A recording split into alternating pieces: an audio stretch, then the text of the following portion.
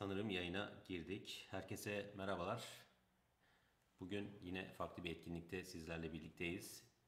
Ee, bugünkü konumuz aslında temel anlamda SQL. Ee, değişik bir isim seçtik bugünkü e, dersimizin başlığına. Verinin kadim dili SQL. Neden? Çünkü veri sorgulamayla alakalı geliştirilen bir dil, 1970'lerde başlayan bir dil ve 1970'lerden o zamanlar SQL diye başlayan, ismi, ismi SQL diye e, tanımlanan IBM tarafından geliştirilen bir dil. Sonrasında SQL diyerek değiştirilmiş. Yani Structured English Query Language şeklinde. Sonrasında ise SQL olarak günümüze kadar gelmiş ve şu anda yine bütün veri işlemlerimizde veriyle alakalı özellikle online veri üzerinde en çok kullandığımız dil arkadaşlar. Bu yönüyle e, bizim uzun zamandır hani e, bildiğimiz ve bizim için çok da önemli olan bir dil. Bugün e, ODTÜ İstatistik Topluluğu ile birlikte bu yayını gerçekleştiriyoruz. Sağ olsunlar kendileri davet etti böyle bir etkinliğe. Ben de içerisinde bulunmak istedim bu etkinliğin. Öncelikle Şimdi e, saat 8 gibi başlayacağız dedik burada. E, biraz vaktimiz var. Ben biraz böyle sohbet etmek istiyorum. Hem de böyle bir ses görüntü ayarlarını bir kontrol edelim. YouTube'dan da hemen bir şuradan bir kontrol edeyim.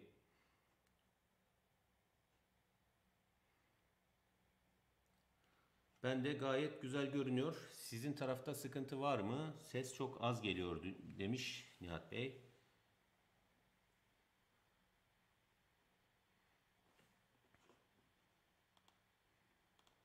Ben kendi sesimi gayet net duyabiliyorum YouTube üzerinden ama şöyle mikrofonumu biraz daha yaklaştırmayı bir deneyeyim.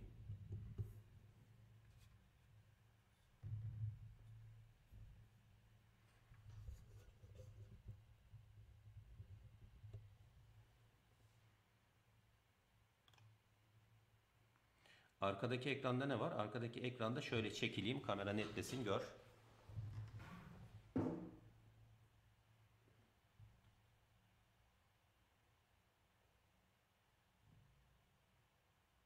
Evet. Bizim etkinliğimizin aslında küçük bir afişi arkadaşlar.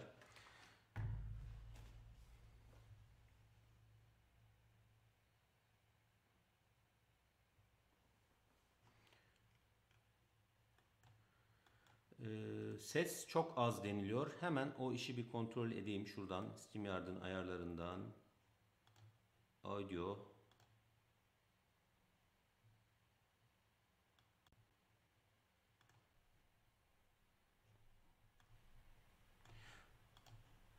Şu an ses nasıl? Tekrardan bir e, yorum yazarsanız arkadaşlar.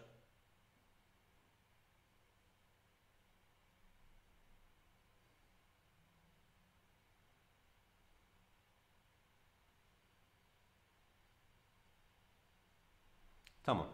Ses konusunda sıkıntı yok. Ee, şöyle hemen hızlıca sorulardan bir başlayayım. Özellikle hani bu eğitimden e, insanların e, beklentileri neler biraz onları görmek istiyorum ben. Onları işte yorumlamış olayım.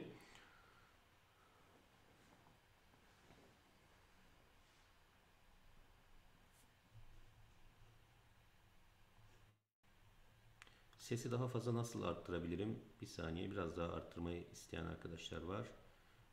Şöyle yapayım.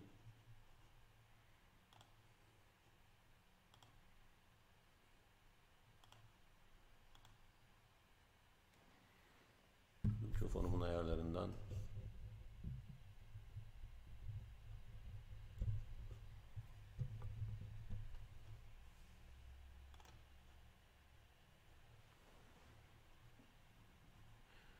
Sanki şu an daha iyi gibi geliyor. Ben YouTube'dan kendi sesimi daha net duyuyorum arkadaşlar.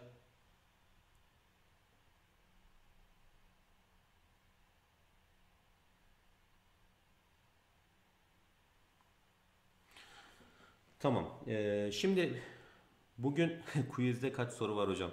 Daha dakika bir gol bir quizden başladık. Süper.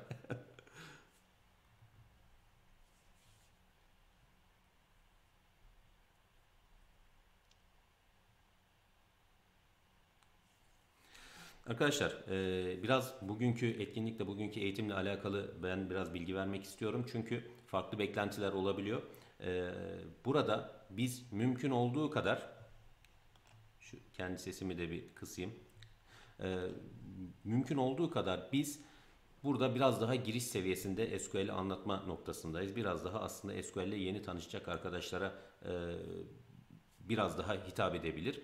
Önceki yaptığımız etkinlikte hatırlıyorsanız burada Erciyes Üniversitesi'nin Women in Business e, ve Google DSC ile birlikte e, yapmış olduğumuz bir etkinlik vardı. Orada biraz daha SQL ile alakalı daha ileri seviye konulardan bahsetmiştik. Fakat burada biraz daha giriş seviyesi noktasında SQL'i temel seviye noktada elimden geldiği kadar 2 saat 3 saat artık burada kesinlikle bir zaman planı yapamıyorum. Çünkü e, biraz aslında sizin ilginizle de alakalı bu durum e, elimden geldiği kadar dilimin döndüğünce bu konuları anlatıyor olacağım arkadaşlar. Evet, verinin kadim dili SQL. Şimdi şuradan ben ekranımı da paylaşıp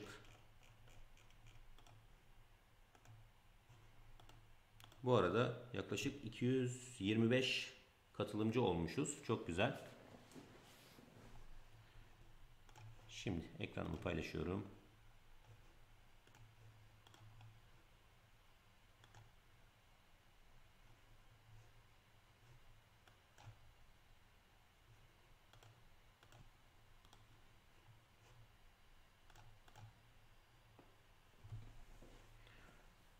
Şuradan da telefonumdan, YouTube'dan da kontrol edeyim. Tamam. Verinin kadim dili SQL. Neden kadim dili? Biraz önce de söyledim aslında 1970 yılında IBM tarafından veri sorgulamak için geliştirilmiş bir dil. E, ismi Square ama kendi içerisinde çok fazla matematiksel hesaplar, matematiksel formüller barındırdığı için aslında çok kullanışlı olmuyor. Kullanışlı olmadığı fark ediliyor ve bunun üstüne e, SQL isimli bir dil geliştiriliyor. Buna işte e, Structured English Query Language şeklinde bir dil geliştiriliyor. Fakat sonrasında da e, olayı biraz daha telaffuzunu da daha kolay geliştirmek adına bugünkü SQL dediğimiz dil gelişiyor. Yani 1970'ten bu tarafa biz yapısal veriyi SQL ile sorguluyoruz. SQL dili ile sorguluyoruz arkadaşlar. Örneklerini göstereceğim ilerleyen slaytlarda. Fakat öncesinde ben birazcık kendimden bahsetmek istiyorum. Çünkü burada bizi tanıyanlar var, tanımayanlar var. Bir de benim e, birden fazla kimliğim var aslına bakarsanız. Bir yerlerde sosyal medyada vesaire bir yerlerde denk geldiği zaman e, hani tanıdığından farklı bir kimlikle çıktığı zaman insanlar şaşırıyor. O yüzden birazcık hızlıca kendimden bahsetmek istiyorum ben sizlere. Şu anda e, Isısan şirketinin bilgi teknolojileri müdürü olarak çalışıyorum arkadaşlar. Yaklaşık 9 yıldır bu şirketteyim. 2003 yılında e, Erciyes Üniversitesi Bilgisayar Mühendisliği bölümünden mezun oldum. O gün bugündür özel sektörde çalışıyorum. Fakat bununla birlikte yaklaşık son 7 yıldır da bir e, eğitimcilik deneyimim olmaya başladı. İşte Erciyes Üniversitesi Bilgisayar Mühendisliği bölümünde dışarıdan derslere giriyorum. Bunun dışında Udemy'de kurslarım var. Şu anda e, buradaki rakamlar biraz daha eski kaldı ama toplamda e, 28 bine yakın öğrencim var. 99 ülkeden 6 tane kurs yayınladım Udemy'de. Bunlardan 2 tanesi de kendi kategorisinin en çok satan kursları oldu. Türksel Geleceği yazanlar Türksel'in bir sosyal sorumluluk projesi. Burada ücretsiz eğitimler var. E, özellikle yazılım eğitimleri e, çok fazla. Ve buradaki Microsoft SQL Server ile alakalı eğitimleri ben hazırladım arkadaşlar. Toplamda 4 tane eğitim ve 130 tane video var. Ücretsiz şekilde buradan girip e, yararlanabilirsiniz. Bu eğitimleri alabilirsiniz. E, BTK Akademi e, Türkiye'deki bu 1 milyon yazılımcı istihdamı projesi kapsamında geliştirilen bir platform burası. Bilgi Teknolojileri Kurumu'nun e, bir online eğitim portalı. Burada da yine 4 tane eğitimim var ve toplamda 100 bin öğrenciye ulaşmış durumda. Siber Kümelenme ve Siber Kulüpler Birliği. Burası Cumhurbaşkanlığı Savunma Sanayi Başkanlığı altında üniversitelerle birlikte oluşturulmuş bir organizasyon arkadaşlar. Üniversitelerin bilişim kulüplerinin, siber güvenlik kulüplerinin e, bir araya getirildiği bir organizasyon. Neler yapıyor bu organizasyon? İşte gönüllü eğitmenler var. Yaklaşık en son 40 taneydi. Ben onlardan biriyim. E, çeşitli etkinlikler düzenleniyor. En son e, pandemi öncesinde canlı etkinliğimizi yüz yüze etkinliğimizi Bahçeşehir Üniversitesi'nde düzenlemiştik. Yaklaşık 750 tane öğrencinin ve 25 e, tane eğitmenin katıldığı bir haftalık süren paralel eğitimlerin olduğu bir etkinlikti. Sonrasında online ortamlarda e, yine eğitimler devam etti. Ben buranın gönüllü bir eğitmeniyim. E, bir YouTube kanalım var. Tavsiye ederim eğer SQL ile ilgileniyorsanız, veri tabanıyla, veriyle ilgileniyorsanız, iş zekası ile ilgileniyorsanız burada gerçekten farklı videolar var. Ben özellikle üniversitede derslere girdiğim öğrencilere söylediğim bir şey vardı. Arkadaşlar benim dersimi iyi dinleyin. Çünkü benim burada size anlattığım şeyler Google'da nasıl arayacağınızı bilmediğiniz şeyler genelde diye. O formatta böyle o tatta çok güzel e, videolar var arkadaşlar. E, ilginizi çekerse bakarsanız e, adresi burada. Ve son olarak da 2020'nin e, güzel bir sürprizi Aralık ayında e, 1 Aralık'ta Microsoft Most Valuable Professional olarak e, seçildim. Bu e, Microsoft'un IT sektöründe sektöre katkı sağlayan, sektöre e, ve paydaşlarına bir şekilde faydalı olan, IT komünitelerine faydalı olan insanlar için e, düzenlediği bir ödül. E, bu noktada Türkiye'de 18 kişi var şu anda bu ünvana sahip. Dünyada da 3000 kişi var ve e, büyük bir gururla ben de bu sene bu ödülün sahibi oldum. Şimdi Ömer Çolakoğlu'nu anlattım ben size. Ömer Çolakoğlu totalde budur ve hızlıca eğitimimize geçiyoruz arkadaşlar. Ha unutmadan e, genelde unutuyorum çünkü sunumun sonunda. Burada iletişim bilgilerim var. E, burayı e, not alabilirsiniz. Bana herhangi bir şekilde ulaşmak istediğiniz zaman web sayfam, Twitter hesabım, LinkedIn hesabım, Udemy hesabım, YouTube, Instagram ve e, e-mail hesabım burada arkadaşlar. Buralardan ulaşabilirsiniz. Evet bu eğitimde neler öğreneceğiz? Aslında zamanımız çok kısa. İnşallah hepsini öğrenebiliriz. Fakat en azından öğretmeyi amaçladığım, göstermeyi amaçladığım şeyler bunlar.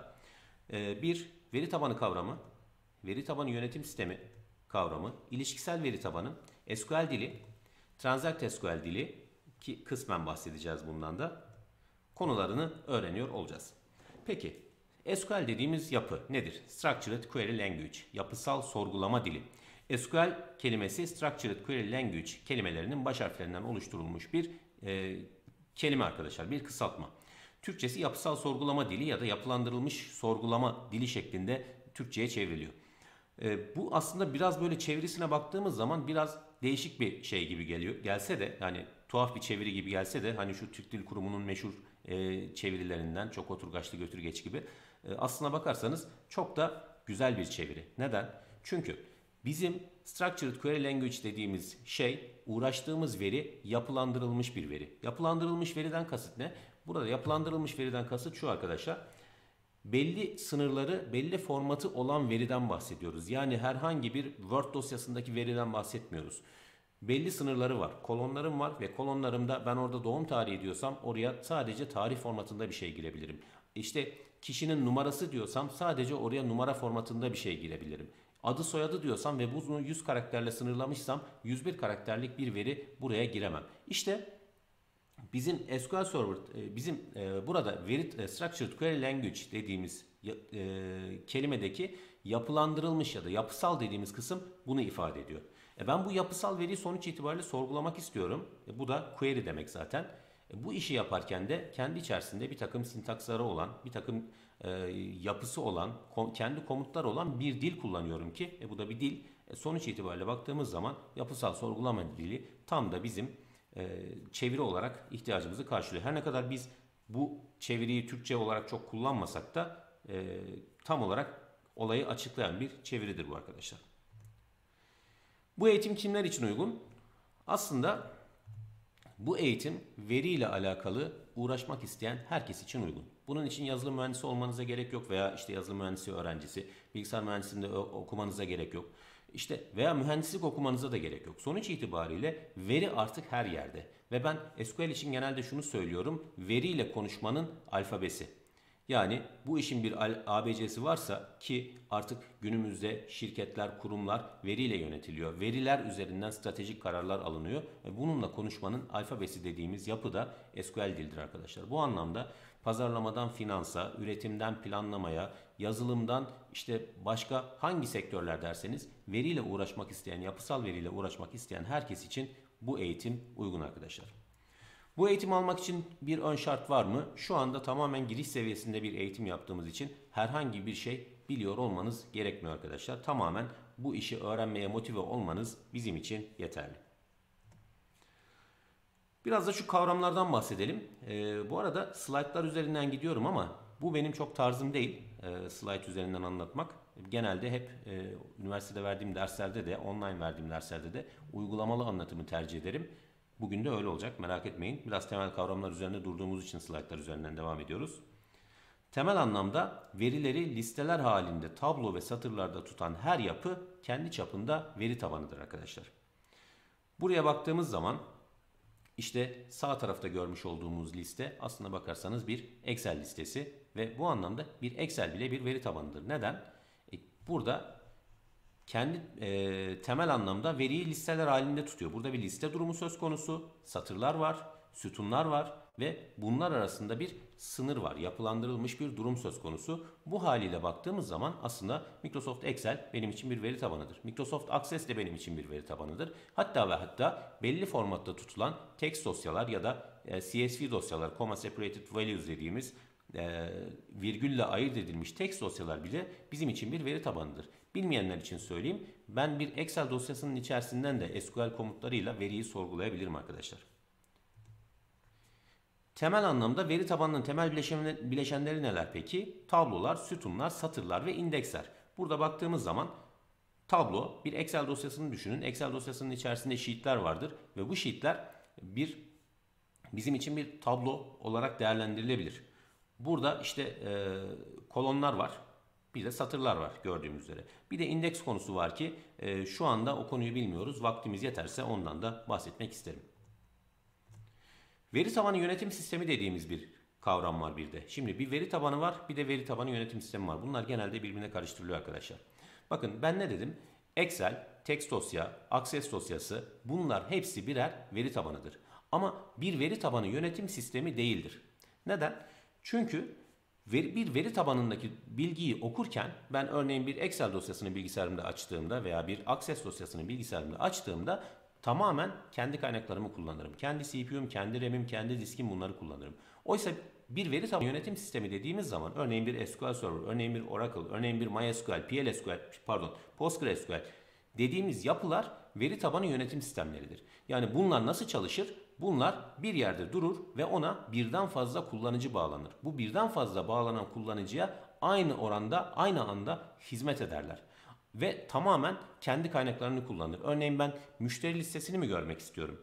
Bunu o veri tabanı sunucunun anlayacağı dilde ona gönderirim. Select yıldız from customers derim. Eğer tablomun adı customers'sa karşılığında bu veri tabanı yönetim sistemi tamamen kendi diskini, kendi CPU'nu, kendi RAM'ini kullanır ve benim istediğim sonucu döndürür. İşte veri tabanı yönetim sistemi ile veri tabanı sunucu arasında veri tabanı yönetim sistemi ile veri tabanı arasındaki fark budur arkadaşlar. Buradan tekrar ediyorum. Excel, Access, e, text dosya bunlar birer veri tabanı iken veri tabanı yönetim sistemi daha farklı özelliklere sahiptir ve ayrıca her bir veri tabanı aynı zamanda bir veri her bir veri tabanı yönetim sistemi aynı zamanda bir veri tabanı iken her bir veri tabanı aynı zamanda bir veri tabanı yönetim sistemi değildir arkadaşlar. Bir de veri tabanı sunucu diye bir kavram var. Genelde bunu aslında donanım olarak insanlar tanımlıyor fakat donanım olarak tanımlamak doğru değil. Veri tabanı sunucu dediğimiz şey aslında veri tabanı yönetim sisteminin ta kendisi. Yani örneğin SQL Server'a baktığımız zaman bir işletim sistemi üzerinde çalışan bir uygulama ve bir sunucu uygulama. Bu anlamda veri tabanı yönetim sistemi eşittir veri tabanı diyebiliriz arkadaşlar. Peki bu veri tabanı sunucuyla sistem nasıl haberleşiyor? Biraz da ondan bahsedelim. Burada bir tane bilgisayar var kullanıcı. Burada da database server var. Örneğin SQL Server. Buradan bağlanmak istiyorum diyor ve kullanıcı adı şifreyi gönderiyor. Kullanıcı adı ve şifre doğruysa burada yanlışsa pardon yanlış kullanıcı adı ya da şifre deyip düşürüyor. Eğer doğruysa bu kez diyor ki bağlantı kabul edildi ve artık client ile server arasında bir bağlantı kurulmuş oluyor. Sonrasında ne var? Sonrasında bu ikisinin belli bir dil kullanarak belli bir protokol ile haberleşmesi var. Ve bu anlamda SQL dili bütün veri tabanı yönetim sistemlerinin ortak dilidir arkadaşlar. Yani bir veri tabanı yönetim sistemi dünyasını bir dünya olarak görürsek bunların global dili İngilizce gibi burada da bu, e, veri tabanı sistemin, sistemlerinin global dili de SQL dildir arkadaşlar. Ve bu anlamda buradaki bilgisayar bu makinenin sunucunun anlayacağı dilde bir şey gönderir, komut gönderir ve der ki ben sendeki müşteri listesini çekmek istiyorum. Anlayacağı dil ne? select yıldız from müşteriler. Bu bilgi veri tabanı sunucuya gider ve veri tabanı sunucudan belli bir formatta istemciye gelir. İstemci de bunu ekranında gösterir arkadaşlar. Diğer türlü ben sana bir yeni bir kayıt yapmak istiyorum. Yeni bir müşteri kaydetmek istiyorum. Insert into müşteriler ad soyad values Ömer Çolakoğlu. Bu bilgi gider ve sonuç itibariyle işlem gerçekleşir. Yeni kayıt eklendi diye ekrana düşer arkadaşlar. Temel anlamda bir veri tabanı yönetim sistemi ile client'ın bağlantısı bu şekildeydi. Bir de ilişkisel veri tabanı diye bir kavram var. İngilizcesi RDMS ya da Relational Database Management System. Bu, an, bu kavram ne anlama geliyor? Biraz da bunun üzerinde konuşalım. Şimdi arkadaşlar bunun hani teknik tabiri şu bu. Tekrar eden verileri tekilleştirmek amacıyla yapılandırılan veri tabanı sistemleridir. Peki bizim anlayacağımız tabiri ne? Örneğin şimdi sizin bir küçük bir dükkanınızın olduğunu düşünün ve bu dükkan içerisinde siz günlük olarak belli müşterilerinize ürünler satıyorsunuz. Ve e, sisteminizin de çok basit olduğunu düşünün. Yani bir Excel ortamında ta- takip ettiğinizi düşünün. Bu Excel ortamında takip ederken siz müşteriniz dükkana her geldiğinde örneğin Ömer Çolakoğlu müşterisi sizin dükkanınıza gelip gün içerisinde 10 kere alışveriş yapıyor ve siz ona bir fiş oluşturup vermek durumundasınız. Bunu da Excel'de hazırladığınızı düşünün. Ne yapacaksınız? Fişin her tarafına Ömer Çolakoğlu'nun adı, soyadı, TC kimlik numarası, adresi, telefon numarası gibi bilgileri girmeniz gerekiyor. Ama bunlar değişen bilgiler değil ki. Ömer Çolakoğlu hep Ömer Çolakoğlu. TC kimlik numarası hep aynı zaten bu adamın. Adresi değişirse 40 yılda bir değişir. Telefon numarası zaten aynı. Bütün bunları sürekli girmek bana bir maliyeti var. Sürekli girmenin bana bir maliyeti var. Yani ne? Tekrar eden verileri sürekli girmekten kaynaklanan emek ve iş gücü kaybı. Sonrasında bir de buradaki tekrar eden verilerin gereksiz yere yer tutmasından bahsedelim. Yani Ömer Çolakoğlu'na ben normalde bir tane numara versem, örneğin 1561 ve her yere Ömer Çolakoğlu'nun bu 1561 numaralı bilgisini yazsam, bunun hafızada kapladığı yer işte 4 şey e, 4 byte'lık yer kapladığını düşünün. Ama Ömer Çolakoğlu'nun şu kadar bilgisini ben tuttuğum zaman adresi, adı, soyadı, telefonu vesaire bilmem ne işte diyelim ki 250 karakterlik bir yer tuttuğunu düşünün. Bu da 250 byte'a tekabül eder. Ne yapar? Bir tarafta 4 byte, bir tarafta 250 byte. Arada kaç kat fark var? Nereden baksanız 50 kat, 60 kat fark var. O zaman burada gereksiz bir de yer israfı durumu söz konusu. Peki bir de Ömer Çolakoğlu'nu ben yanlışlıkla bir de Ömer Çolakoğlu diye kaydettim. Yani adını yanlış yazdım. Bu sefer ne oldu? Bana göre Ömer Çolakoğlu aynı Ömer, Ömer Çolakoğlu. Fakat sisteme göre ikinci bir adam oluşmuş durumda.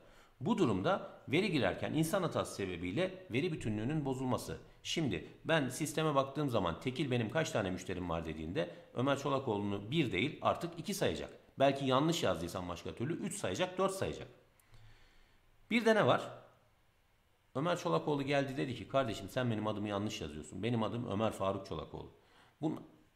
Bundan sonra bunu düzelt ve faturalara bu şekilde yaz. Peki ne yapacak şimdi bu adam? Geçmişe yönelik olarak bütün faturaları teker teker düzeltmesi lazım. Öbür türlü veri bütünlüğü bozulur. Ne oldu? Veride güncelleme yapmak gerektiğinde geçmişe dönük olarak güncelleme yapılmasının zor olması. İşte bu ihtiyaçların önüne geçmek adına, e, bu sıkıntıların önüne geçmek adına her seferinde aynı bilgileri teker teker tekrar tekrar girmemek için biz ilişkisel veri tabanı dediğimiz kavramlar çıkarttık. Ve burada bakın müşteri ile alakalı yani Ömer Çolakoğlu ile alakalı bilgiler nerede tutuluyor? Customers tablosunda tutuluyor. ID'si, TC kimlik numarası, name surname alanı, telefon numarası, adresi. Satışlar tablomda ise bu müşterinin bu kadar bilgisini tutmak yerine müşterinin sadece ID bilgisini tutuyorum. Customer ID diyerek. Böylelikle ne olur? Ben Ömer Çolakoğlu'nun adını değiştirmek istediğim zaman şu tabloda değiştirdiğim anda burada değişen hiçbir şey yok. Çünkü buradası Customer ID ile bağlı durumda. Yani müşterinin numarasıyla bağlı bağlı durumda. Bu durumda herhangi bir işte biraz önceki saydığım dezavantajları artık yaşamıyor oluyoruz arkadaşlar. Bir de işte burada hangi ürünü sattığımla alakalı biz şu an sadece müşteri için konuştuk ama bir de burada neler var? İşte e, ürünler var. A ürününden B ürününden sattım diye aynı ürünleri teker teker girmek yerine burada tek seferinde girerek buradaki ürünlerden seçerek item ID bilgisiyle tutabiliriz. Sonuç itibariyle pardon. Ben veri girerken içeriye şöyle bir ekran çıkıyor karşıma. Bakın şuradan müşteriyi seçiyorum. Şuradan müşteriyi seçiyorum. Bir tane slide'ım kaybolmuş. Sonrasında bakın buradan ürünü seçiyorum. İkinci ürünü seçiyorum. Ve bakın faturam bu şekilde oluşturulmuş oluyor. Bu sistemin arka tarafında ilişkisel veri tabanı dediğimiz yapı yatıyor arkadaşlar. Bugün inşallah e, yetiştirebilirsek bu konuda da uygulama yapmak istiyorum.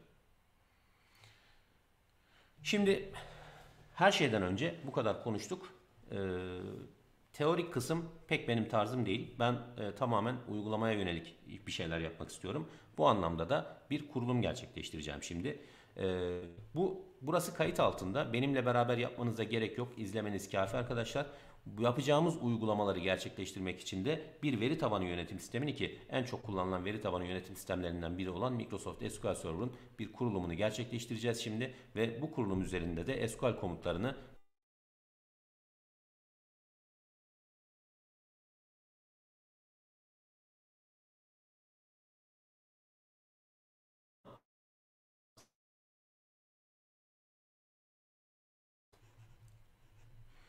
Önce kavramdan bahsedelim. Fiziksel bir işletim sisteminin içinde başka işletim sistemlerinin de gerçek birer bilgisayar gibi çalıştırılması kavramına biz ne diyoruz? Sanal makine kavramı diyoruz. Şu resim aslında çok güzel anlatıyor. Ne diyor burada? Bir tane Windows işletim sistemi var. Üzerinde bir tane Linux işletim sistemi çalıştırıyorum. Ayrıca bir tane de işte macOS işletim sistemi çalıştırıyorum. Yani bir bilgisayar üzerinde birden fazla işletim sistemini çalıştırabiliyorum. Bunu neden önemsiyoruz? Bir, Eğitim tarafında önemsiyoruz çünkü herkesin bir konuyu öğrenmek için bir e, aynı formatta, aynı işletim sistemine sahip makine oluşturması güzel bir şey. Bu işin eğitim tarafı. Bir de ne var? Bu işin e, daha çok iş tarafında, business tarafındaki durumu var. O da nasıl? Biraz ondan da bahsedeyim. Biraz genel kültür olsun. Eskiden ne vardı arkadaşlar? Eskiden firmaların fiziksel sunucuları vardı, fiziksel serverları vardı. Ve bu fiziksel serverlar üzerinde biz işte web server uygulamasını da, database server uygulamasını da, file server uygulamasını da, mail server, application server hepsini aynı bilgisayar üzerinde çalıştırdık. Peki bunun riski ne? Ne yapıyoruz? Biz aslında tüm yumurtaları tek sepete koyuyoruz bunu böyle yaparak. Peki burada herhangi bir sıkıntıdan dolayı örneğin ben database server'da bir problem yaşadım ve makineyi restart etmem gerekti veya kapatmam gerekti. Ne oldu? Tüm diğer servislerimde çalışamaz hale geldi. Veya bir şekilde makineye virüs bulaştı. Bütün çalışan servislerim çalışamaz hale geldi. Neden? Tüm yumurtalar tek sepette.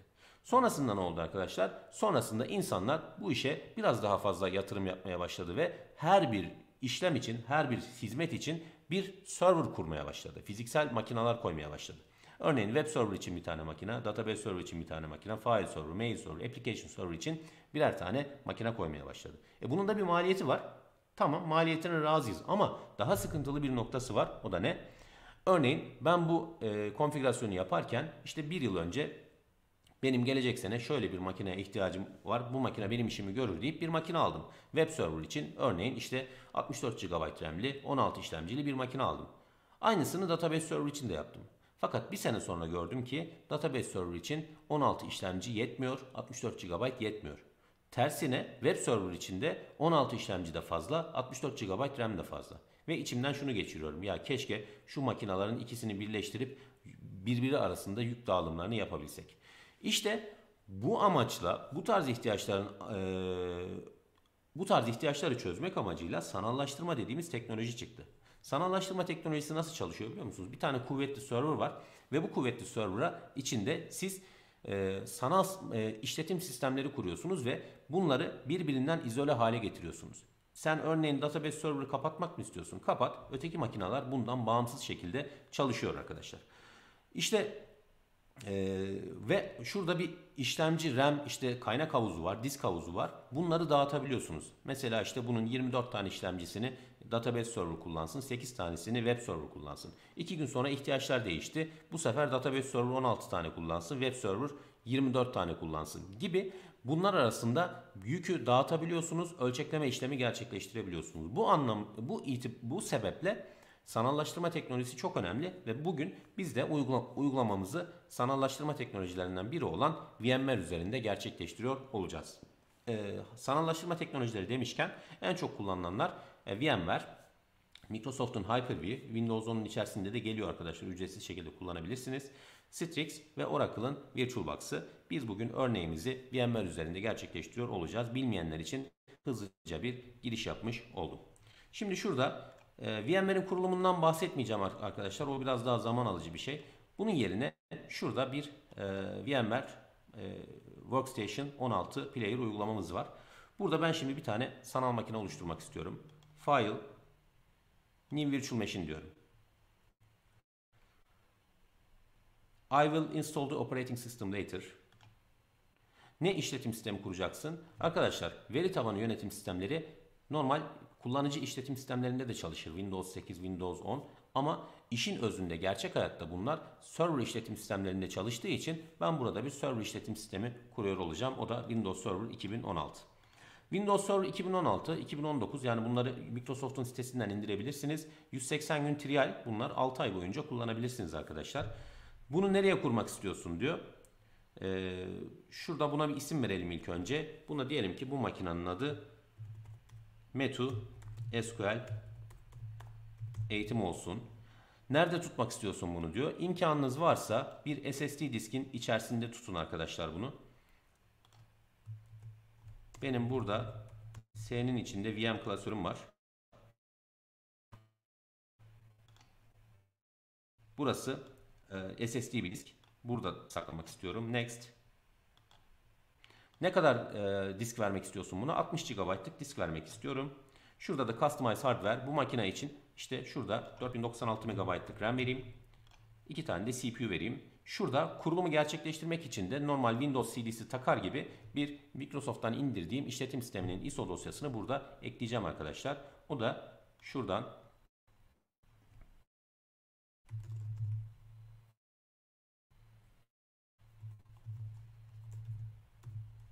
ya 6.8 GB'lık. Bunu ekliyorum. Connect at Power On diyorum ki açıldığında direkt görsün bunu.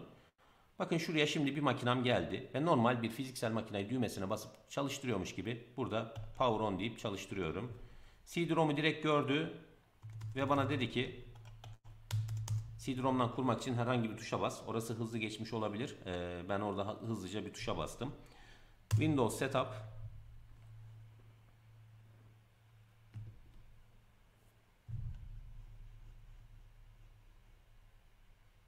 Bu konuyu çok önemsiyorum arkadaşlar. Kurulum konusunu. Çünkü e, birçoğumuz e, standart next next diyerek kurulum gerçekleştiriyoruz. Yanlış bir kurulum. O yüzden doğrusunu da bu eğitim vasıtasıyla e, göstermek istiyorum. Burada server'ın türü language install Turkish time and currency format Turkish pardon burası İngilizce alt taraf Türkçe seçeceğim.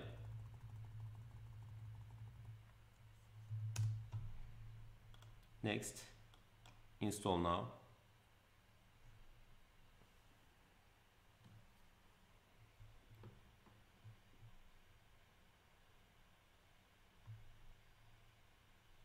Ee, bayağı bir mesaj gelmiş arkadaşlar. Eş zamanlı onları takip etmekte zorlanıyorum ama yazılar okunmuyor falan deniliyor. Ee,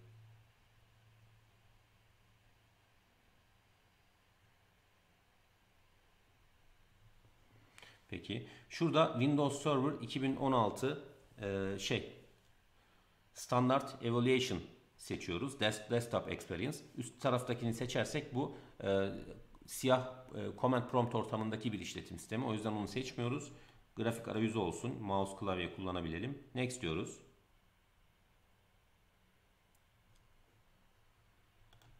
I accept diyorum. Next. Custom install. Evet şu anda biraz kurulumu bekleyeceğiz arkadaşlar. Kurulumu beklerken e, ben biraz şu YouTube'dan sorular varsa onları bir cevaplamaya çalışayım. Bizim VMware indirmemiz gerekiyor mu? Bu işlemi yapmak istiyorsanız evet gerekiyor. Arkadaşlar kalite Heh. Şu anda ben kendimde e, net bir şekilde görebiliyorum YouTube üzerinden canlı yayını. Sizde durum nasıl? Yazılar okunmuyor denmiş.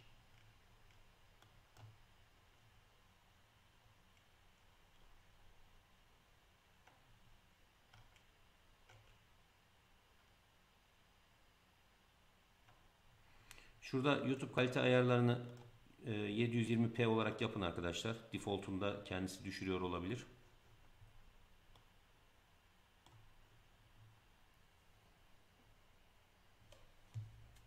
Şu an iyi deniliyor. Tamam. Benden kaynaklanan bir sıkıntı olduğunu düşünmüyorum. Açıkçası şu anda şey e, ofisteyim ve internet bağlantı hızım e, şey e, gayet iyi. Tamam.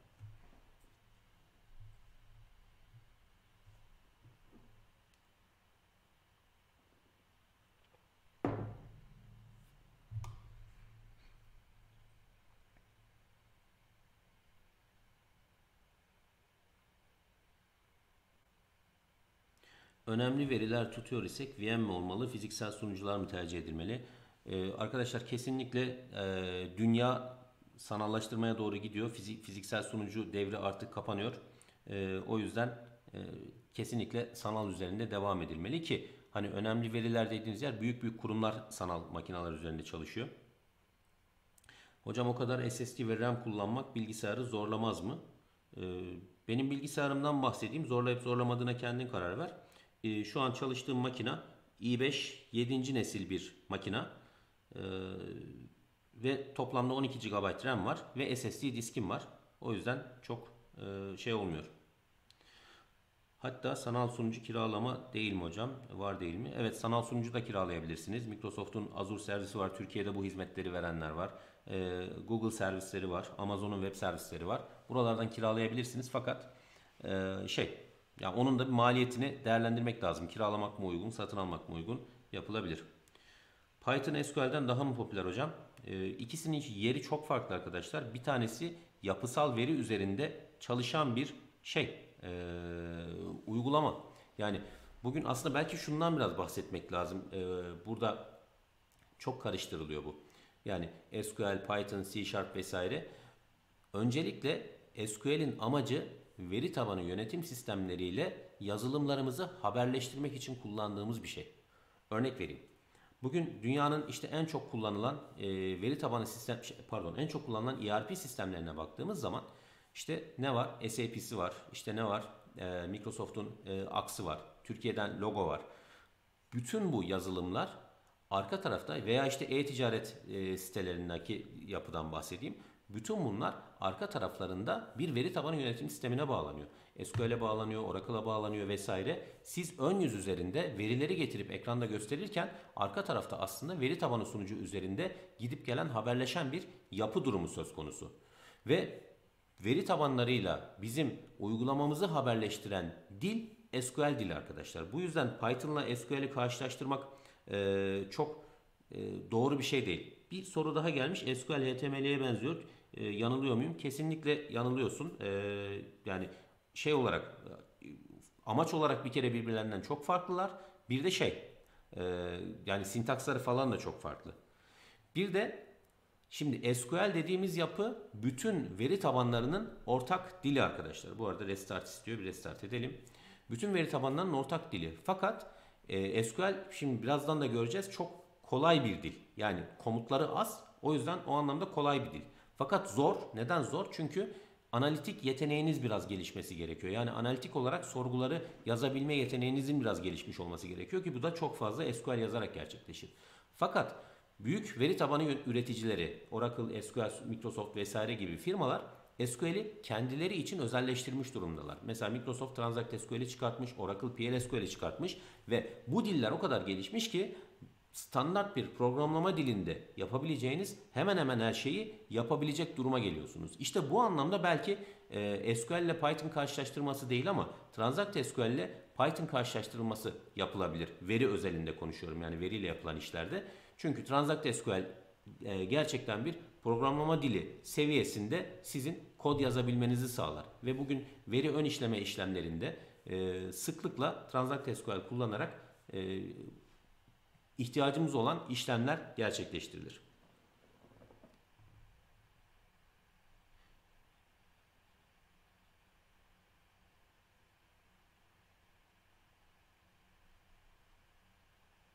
Hocam günümüzde SQL yerini NoSQL'e bırakır bırakıyor diye düşünüyorum. Ancak bu sistemlerdeki database bakım işlemleri nasıl yapılıyor?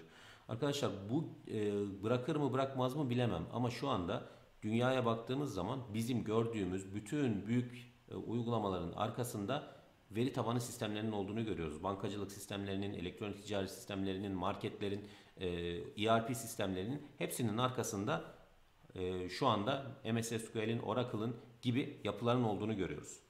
Makinamız kuruldu arkadaşlar. Makinamıza bir e, şifre girmemizi istiyor. Administratör şifresi. Password 1 giriyorum ben kolay bir şey olsun diye. Girebildim mi? Yok girememişim. Password 1. P'si büyük. Password 1 girdim. Ve şu anda bakın bir normal benim kendi işletim sistemim var. Burada bakın başlat butonum var. Burada yepyeni bir işletim sistemi var. Şurada Ctrl Alt Delete göndererek makinamıza login oluyoruz. Burada sanal makinamızı VMware'i biraz daha konforlu kullanabilmek adına bir tık daha bir ayar yapmamız gerekiyor arkadaşlar. O da bakın şöyle büyüttüm mesela burası tam ekran olmadı. Veya şurada kendi makinam üzerinden ben bir tane dosyayı alıp şöyle buradaki sanal makinenin üstüne yapıştırmak istiyorum. Fakat yapıştıramıyorum. İşte bunları biraz daha konforlu kullanmak adına bir şey daha yapmam gerekiyor. O da şurada Manage'ın altında Install VMware Tools. Bunu tıklayınca bakın şurada bilgisayarıma yeni bir sanal CD-ROM ekledi. Şurada VMware Tools diye. Şimdi onun kurulumunu gerçekleştiriyorum.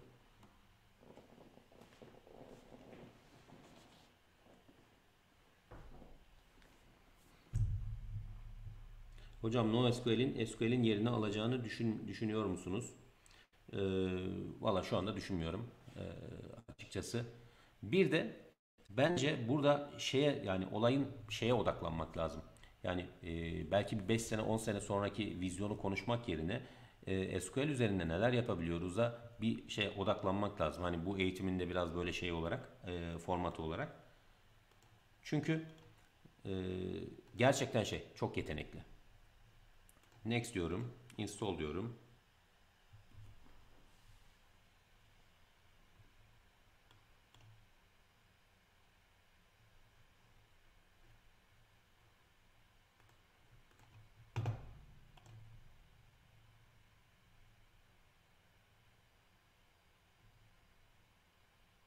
...340 kişi olmuşuz arkadaşlar. Maşallah ya. Akşam akşam. Şimdi şu kurulum faslını hızlıca bir bitirelim.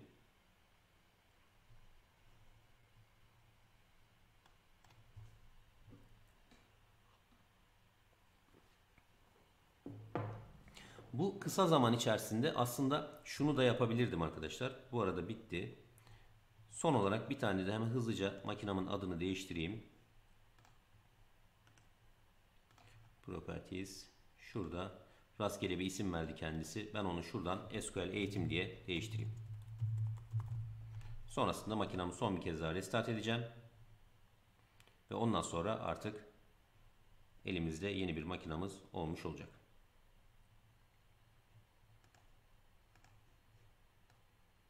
Restart now diyorum. Arkadaşlar YouTube'dan sürekli e, şu yorum ve soruları alıyorum. İşte NoSQL ile SQL'in arasında ne fark var? R ile SQL arasında ne fark var? Python ile SQL arasında ne fark var? Bence e, bunu başka zaman bir sohbet tadında yaptığımız bir etkinlikte bu soruları cevaplandıralım derim.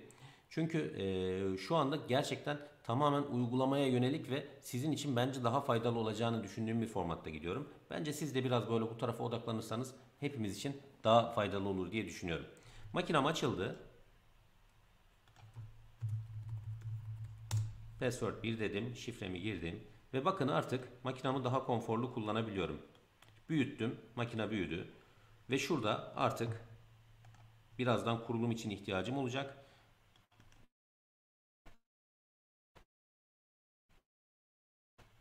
Şurada SQL Server türümü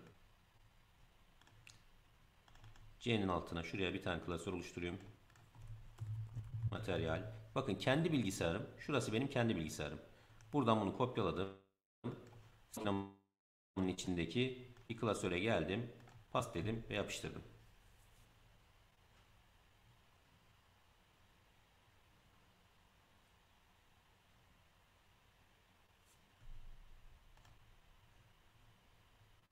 Şimdi hızlıca SQL Server kurulumunu başlatacağım arkadaşlar.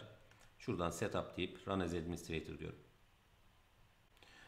SQL Server kurulumunu bu eğitimde sadece SQL komutlarını çalıştırıp SQL komutlarını da öğrenebilirdik arkadaşlar. Doğrudan kurulu bir sistem üzerinde bunu da yapabilirdim fakat yapmak istemedim. Neden? Çünkü işte en çok kullanılan veri tabanı yönetim sistemlerinin dediğimiz zaman ilk akla gelen MS SQL ve MS SQL'in kurulumunu yaparken biz genelde yanlış kurulum yapıyoruz. Next next diyerek geçiyoruz. Benim normalde eğitimlerde sadece 2 saati SQL Server kurulumuna ayırıyorum. Ee, bugün tabii o kadar vaktimiz yok. Daha hızlı geçeceğim ama en azından bilinçli bir kurulum gerçekleştirip sadece ihtiyacımız olanları eklemek istiyorum. Çünkü SQL Server çok ölçeklenebilir bir yapı. Bugün 3 kişinin çalıştığı bir finans şirketinde de bir avukatlık şirketinde de siz SQL Server kullanabilirsiniz bir uygulamanın arkasında. Koskoca hepsi buradanın arkasında da aynı SQL Server kullanabilirsiniz. Arçelik'in arkasında da aynı SQL Server kullanabilirsiniz.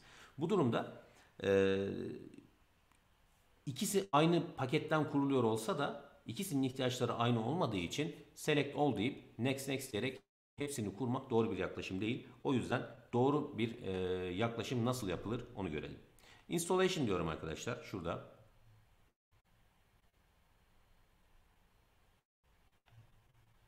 Bakın şurada karşıma şey çıktı. New SQL Server Standalone Installation or Add Features to an Existing Installation. Mevcut bir SQL Server'a yeni bir özellik eklemek ya da yeni bir SQL Server kurmak için yeni bir SQL Server kuracağız burada. Karşıma 3 tane seçenek çıktı. Evaluation, Developer ve Express. Evaluation buradaki full sürümün 180 gün deneme sürümü. Developer, e, Express ücretsiz bir sürüm ama kısıtlamaları var. Örneğin işte en büyük database boyutu 10 GB olabilir. 1.4 GB'dan fazla RAM kullanamaz falan. Bir de Developer Edition var ki Enterprise Edition'ın yani en üst sürümün bütün özelliklerini kapsar. Fakat sadece production ortamında kullanamazsınız bunu. Sadece developer ortamında kullanabilirsiniz ve ücretsizdir. Bu demek oluyor ki kendi bilgisayarınıza SQL Server'ın bütün özelliklerini kullanabilmek adına Developer Edition'ı ücretsiz şekilde kurabilirsiniz diyorum ve next diyorum. Şuradan I accept diyorum. Next. Show details. Geçti. Next.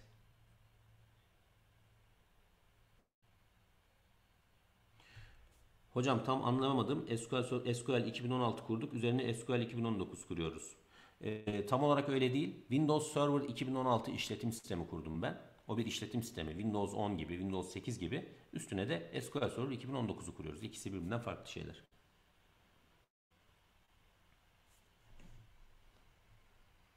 Çözünürlük kötüleşti falan diyorlar ama ben eş zamanlı burada telefonumdan da bakıyorum.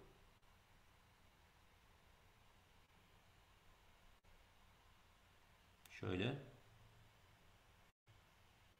Bende net görünüyor arkadaşlar.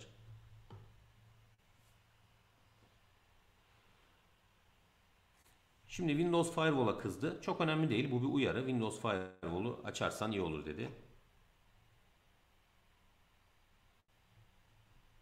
Bakın genelde yaptığımız hata şu. Şu kadar özellik var ve bunlara select all deyip next deyip kuruyoruz. Doğrusu bu değil arkadaşlar. Doğrusu ne? Doğrusu şurada ihtiyacımız olanların ne olduğunu bilmek. Bakın Database Engine Services. Hızlıca üstünden geçeceğim. Detaylı anlatmayacağım. Database Engine Services SQL Server'ın kendi arkadaşlar. Bu olmazsa olmaz. Bunu bir kere kuruyoruz. Sonrasında SQL Server Replication. Senin iki tane noktan var. Bir tanesi Ankara'da, bir tanesi İzmir'de, bir tanesi İstanbul'da. Üç tane noktam var.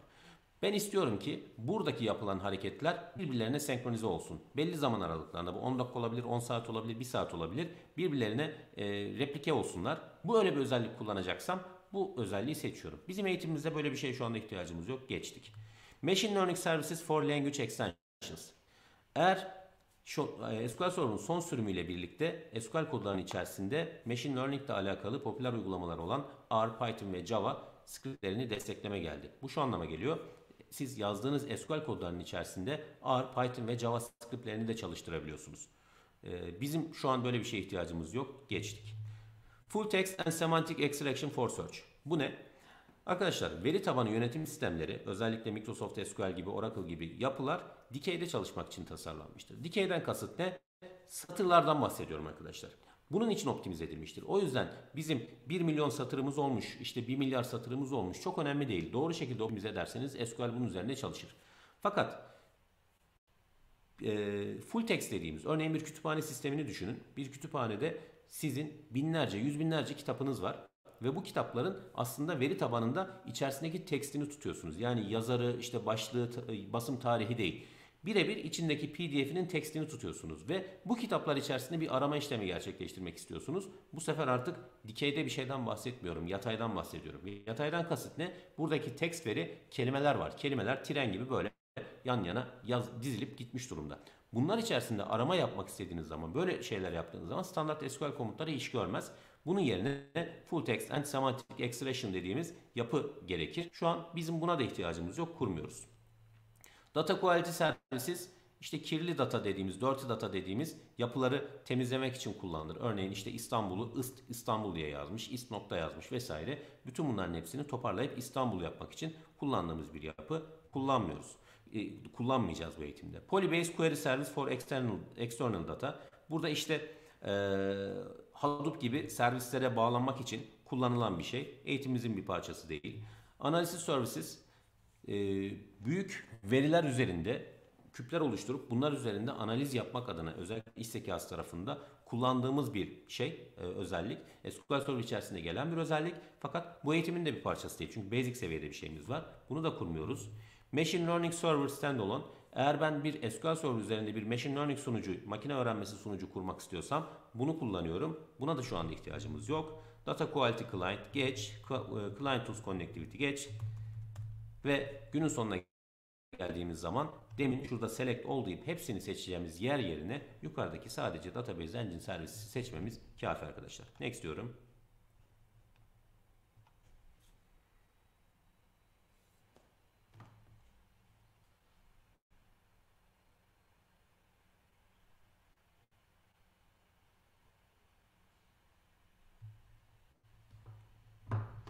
Karşıma e, default instance mı name it instance mı seçeneği geldi. Makinamda herhangi bir SQL kurulu olmadığı için olsaydı zaten şurada olurdu. Default instance deyip next diyorum.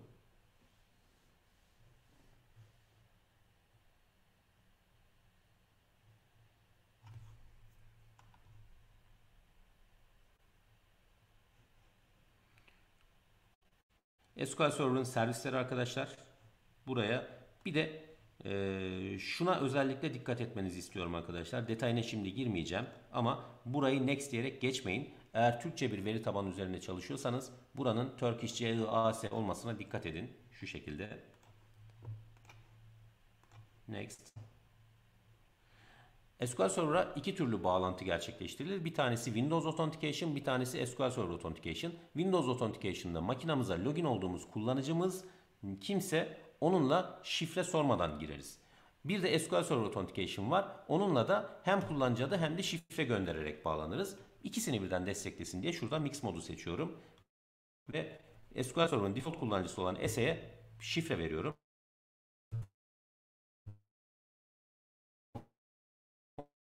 Password 1 yazacağım. Bir de Windows mevcut e, Windows kullanıcımızın SQL'e otomatik olarak admin olması için şuradan da add current user diyorum ki şimdi SQL eğitim slash administrator gelecek buraya.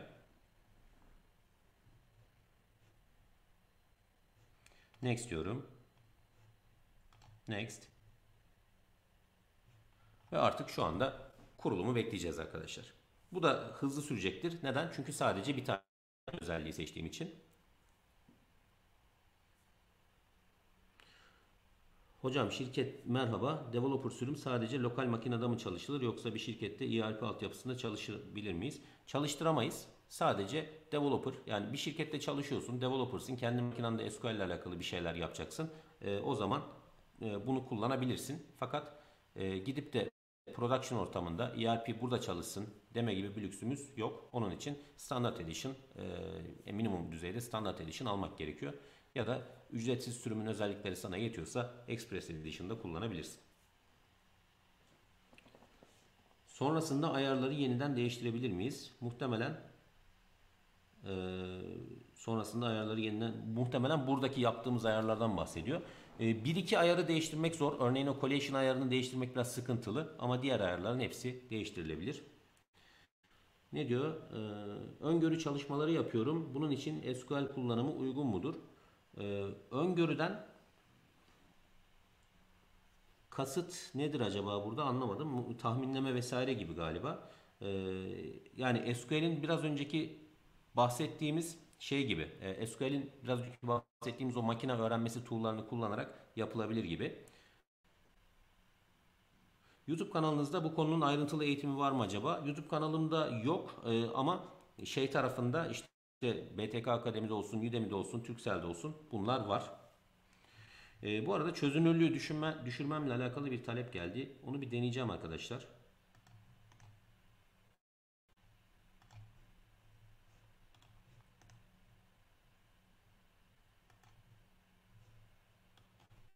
Pardon, şuradan çözünürlük, görüntü ayarları. Şöyle yapayım ben muhtemelen daha rahat görürsünüz inşallah.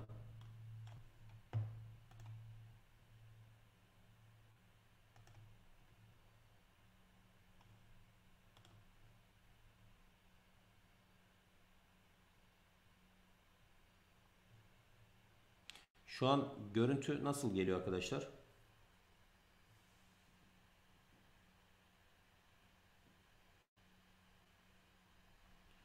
Ee, Regional Settings'te kurulumlarda dikkat edilmesi gerekiyor mu diyor. Regional Settings'e kesinlikle dikkat edilmesi gerekiyor. Ee, bu farklı olabilir. O yüzden biraz önceki bahsettiğim işte Turkish CE AS dediğimiz collation tarafı çok önemli. Önceki özellikle bir server taşıma işlemi gerçekleştiriyorsanız önceki değer neyse aynısını yapmak gerekiyor. Regional Settings değiştiğinde burada default değerler geldiği için yanlış kurulumlar yapabiliyoruz ve bunun sonrasında düzeltme imkanı maalesef pek olmuyor. Çözünürlük işini herhalde çözmüşüz. Tamam.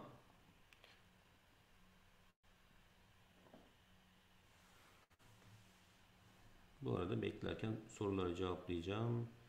Hocam şu anda 2016 kullanıyoruz. 2009'da upgrade pratik midir? Veri kaybı olabiliyor mu? E, profesyonel destek almak gerekir mi? E, aslında çok kolay upgrade işlemi. O, o kadar zor bir şey değil. Şuradan e, nereden yapıyorduk? Ha, upgrade from a previous version of SQL Server diyerek yapılabilir ama öncesinde makinenin yedeğini almakta fayda var tabii ki. Arkadaşlar şu an itibariyle biz ne yaptık aslında? SQL Server kurulumunu gerçekleştirdik. Fakat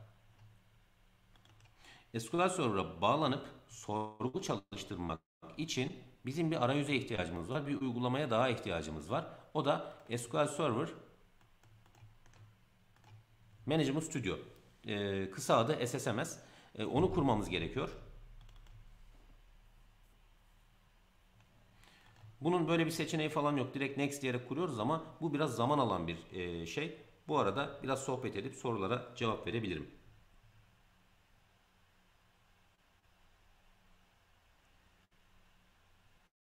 Şöyle bakıyorum.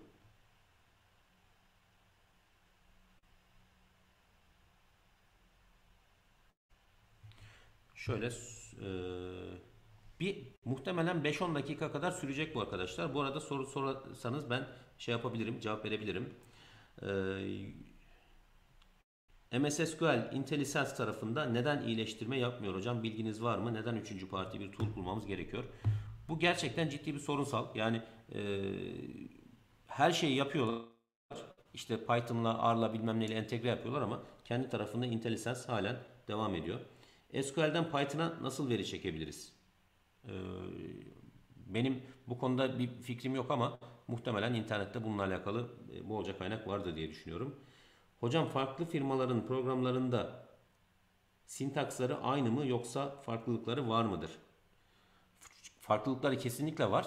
Ee, işte SQL dili, temel anlamdaki SQL dili bugün üstünde biraz duracağımız konu hepsinde aslında aynı. Select, insert, update, delete, create, alter, drop, join bunlar hepsinde temel konular. Fakat işte Oracle olsun, Microsoft olsun bunlar bunun, e, kendi dillerini çok geliştirmiş durumdalar. Ve e, kendilerine özel çok fazla komut var. Sadece kendi tarafında çalışan çok fazla komut var. Oracle SQL ile MS SQL komutları kullanımı aynı mı? Aynı soru galiba. Aynı değil. Yani temel SQL komutları aynı. İşte select, insert, update, delete. Fakat onun dışında işte e, Oracle'ın kendi içerisinde trigger yazabiliyorsunuz, prosedür yazabiliyorsunuz, değişken tanımlama, döngüler vesaire. Bunlar Oracle'da farklı, SQL'de farklı. Bende 8 GB RAM'li bir PC var. Sanal makina e, de Kali var. Sivir'de sizin yüklediğinizi kursam sorun yaşar mıyım? Sanal makinede ikisini aynı anda açmazsan hiçbir sıkıntı olmaz. Hocam mesela YouTuber, Twitter, Facebook gibi şirketlerin arkasında MySQL gibi bir database kullanımında görüyoruz. Acaba MySQL MS SQL'den daha mı hızlı ki MySQL kullanıyorlar? Ee, açıkçası MySQL kullandıklarını bilmiyorum, düşünmüyorum da. Yani kendi veri tabanı sistemlerini geliştirdiler diye düşünüyorum. Ee, Facebook'un olsun, işte YouTube'un olsun. Ben açıkçası MySQL'in de MS SQL'in de o kadar trafik kaldırabileceğini düşünmüyorum. Ama genel itibariyle baktığınız zaman hani MySQL ile MS SQL'i karşılaştıralım dediğiniz noktada birçok noktada MS SQL'in çok daha ileride olduğunu görüyoruz. SQL kitaplardan mı öğrenmek, kurslardan mı öğrenmek daha mantıklı olur hocam? Ee, Ömer Çolakoğlu'nun kurslarını bakabilirsiniz. Ee, güzel eğitimler hazırlıyor diye duydum.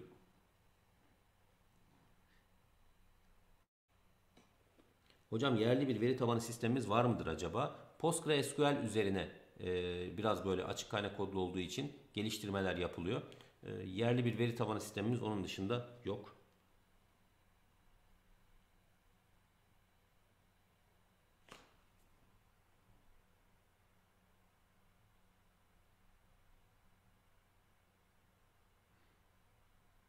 SQL en çok hangi alanlarda kullanılıyor diye sorulmuş.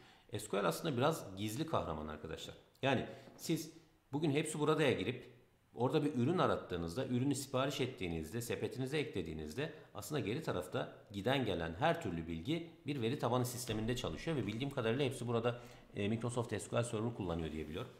Geri tarafta bu haberleşme işlemi tamamen işte e, bir takım kütüphanelerin de bir takım katmanların da olduğu bir noktada tamamen SQL diliyle gerçekleşiyor. Çünkü bu veri tabanı yönetim sistemleri SQL dilinden başka bir şeyden anlamıyor. Yoklama formu 20 21.30'da kapanacakmış arkadaşlar. E, bugün biraz gece uzun olacak gibi görünüyor. E, buralardaysanız. Şimdi asıl keyifli noktalara geleceğiz. Şu kurulu tarafı bitsin inşallah. Dediğim gibi özellikle bu kurulumu hani buraya bir e, kurulu hazır kurulu sistem üzerinde de gelip orada da çalışabilirdik ama e, buna fırsat vermek istedim açıkçası. Bu doğru kurulumu doğru şekilde yapmak ve e, hatalarımızı da şey e, düzeltmek adına bu şekilde bir kurulum yapmak istedim. Sorulara bakıyorum. SQL, Python vesaire bunlar farklı demiştiniz. Bunlardan bahseder misiniz?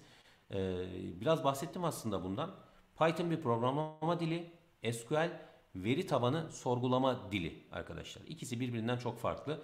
Siz Python'la e, bir örneğin bir hepsi buradan sistemini düşündüğünüz zaman arka taraftaki bütün satış operasyonunu Python'da gerçekleştiremezsiniz. İşte PHP'de veya işte C Sharp'ta bir uygulama yazarsınız. Bu uygulama arka taraftaki veri tabanı sistemiyle bağlantıyı gerçekleştirir. İşte bu bağlantının gerçekleşme noktası bizim SQL kodlarımız vasıtasıyla olur.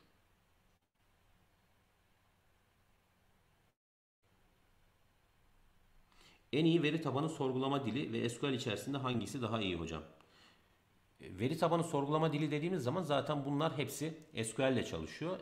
Belki burada doğru soru en iyi veri tabanı yönetim sistemi hangisidir olabilirdi. Hani Oracle, işte MS SQL vesaire. Arkadaşlar bunların iyi tarafları var, avantajı var, dezavantajı var. Oracle bugün hani veri tabanı konusunda dünyanın en iyisi ama Oracle'ı herkesin almaya gücü yetmiyor. Bütün bankalar vesaire arka tarafta Oracle kullanıyor. Ama arkasında hemen arkasında da Microsoft SQL'i görüyoruz. Çok çok büyük firmalar Microsoft SQL üzerinde sistemlerini çalıştırıyor. Birçok işte e, Arçelik var benim bildiğim e, en büyüklerden.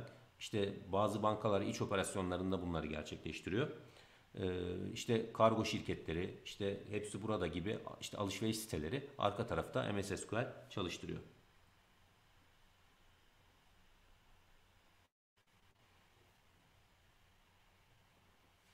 Kurulumuz da bitmek üzere.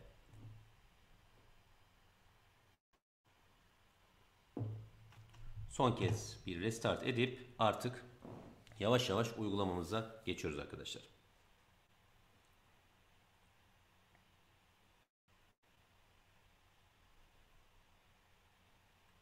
Şimdi e, biz aslında bu şeyden bahsederken, veri tabanı kavramından bahsederken ben size ne demiştim? Burada bir yapısal bir veri durumu söz konusu. Yapısal veri ne? Bunun işte belli sınırları var kendi içerisinde. İşte belli alanlar tanımlıyorum ben. Burada örneğin ad soyad alanı 100 karakteri geçemez. Doğum tarihi alanına sadece tarih girilebilir.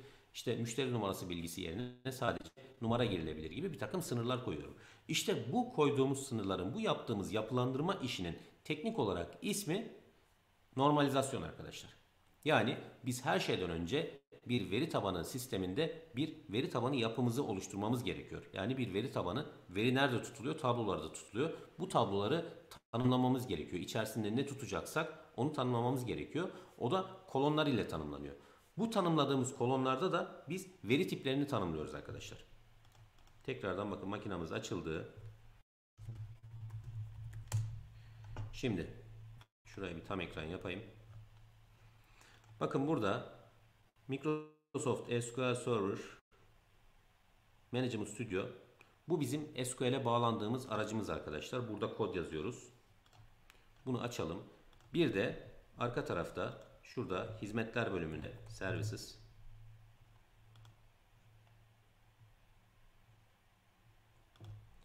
SQL diye yarattığımız zaman bakın burada çalışan bir SQL Server hizmetini görüyoruz. SQL Server parantez içerisinde MS SQL Server Default Instance adı. Bunu görüyoruz arkadaşlar. Peki hadi şimdi SQL'e bağlanalım.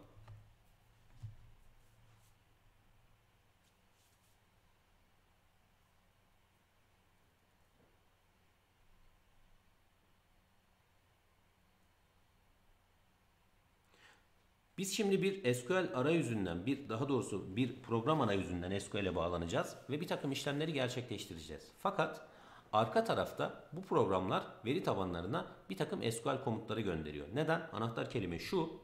SQL e, Server veya Oracle her neyse arka taraftaki veri tabanı yönetim sistemleri SQL dilinden başka bir şeyden anlamaz arkadaşlar.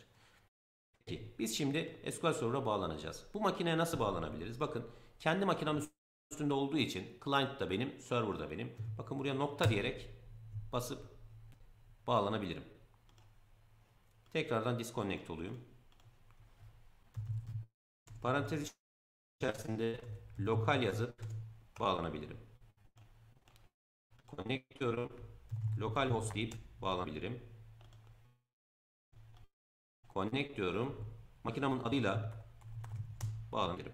Bir de bakın burada bağlanırken şurada authentication türünü soruyor bana. Nasıl bağlamak istiyorsun? Windows Authentication. Ve burada otomatik olarak SQL Eğitim slash Administrator seçili konumda geliyor. Ve benden tekrar şifre girmemi istemiyor. Neden? Kurulumda add current user diyerek ben buraya eklemiştim. SQL Server Authentication derken de SA diyorum. Password bir şifremi girerek bağlanıyor. Şurada sonuç itibariyle biz bir database sunucu oluşturduğumuza göre bir ihtiyacımız var? Bir database'e ihtiyacımız var. Onlar nerede? Bakın burada. Databases sekmesinin altında. Ama boş şu anda. Sadece neler var? Sistem database'leri var. Master, model, MSDB, TempDB. Şu kadarını bilin. SQL Server kendi kendini yönetirken de arka tarafta database'ler kullanır. Bunlara sistem database'leri deriz. Ve bunlar Master, model, MSDB ve TempDB olmak üzere 4 tanedir arkadaşlar. Ve bizim kurulum esnasında yapmış olduğumuz tüm konfigürasyonlar burada tutulmaktadır. Bunu geçtik. Şimdi kendimiz bir tane database oluşturacağız. Oluşturalım. Test.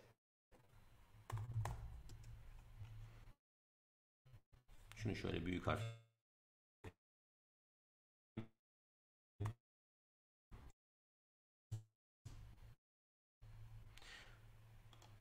Bakın bunun altına geldiğimiz zaman burada yapı durumu söz konusu. View'lar vesaire hiyerarşik yapı durumu söz konusu.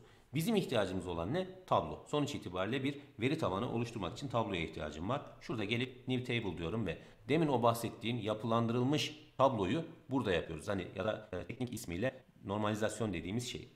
Şimdi ben burada örneğin bir tane e, tablo oluşturacağım ve buraya kolonları tanımlamam gerekiyor her şeyden önce. Örneğin bir tane ID diyelim arkadaşlar. Her bir tablonun bir tane otomatik artan bir alanının olması ki buna da genelde ID deriz. Sistem performansı için çok önemlidir arkadaşlar. Şunu da set primary key diyorum. Dersimizin ilerleyen zamanlarında fırsat bulabilirsem bu primary key olayında ne olduğunu anlatacağım. Şuraya da bunun türünü işaret. Şimdi niye integer dedim? Çünkü bu bir sayısal bir değer. Ve şuradan da bunu otomatik artan yapayım. Identity specification yes diyeyim. Bu da birden başlayıp birer birer artsın otomatik artan. Şimdi integer demek tam sayı değer demek arkadaşlar. Peki tam sayı değeri hesap ederken ben buraya integer değil de başka bir veri dersem ne olur? Ona bir bakalım. Burada tam sayılar için hangi tür veri tipleri var? Bir bakalım. Big int var mesela. Bakın burada tiny int var. Small int var. Bir, birden fazla çeşit var. Peki bunlardan hangisini seçmeliyim? Avantajı ne, dezavantajı ne? Hadi gelin biraz o konuyu konuşalım.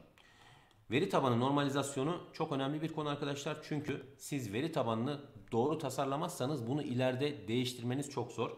İhtiyaçları iyi belirleyerek tasarlamanızda fayda var arkadaşlar.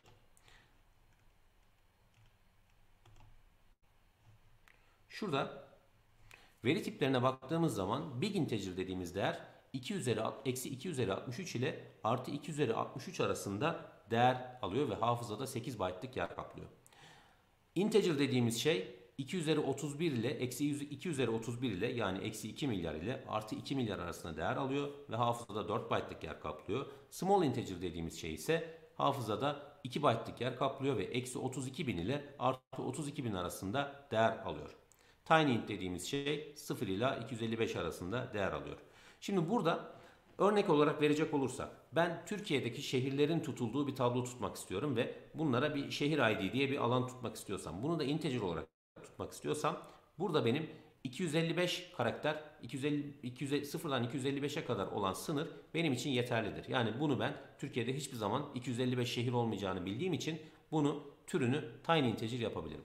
Fakat ilçeleri tutacağım zaman ilçelerin numarasını small integer yapmam mantıklı. Çünkü 255'ten büyük, 32.000'den küçük. Ben e, Türkiye'deki vatandaşlara bir numara verdim. Otomatik artan bir numara verdim diyelim. Ne yapar bu? İşte 80 milyon kişi var. 80 milyon kişi burada onun için integer uygundur. Daha büyük astronomik rakamlar üzerinde 2 milyardan üzerinden büyük rakamlar üzerinde çalışıyorsam bu sefer big integer uygundur.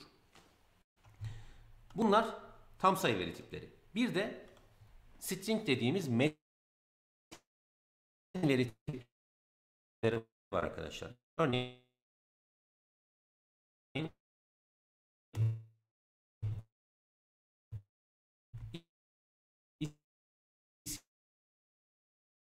isim diyelim. Bakın bu ne? Bu da işte ne bileyim ne olur. Sonu bir tane isim bilgisi tutacağım ben burada. Fakat bununla alakalı bir sürü veri tipi çıkıyor benim karşıma. Hangisini seçmem lazım acaba? Burada işte biraz bilgi gerekiyor arkadaşlar. Gelin bunun ara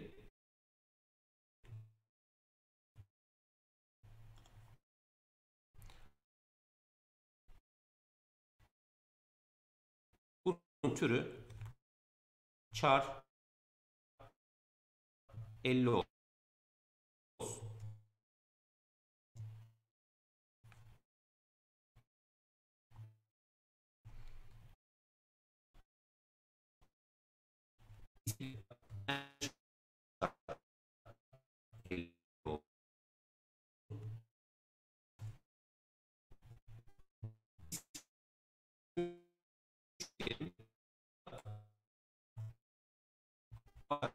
olsun. oldu. Bu da var var. Kimse yok. Şuna. İçinde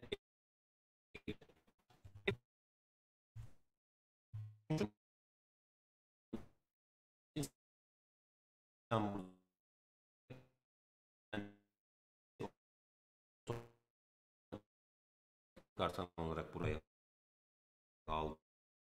Peki. Şu an ne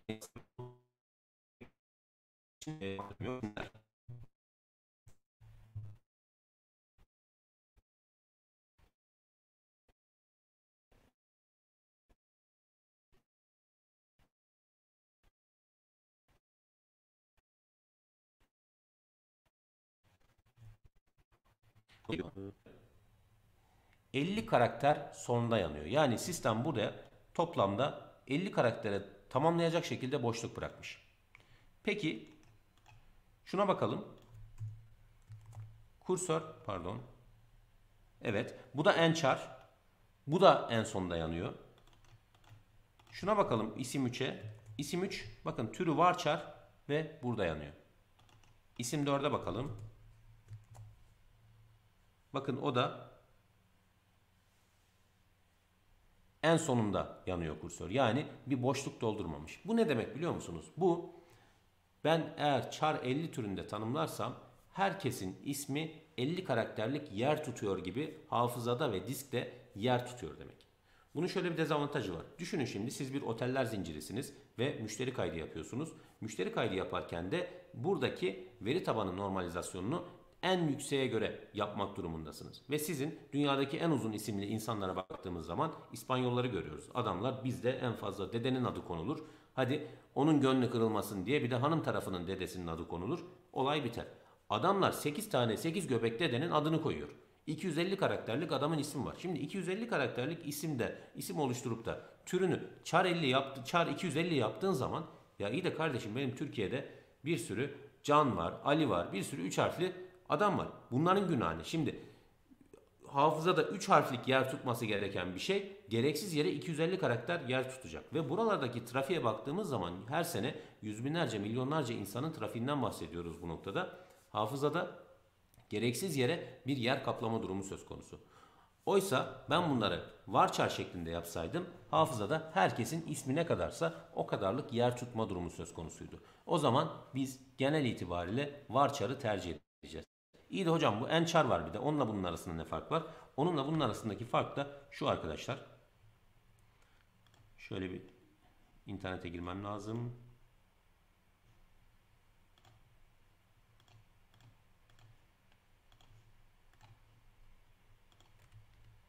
Google Translate'e gireceğim.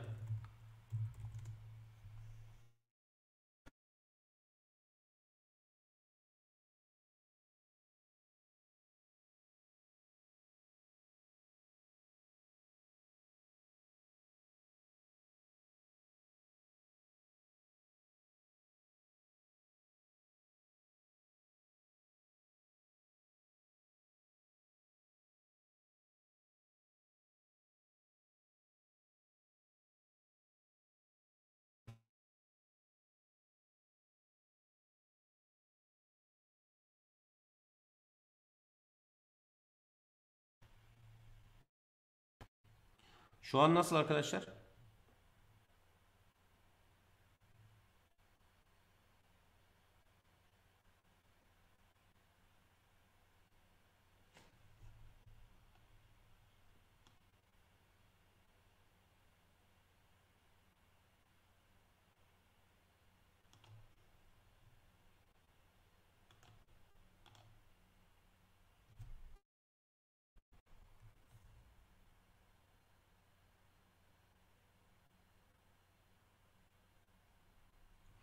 Peki şu an çok iyi deniliyor.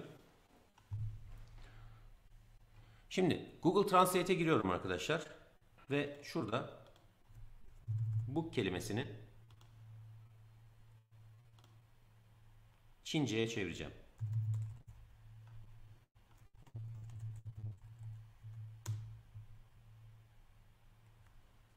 Son dakika anlaşılmadı. Kameranın çözünürlüğünü azalttım. Ee, Başka yapabileceğim ne var bilmiyorum açıkçası. Şunu yapayım.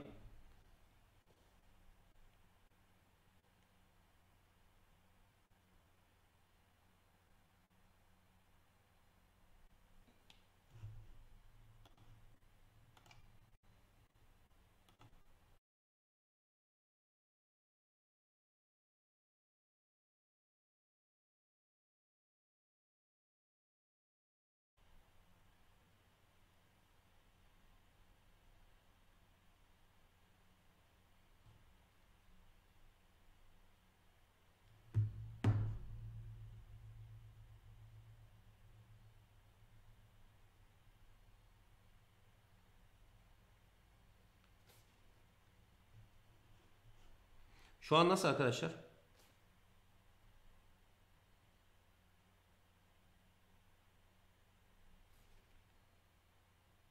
Şu an iyi deniliyor. Peki. Arkadaşlar kaçırdığımız yerleri e, çok baştan alamayacağım. Çünkü anlatacağımız çok konu var. E, yetiştirmekte zorlanıyorum. Bence onlarla alakalı başka yerlerden ulaşabilirsiniz. Bence şu an hemen hızlıca devam edelim. Şimdi Çince'de şunun karşılığı bu arkadaşlar. Kitap kelimesinin karşılığı bu. Buraya giriyorum tekrardan. Bakın aynı harfi Çince bu karakteri buraya buralara girdim. Şimdi bakın tekrardan çalıştırıyorum. Şurada isim 1 dediğim çar 50'nin içerisinde burası ne geldi? Soru işareti geldi. İsim 2'de en çarın içerisinde ise Çince karakter geldi arkadaşlar. Aynı şekilde isim 4'te de geldi. Buradan ne anlıyorum? Aradaki farklara bakacak olursak. Çar ve var çar arasındaki fark çar dediğim zaman karakter uzunluğunu kaç karakter verdiysem sistem üzerinde de o kadar karakterlik yer kaplama durumu söz konusu. E, Varçar'da ise Ömer dediysem Ömer 4 karakter yer tutuyor. Diğerinde Ömer 50 karakter yer tutuyordu. Enchar ve Envarchar arasındaki fark ise Unicode karakter destekleme durumu. Yani ben Çince gibi, Japonca gibi bir takım karakterleri burada tutmak istiyorsam o zaman e, buranın türünü uluslararası karakterleri desteklemesi adına Envarchar yapmam gerekiyor arkadaşlar. Tabii bunun bana bir maliyeti var. Char türündeki bir e, verinin e, bir tane harfin e, şeyi hafızada kapladığı yer 1 byte iken en varchar veya en char türündeki yaptığım bir karakterlik yerin hafızada kapladığı yer 2 e, byte. Yani 2 2 kat daha fazla yer kaplıyor. Bunlarla alakalı çok fazla konuşabiliriz. Fakat dediğim gibi şu anda bunları bilsek yeter arkadaşlar.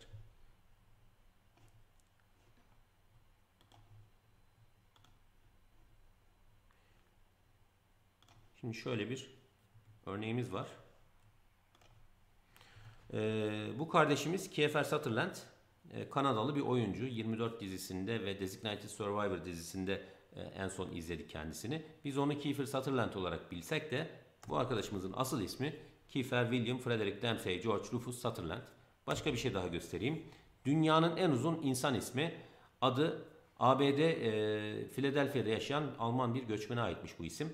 Adolf, Blaine, Charles, David, Earl, Frederick diyerek devam ediyor. Soyadını zaten ben bile okuyamıyorum. Bu da böyle küçük bir anekdot olarak kalsın.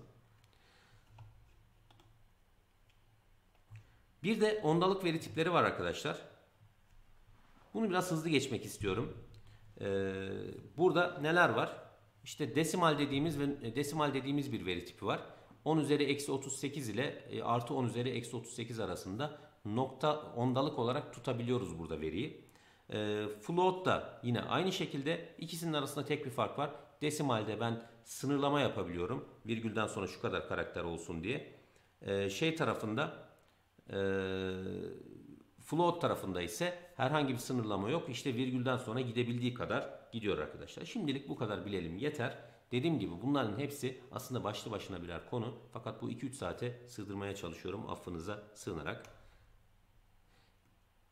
Date time veri tiplerimiz var. Date veri tipi sadece tarih tutar. Small date o da sadece tarih tutar ama bir tanesi İsa'nın doğumundan e, şeye kadar 9999'a kadar e, diğeri 1900'den 2079'a kadar tutar. İkisinin arasında biri 4 byte, biri 3 byte'lık yer tutar. Date time ise hem ta tarih hem de saat tutar arkadaşlar. Şimdi burayı biraz hızlı geçtim ve artık yavaştan biz SQL diline bir giriş yapmak istiyoruz arkadaşlar. Bir saat geçti. Ufak bir ara versek mi? Herkes ara istiyor mu? Birkaç mesajla yazalım. İsteyen istemeyen.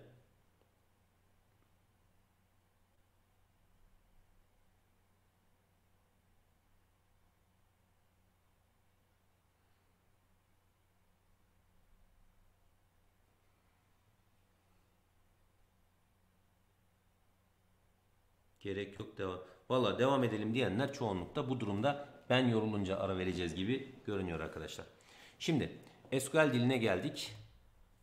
Temel SQL komutlarını iki blokta oluşturup e, şey yapabiliyoruz arkadaşlar. E, değerlendirebiliyoruz. Bunlardan bir tanesi Data Manipulation Language DML ya da data manipülasyon komutları ki biz bunlar temel SQL komutları olarak biliriz. E, select, Insert, Update, Delete ve Truncate komutları bu anlamda 5 tane temel komutumuz bizim. Bir de veri tabanı manipülasyon komutları ya da işte Data Definition Languages dediğimiz komutlar var. DDL. Bunlar da create, altı ve drop. Temel anlamda baktığımız zaman SQL dilindeki en çok kullandığımız komutlar bunlar arkadaşlar. Bir de bunlara işte join ve aggregation'ları da bilirsek SQL'i biliyoruz demektir. Bu haliyle SQL dili çok kolay bir dildir arkadaşlar. Peki nasıl kullanılıyor? Select veri tabanından tabloları tab veri tabanındaki tablolardan kayıtları çekiyor. Insert tabloya yeni kayıtlar ekliyor adı üstünde. Update tablodaki verilerin bir ya da birden çok alanını değiştirmemizi sağlıyor. Delete ise tablodan kayıt siliyor. Truncate ise tablonun içini boşaltıyor ve tabloyu ilk oluşturduğumuz haline çeviriyor. Create bir veri tabanı nesnesini oluşturuyor. Neler bunlar? İşte table, view, database, user. Artık ne oluşturmak istiyorsam ben bunları oluştururken arka tarafta create komutunu kullanıyorum. Veya Management Studio'da new database diyorum. Biraz önceki yaptığım gibi test database'ini oluşturdum. Geri tarafta aslında ne komutu gitti? Create database test komutu gitti. Alter bir veri tabanı nesnesinin özelliğini değiştiriyor. Drop ise bir veri tabanı nesnesini tamamen uçuruyor. Örneğin create database, alter database gibi burada örnekleri var. Çok önemli değil. Evet. En çok kullandığımız SQL komutu yani select komutu arkadaşlar. Hadi gelin bunu bir e, nasıl kullanıldığına bakalım. Temel kullanımı şu şekilde. Select diyoruz. Kolon 1 virgül kolon 2 virgül kolon 3 hangi kolonları seçmek istiyorsam from tablo adı ver şartlar. Şimdi bunun bir uygulamasını yapalım. Şimdi elimde bir tane e, dosya var. customers.xlsx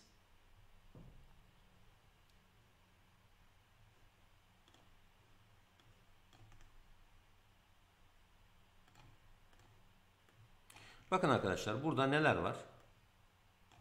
Bir müşteriler listesi, ID, name, surname, gender, birth date, city, town, telnr, tcno. Şimdi şunları kopyalayayım.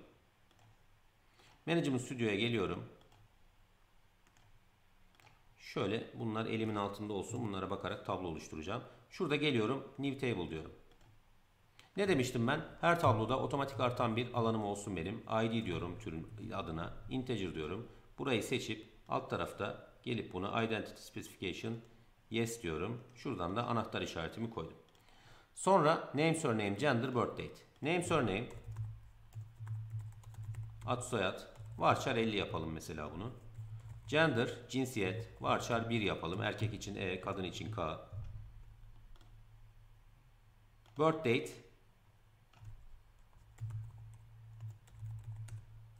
Date türünde olsun bu da. Sonra ne var? City, town. City varchar.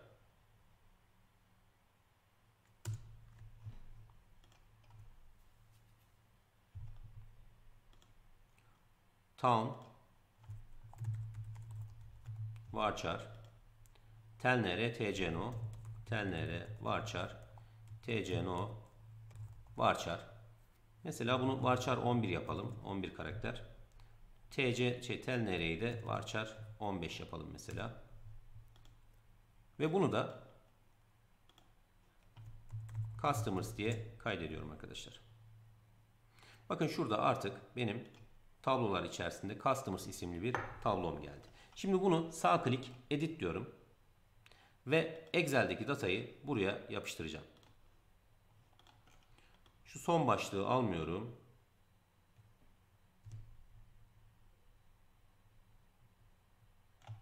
Buradaki veriler tamamen dummy veriler arkadaşlar. Gerçekte böyle bir şey de yok. E, telefon numarası böyle bir adam da yok. Rastgele oluşturulmuş veriler. Pas dedim. Şu anda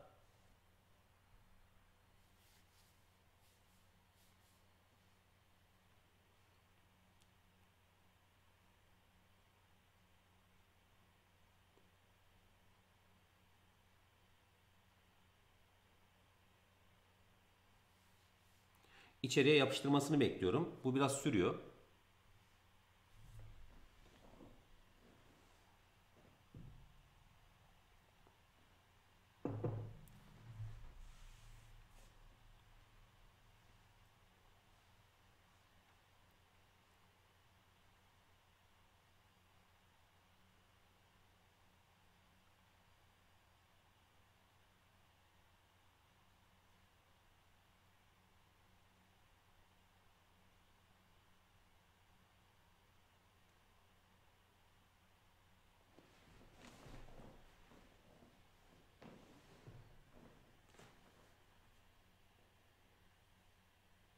Direkt böyle de veri alabiliyoruz demek ki insert'e gerek yok diye. Şimdi bakacağız arasındaki farka. Bu arada görüntüde problem yok inşallah değil mi? Tekrardan donma vesaire.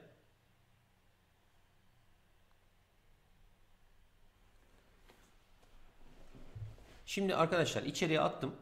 Verilerim artık içeride. Bakın bu verilerin üzerinde ben işlem gerçekleştirmek istiyorum. Select komutumu nasıl kullanıyordum? E, slide'da anlattığım şekilde select diyordum.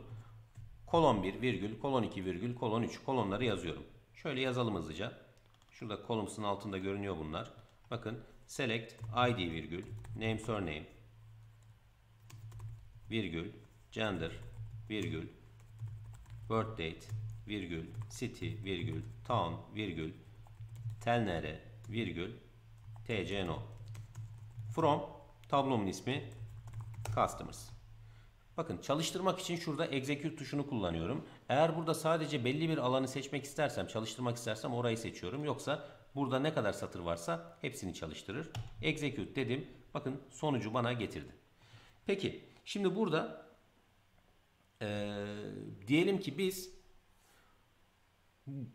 kolon sayımız az olduğu için rahat şekilde yazdık. Ama gerçek sistemlerde öyle kolonlar var ki 300 tane kolon var mesela. 300 tane kolonu sizin buraya teker teker yazma imkanınız yok. Yazsanız da yanlış yazarsınız zaten. O zaman tüm kolonların gelmesini istiyorsak şöyle bir kolaylığımız var. Select yıldız diyoruz. Select yıldız from customers.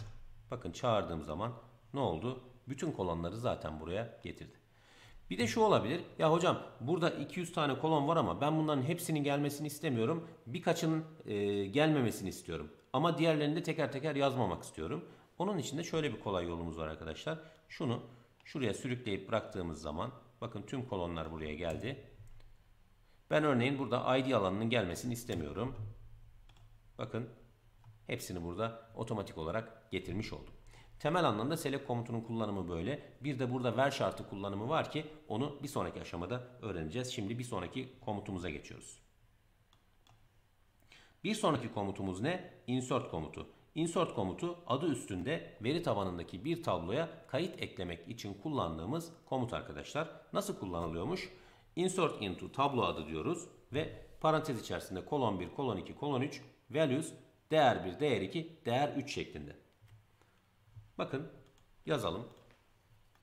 Şimdi şu tablomun içini siliyorum arkadaşlar. Truncate komutunu birazdan göreceğiz ama yani kullanımında bir sakınca yok. Truncate table customers diyelim. Select yıldız from customers. Bakın tablomun içi şu anda boş. Bu tablonun içine yeni bir kayıt ekleyeceğim. Insert into customers. Name surname gender. Birth date. City. Town. Tel nere tcno values. Ömer Çolakoğlu erkek doğum tarihi salla 1990 0101 salla İstanbul salla Kadıköy. Tel numarası salla 1 2 3 4 5 6 7 TC kimlik no salla 3 4 5 6 7 8 9 10 11 bakın bu komutu kullanarak şuradan da bir enter diyelim içeriye kayıt ekleyeceğim bakalım eklemiş mi Evet içeriye buraya kayıt eklemiş. Ömer Çolakoğlu 2 diye ekleyeyim şurayı mesela. Bir daha çalıştırayım burayı. Bakın bunu da ekledi. Şimdi bir de ee, madem biz Excel'deki datayı içeriye atabildik kopyala, kopyala yapıştır şeklinde biraz da uzun sürdü hatırlıyorsanız. Şimdi aynısını Excel'de biraz formül yazarak şu insert cümlemizi otomatik olarak oluşturalım ve içeriye atmaya çalışalım. Hızlıca onu yazacağım arkadaşlar. Şurayı kopyalıyorum. Hatta şurayı da şöyle kopyalayayım.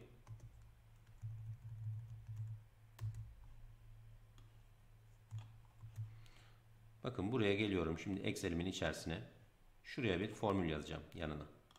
Eşittir diyorum. Çift tırnak. Bunu yazıyorum. Sonra burada bir tane tek tırnağım var. Sonra end diyorum. Bakın ad soyad kısmını getireceğim buraya. ID alanı zaten otomatik artan alan olduğu için orayı yazmadık. B2 and sonra çift tırnak, tek tırnak, virgül ve çift tırnak. Şimdi şuradaki formülü bir görelim ne çıktı ortaya. Bakın şöyle bir şey çıktı. Kopyaladığımda values kısmını aldırabildim. Sonrasında aynı şekilde devam edeceğim arkadaşlar.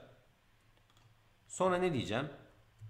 Buraya bir tek tırnak, çift tırnak, and, gender, and, çift tırnak, tek tırnak, virgül, pardon, çift, tek tırnak, çift tırnak, and, doğum tarihi, and, çift tırnak, tek tırnak, virgül, tek çift, and, city, and, çift, tek, virgül, tek, çift, and, buraya geldim.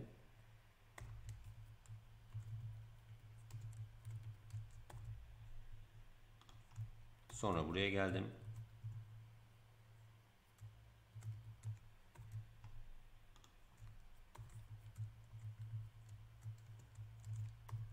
Ve burada parantezimi kapatıp bitirdim.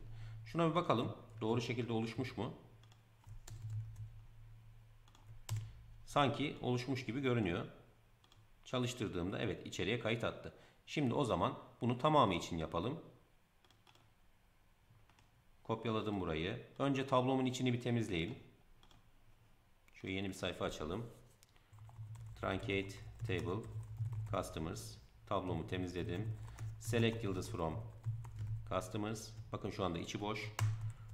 Ve insert cümlelerimi buraya, otomatik oluşturduğum insert cümlelerimi buraya attım. Execute dedim. Bakın demin bir dakikadan fazla beklemiştik. Oysa şimdi bir saniye içerisinde tamamını bitirdi. Şimdi baktığımız zaman şuraları temizleyelim. Bakın içeride bin tane kaydım var. Kaçıranlar için tekrar yapayım. Tablomu temizleyeyim. Truncate Table Customers temizledim. Select yıldız from Customers. Bakın içi boş. Excel tarafında formülle oluşturduğum sorgumu şuradan execute diyorum. Bir saniye içerisinde bitti. Selected from customers dediğim zaman bakınız burada bin satırı görüyorum arkadaşlar. Insert komutu da böyle. Gelelim bir sonraki komutumuza. O da neydi? Update komutu. Update komutu da arkadaşlar bir tablodaki bir veya birden fazla alanı güncellememizi sağlayan komut nasıl kullanılıyor? Update tablo adı set kolon 1 eşittir değer 1, kolon 2 eşittir değer 2, kolon 3 eşittir değer 3 şeklinde gidiyor. Bir de ver komutu var ki şu an onu kullanmayı bilmiyoruz. Birazdan öğreneceğiz. Bakalım nasıl kullanılıyormuş. Mesela ben buraya bir tane alan ekleyeyim. Country olsun. Varchar 50. Bakın select yıldız from customers dediğimde country alanı boş yani null. Update diyorum. Customers set country eşittir Türkiye.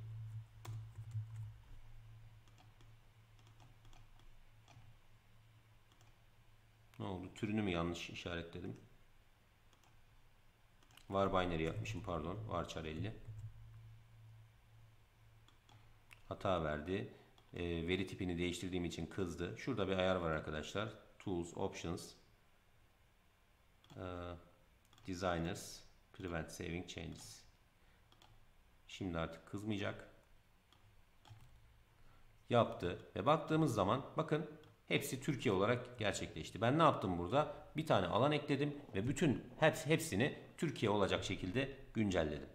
Peki bir değişiklik daha yapalım buraya. Bir alan daha ekleyeyim. Yaş alanı ekleyelim. Age integer.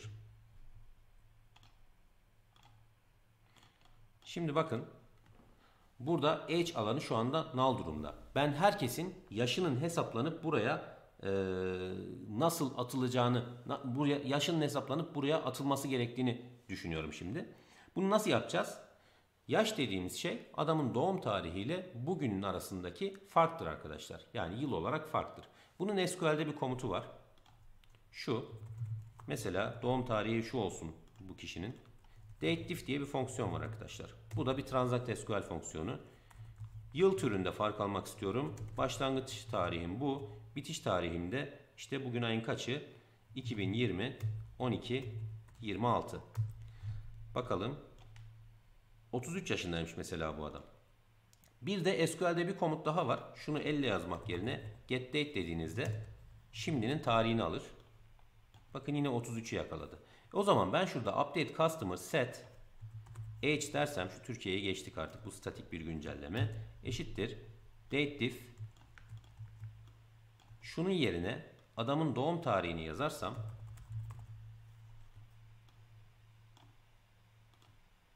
bakın bin satır güncellendi. Çağırdığım zaman herkesin yaşı buraya artık otomatik olarak hesaplanmış şekilde geldi.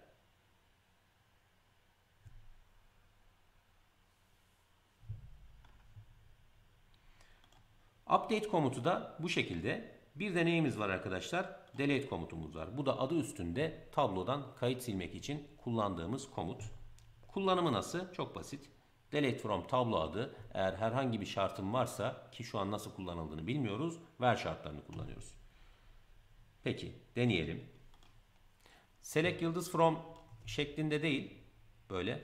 Şuraya yeni bir sayfa açayım. Select yıldız from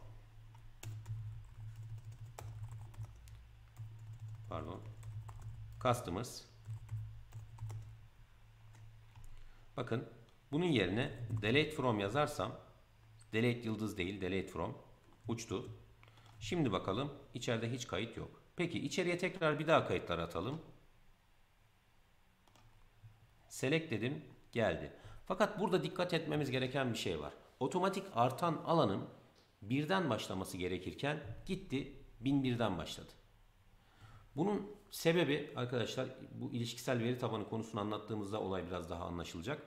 Ee, burada 1001'den başlamasının sebebi sildiğimiz kayıtların başka tabloyla bağlantısı olabilir. Dolayısıyla ben burada bunu tekrardan birden başlatırsam farklı kişiler arasında farklı bağlantılar, farklı kayıtlarla farklı bağlantılar istemediğimiz şekilde veri bütünlüğünü bozacak şekilde gerçekleşebilir. O yüzden burada gitti binden başladı. Peki bir daha sileyim. Sildim bin tane kaydı. Şu an tablomun içi boş. Bir daha çalıştırdım burayı. Şimdi bakıyorum 2001'den başladı bu seferde. Ne oldu? Her seferinde en son kaldığı numara neyse oradan devam etti. Bu bazen bizim istediğimiz bir şey olmayabilir. Bunun önüne geçmek adına yani tablonun ilk günkü haline gelmek adına biz tablomuzu delete from'la silmek yerine truncate table komutunu kullanarak sileriz arkadaşlar. Bakın şimdi bu şekilde sildim. Tablomun içi boş. Şimdi tekrardan içeriye attım. Tablom bu sefer otomatik artan değerlerim birden başlayarak devam etti. Şimdi bir sonraki komutumuz truncate komutuydu. Bunu anlattım. Ver şartlarının e, kullanımından bahsediyor olacağım ama burada küçük bir ara verebiliriz. E, ama çok küçük çok uzatmadan böyle bir 10 dakika bir ara. Saat şu anda 21.39 21 50'de tekrar buluşmak üzere bir ara verelim arkadaşlar.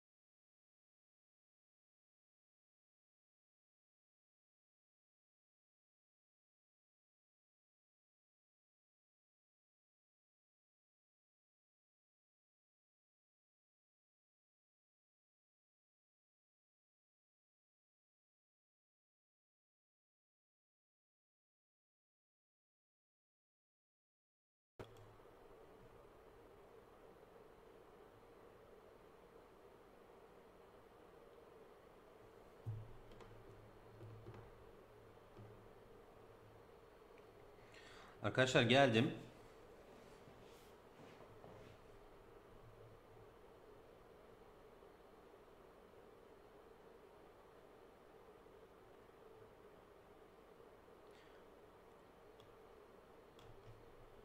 Tamam, sesi kontrol ettim. Burada şimdi arada biraz şeyleri okudum ben arkadaşlar da yorumları okudum. Ee, işte şey var. E, Eğitim ne zaman bitecek tarzı şeyler geliyor. Aslına bakarsanız ben bu noktada kendimi çok sınırlamak istemiyorum. Ee, çünkü şöyle bir durum var. 3 günde anlatacağımız konuyu ben sizlere şu anda hani 2 saat, 3 saat bilemedin 4 saatlik bir zaman dilimi içerisinde anlatmaya çalışıyorum. Bunu bu zaman dilimine ne kadar sığdırabiliriz bilmiyorum ama e, benim gönlümden geçen şu. Eğer sizlerden bu noktada sıkılmazsınız, talep gelir, devam edelim derseniz gittiği yere kadar devam edeceğim. Bunun da zaten şey hani belli bir sayının e, üstünde olursak bunu devam edebileceğimiz kadar devam etmek istiyorum. Ki muhtemelen e, bunun 12'ye 12'den sonraya kadar yolu var. Belki 11'de bitiririz. Dediğim gibi tamamen şeye göre. Hani benim şu noktada bir enerji düşüklüğüm yok çok şükür. E, sonrasında dediğim gibi sizden gelen katılım doğrultusunda buna karar verebiliriz. Gittiği yere kadar giderim. Yarın pazar. Oh. Maşallah. Ekip de benden cevval çıktı. İyi inşallah şey ilerleyen saatlerde de herkeste bu enerji olur. Ee, devam ederiz. Slaytlarla alakalı e, eğitimin sonunda konuşacağım arkadaşlar. Onunla alakalı sorular geliyor. Şimdi şuradan ben ekranımı paylaşayım.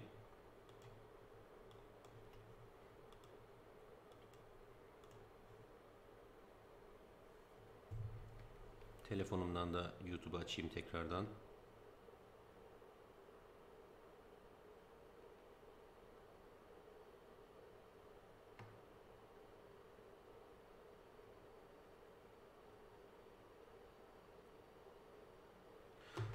Arkadaşlar şu anda eee, görüntü, ses, donma vesaire bir şey var mı? Hemen onu bir check edelim. YouTube'dan yazarsanız.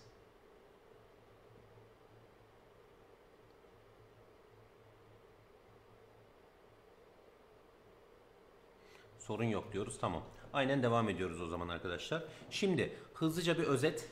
Bu e, yaklaşık 2 saattir buradayız. Bu 2 saat içerisinde neler öğrendik onu hızlıca bir özet. Veri tabanı kavramı, veri tabanı yönetim sistemi kavramı, SQL kavramı e, öğrendik. SQL Server üzerine biraz konuştuk ve SQL Server bir kurulum, kurulumunu gerçekleştirdik. Tabii bu kurulumu nereye yaptık? Sanal makine üzerine yaptık. VMware üzerinden bahsettik.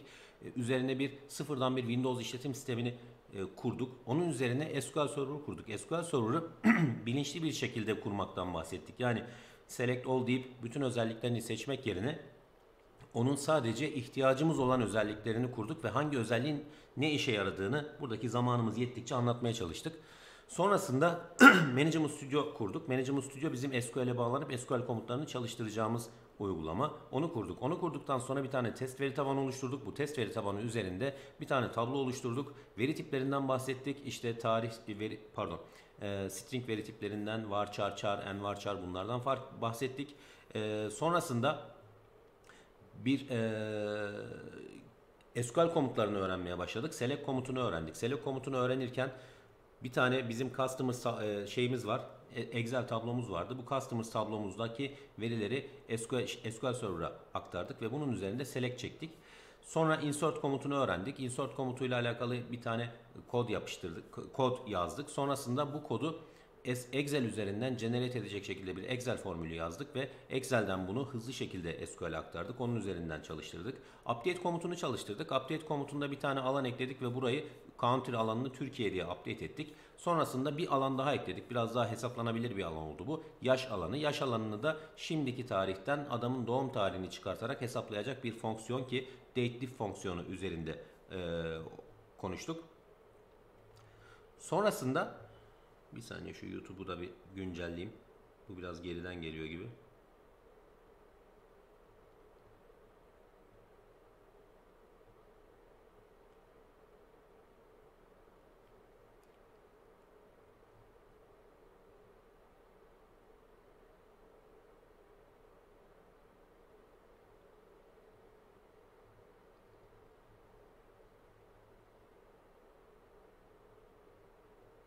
Pardon arkadaşlar bir taraftan da gruptan arkadaşlara bir mesaj yazıyorum. Heh.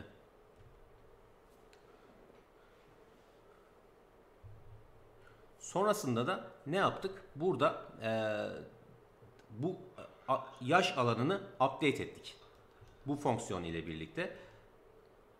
En sonunda da işte delete komutunu kullandık. Delete komutuyla bir tablodan kayıtları sildik ve kay- sonrasında tekrardan kayıtları eklediğimizde otomatik artan alanın kaldığı yerden devam ettiğini gördük. En sonunda da truncate komutunu öğrendik. Truncate ile delete arasındaki farka baktık ve eee, bu komutları öğrendik. Bir de biz bu komutları gösterirken hepsinde şöyle bir şey vardı arkadaşlar. Örneğin update komutunun altında burada ver şartlar dediğimiz bir şey vardı. İşte burada select komutunun altında ver şartlar dediğimiz bir yer vardı ama biz bunları kullanmadık. Şimdi bunu kullanacağız arkadaşlar. Ver demek SQL e, komutlarının içerisinde ver komutu demek arkadaşlar. Bir sınırlandırma koymak, bir filtreleme koymak demek. Select yıldız from customers dediğim zaman bütün müşterileri tablodaki bulunan bin kaydın tamamını çeker ama select yıldız from customers ver customer name eşittir Ömer Çolakoğlu dediğim zaman sadece Ömer Çolakoğlu'nu çeker. Veya customer e, city eşittir İstanbul dediğim zaman sadece İstanbul'da olanları çeker. Nasıl kullanılıyor bu ver komutu? Şu operatörlerle kullanılıyor. Eşittir, e, eşit değildir. Yani küçüktür, büyüktür işareti eşit değildir anlamına geliyor. Büyüktür, küçüktür, büyük eşittir, küçük eşittir. Between arasındadır. Like ile başlar, ile biter, içerir. E, in içindedir. Not like ile başlamaz, ile bitmez, içermez. Yani like'ın olumsuzu. Not in içinde değildir. Hadi gelin canlı canlı yapalım bunu. Şimdi select from customers dedim. Çalıştırdım. Bu arada bazen e, ben execute tuşuna basmıyorum. F5 tuşuna basıyorum arkadaşlar. Onun kısa yolu bu. E, siz bu kendiliğinden nasıl çalıştı diye düşünebilirsiniz. Benim F5'e bastığımı görmediğiniz için. Bilin ki eğer bu şekilde bir çalışma olursa ben buradan kısa yol el alışkanlığı F5'e basmışımdır. Şimdi select yıldız from customers dedim. 1000 satır geldi. Ben bunun içerisinde örneğin sadece şu satırı getirmek istiyorum. Yani ID'si 1 olan kaydı getirmek istiyorum. O zaman ver ID eşittir 1 dersek bakınız sadece bu satır geldi. Ya da sadece bakın şurayı seçtim burayı çalıştırdım. İsmi Adil Genç Güven olanı getirmek istiyorum. Ver name surname eşittir Adil Genç Güven. Çalıştır. Geldi. Ya da sadece İstanbul ilinde yaşayanları getirmek istiyorum. City eşittir.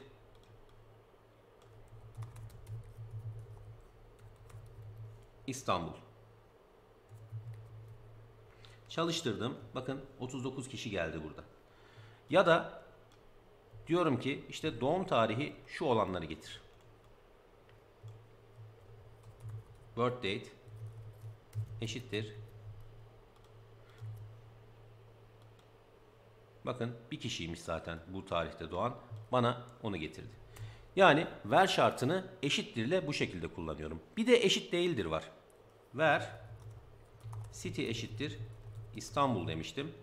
Bakın kaç satır geldi? 39 satır. City İstanbul olmayanlar, İstanbul dışındakileri getir dediğim zaman bakın şunlar hepsi İstanbul. İstanbul dışındakileri getir dediğim zaman Bakın bu sefer 961 yani 1000 eksi 39 geldi İstanbul dışından olanlar. Eşittir ve eşit değildir operatörü bu şekilde kullanılıyor. Devam ediyorum. Sonra ne var? Büyüktür küçüktür ya da büyük eşittir küçük eşittir. Hepsi aynı formatta. Diyorum ki buraya ver id büyüktür 900. Bakın şurada birden 1000'e kadar devam ediyor. Çağırdım 901'den başladı. Kaça kadar? 1000'e kadar getirdi. ID büyük eşittir dersem bu sefer 900'ü de dahil edecek. Hem büyük hem eşittir olanları bakın 900'den getirdi. Aynı şekilde küçük eşittire bakalım. ID küçük eşittir. Mesela 100 diyelim. Bu sefer bakın 100'den küçük ve eşit olanları birden başladı. 100'e kadar getirdi. Küçüktür dediğim zaman da 99'u dahil etti. Bir de sadece rakamsal değerlerde kullanılmaz bu. Örneğin doğum tarihi için bakalım. Birth date büyüktür 1990 01 01 hatta 1995 diyelim. Bakın 1995 yılından büyük olanları bu şekilde getirdi. Küçüktür dersem de aynı şekilde onu da bu şekilde getirecek. Bakıyorum.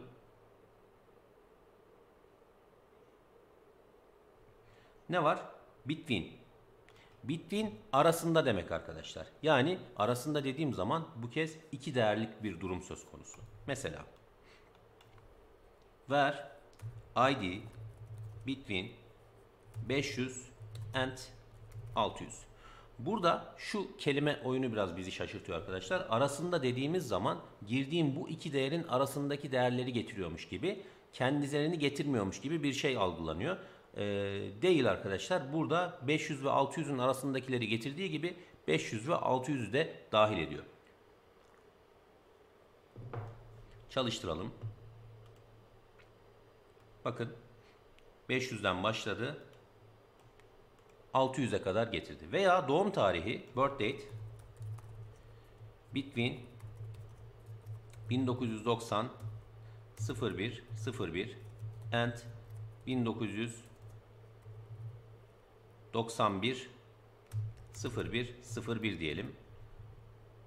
Bakın sadece 1900 yılında 1990 yılında doğanları getirdi bu sefer de. Devam edelim in komutumuz pardon like komutumuz var. Like da genelde string ifadeleri aramak için kullandığımız şeydir arkadaşlar. İle başlar, ile biter, içerir gibi seçeneklerimiz var burada. Mesela burada name surname like mesela şurada kimi diyelim? Serpil Karasoy. Bakın bu şekilde yazdığım zaman bunun şöyle eşittirden hiçbir farkı yok arkadaşlar.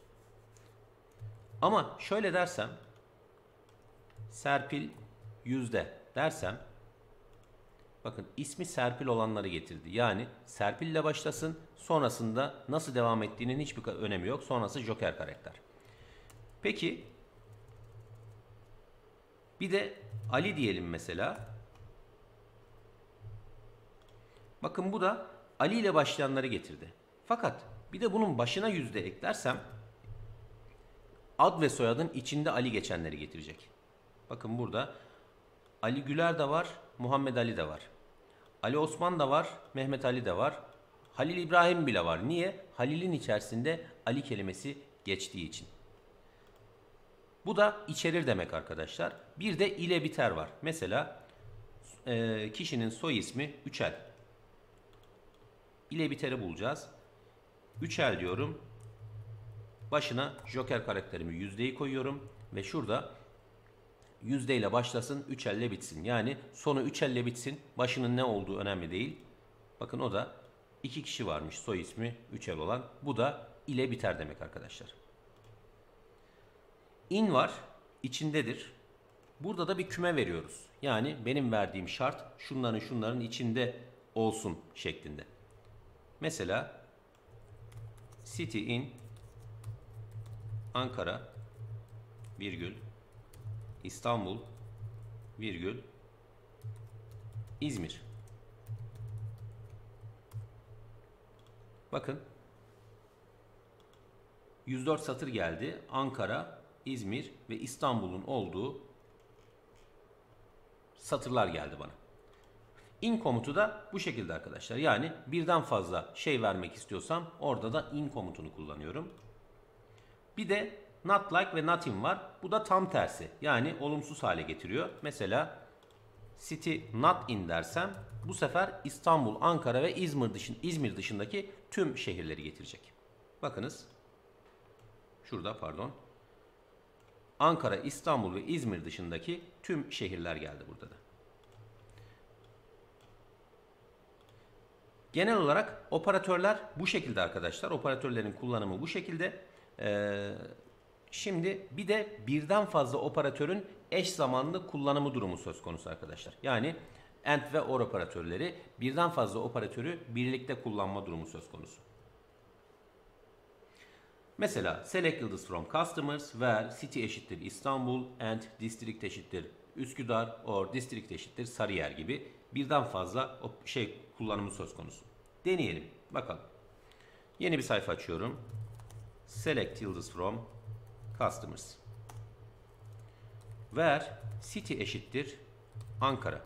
Bakın bunlar Ankara'da yaşayanlar. Kaç kişiymiş? 35. Soru şu. Ankara'da yaşayan erkekler. And diyorum bu sefer. Niye?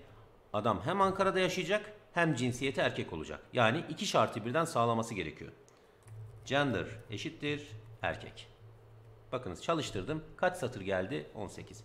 Peki Ankara'da yaşayan kadınlar bu da 17 satırmış. Toplamı zaten 17 artı 18 eşittir 35 ediyor. Artı and mesela ilçesi ne olsun? Çankaya olsun. And town eşittir Çankaya. Bakın burada bir kişiymiş. Bakalım İstanbul'a bakalım mesela. İstanbul cinsiyeti kadın and işte şeyde e, Kadıköy olsun.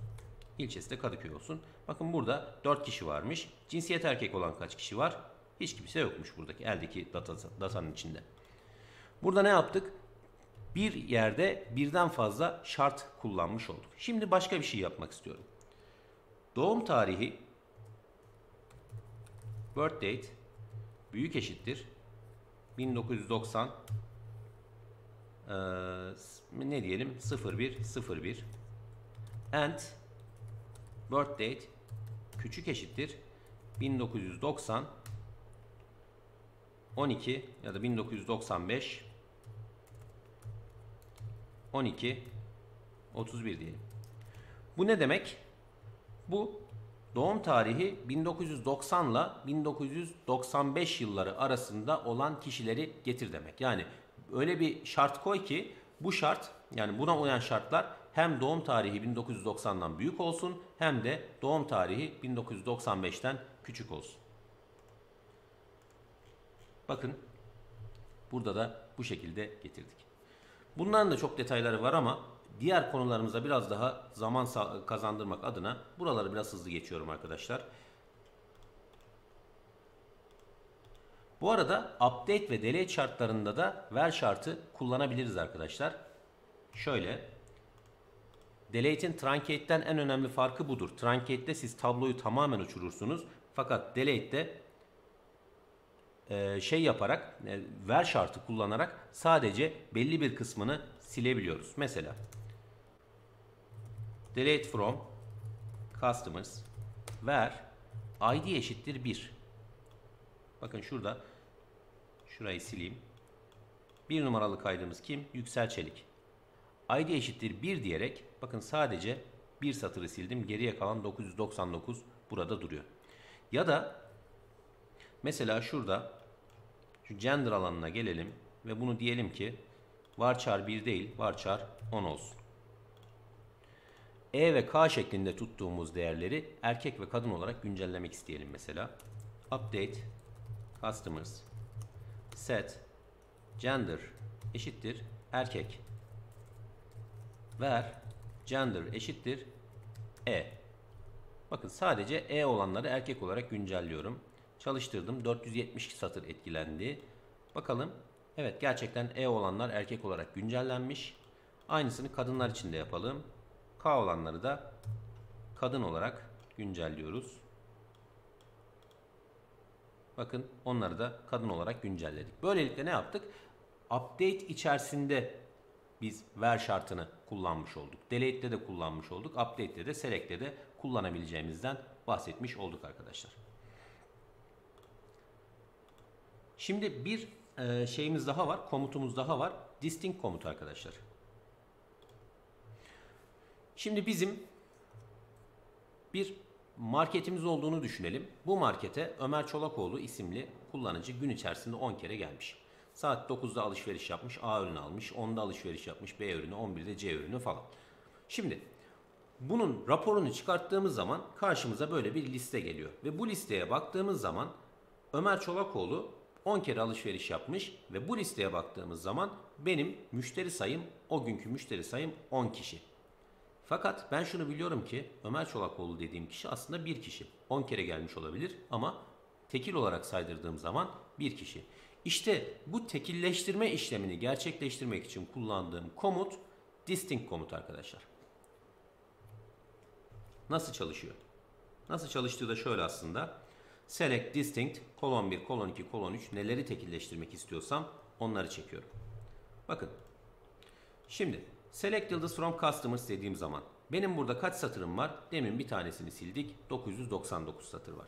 Peki burada cinsiyet alanında kaç farklı cinsiyet var? Bunu görmek istiyorum. Onun için distinct diyorum mesela. Gender diyorum. Çalıştırıyorum. Bakın kaç tane geldi? İki tane şey geldi. E, cinsiyet alanı geldi. Çünkü tekrar edenleri tek saydığım zaman toplamda iki tane. Peki kaç tane şehir var? City diyorum. 81 tane şehir geldi. Başka ne var? Başka da bir şey yok. Yani ben burada ne yaptım? Tekilleştirdim arkadaşlar. Tekrar edenleri distinct komutuyla tekilleştirdim. Devam ediyorum. Önemli bir konu order by konusu sıralama. Bakın. Gene bu tablo üzerinden devam edeceğim. Order by sunumda şurayı atlamayalım. Tablodan dönen verileri sıralamak için, sıralı şekilde getirmek için kullandığımız bir komuttur. Ve nasıl kullanılır? Select, kolon 1, kolon 2, kolon 3 from tablo adı, ver eğer şartım varsa şartlar, order by, kolon 1, ASC, kolon 2, desk, desk şeklinde. Burada ASC ascending, e, DSC de descending anlamına geliyor. Biri küçükten büyüğe sıralama, biri de büyükten küçüğe sıralama. Uygulamada görelim. Select yıldız from customers. Bakın order by. Şimdi buraya baktığımız zaman şöyle direkt çalıştırdığımızda sistem neye göre sıralı getiriyor? Şuradaki ID alanına göre sıralı getiriyor. Neden buna göre sıralı getiriyor? Biz hani orada bir sarı anahtar işareti koyduk ya. Primary key yaptık. Yani bu satırda, bu tabloda bu satırı tanımlayan anahtar ID değeridir dedik. Ve sistem default olarak veriyi primary key'e göre fiziken tutar. Ve primary key'e göre getirir sıralamayı. O yüzden ben herhangi bir order by yazmadığımda sistem primary key'e göre yani otomatik artan alana göre getirdi. Peki order by ben bunun isme göre alfabetik gelmesini istiyorum. Name surname. Sonra buraya da ASC yazdım ascending. Bakın artık Abdullah'tan başladı. En sonunda kim var? Zümra'da bitirdi. Peki bu ASC'yi yazmasam ne olur? Aynı şekilde order by kısmında ad soyada göre sıralar getirir arkadaşlar. Çünkü bunun default'u zaten ascending'dir, ASC'dir. Peki tersten sıralamak istersem order by desk diyorum bu sefer descending. Bakınız buraya göre getirdi. Peki illere göre sıralı getirsin. Order by city. Bakın en başta Adana'yı getirdi. Ama Adana'nın şuradaki baktığımız zaman toplamda 21 satırlık Adana var burada. Ama Adana'nın kendi içindeki sıralamasına baktığımız zaman orada yine ID'ye göre geldiğini görüyoruz. Oysa ben şunu gör- görmek isteyebilirim. Burada Adana e, ile göre sıralasın fakat ilden sonra da ilçeye göre sıralasın. Yani burada bakın Adana Pozantı gelmiş, Yüreğir gelmiş, sonra Feke gelmiş. Burada bir alfabetik sıralama olsun. Yani ben birden fazla alanı yan yana sıralayayım. Order by city virgül town diyorum. Bakın şimdi çalıştırıyorum. Adana, Aladağ, Çukurova, Feke. Bakın burada bu sefer ilçeye göre sıralı geldi. Ya da tam tersi yapalım. Şöyle yapalım. City'ye göre sıralasın, şehre göre sıralasın. Aynı şehrin içinde olanları da isimlere göre alfabetik olarak sıralasın. Order by city, name, surname. Bakın bu sefer de önce Adanaları getirdi. Adana'nın kendi içinde de burada sıralı bir şekilde yapı getirdi. Order by'in kullanımı ile alakalı bir de şu format var arkadaşlar. Kolon ismiyle de çağırabilirim. Kolon sıra numarasıyla da çağırabilirim. Örneğin ben burada ada göre sıralı gelmesini istiyorsam bakın ID birinci sırada, ad ikinci sırada name surname. Order by 2 derim. Buraya göre alfabetik sıra gelir. Order by 3 derim. 3 demeyeyim de order by 4 diyeyim mesela birth date'e göre, doğum tarihine göre sıralı gelir. Tersten yap dersem bu sefer en genci en başta getirecek. Doğum tarihine göre tersten sıralı şekilde. Bu da order by komutu arkadaşlar. Şöyle chat'e bakıyorum. Herhangi bir şey var mı? Yok. Arkadaşlar bu arada sosyal medyadan vesaireden de paylaşırsanız memnun oluruz. Ee, çünkü gayet güzel gidiyor e, etkinlik. U- Uzunca bir zamandır da konuşuyor olmamıza rağmen maşallah hala 200'ün altına inmedi katılımcı sayımız. Ee, paylaşırsanız bir yerlerde memnun oluruz. Şimdi bir sonraki komutumuzla devam ediyoruz. Tab komutu var bir de. Tab komutu ne işe yarıyor? Arkadaşlar tab komutu adı üstünde e, hani top 10 listeler falan vardır ya top 40, top 10, top 20 falan işte tam olarak o işe yarıyor. Yani bizim e, bir e, listenin içerisindeki belli sayıdaki datayı getirmemize yarıyor. Örneğin burada 999 satır gelirken ben bunun içerisinde e, sadece 10 satırını getirmek istiyorum. Onun başına şu şekilde 10 yazdığım zaman şuradaki sıralamayı neye göre yaptıysam ona göre sadece bakın ilk 10 satırı getirdi. 5 yazarsam bakınız ilk 5 satırı getirdi. 3 yazarsam 3'ü getirdi. Bir de bunun şu şekilde kullanımı var. Mesela top 10% dersem bu sefer de %10'unu getir demek. 999'un %10'u kaç eder? 100 eder. Bakalım kaç satır getiriyor? Burada da 100 satır getiriyor. Tab komutu da bu şekilde DDL komutlarına girmeyeceğim. Daha önemli konularımız var çünkü.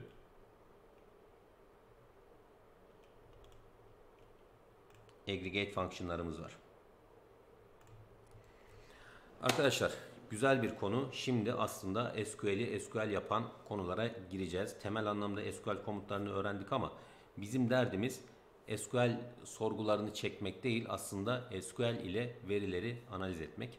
Bu da genelde çok satırlı verileri tek satırlı hale dönüştürüp onlar üzerinden özet çıkartmakla olur. Örneğin siz e, bir mağazanız var. Daha doğrusu bir mağazalar zinciri olduğunu düşünün. Bu mağazalarda siz ne yapıyorsunuz? İşte e, bir takım ürünler satıyorsunuz. Ve bu mağazalarda BİM'i düşünün, A101'i düşünün. Türkiye'nin işte 9000 tane şubesi var A101'in. Orada her bir mağazada satılan her bir çokonat veri tabanına bir satır olarak düşüyor arkadaşlar.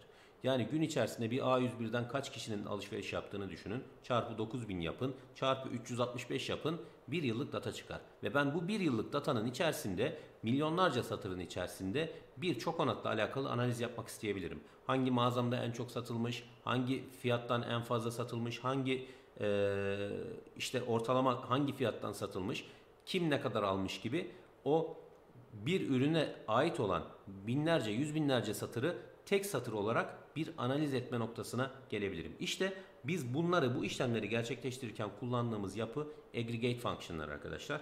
Aggregate fonksiyonlara şöyle baktığımız zaman neler var içinde?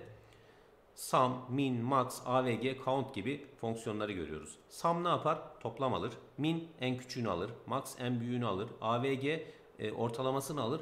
Count ise sayısını alır. Satır sayısını aldırır. Şimdi bununla alakalı bir uygulama yapalım. Nasıl kullanılıyor bir de ona bakalım. Select, sum price, count id, min price, max price, avg price gibi e, şeylerle, fonksiyonlarla yazıyoruz bunu. Sonrasında from tablo adı deyip çekiyoruz. Şimdi bununla alakalı elimde güzel bir dataset var. Database var. Onu kullanacağım. E-Trade 2 nokta bak.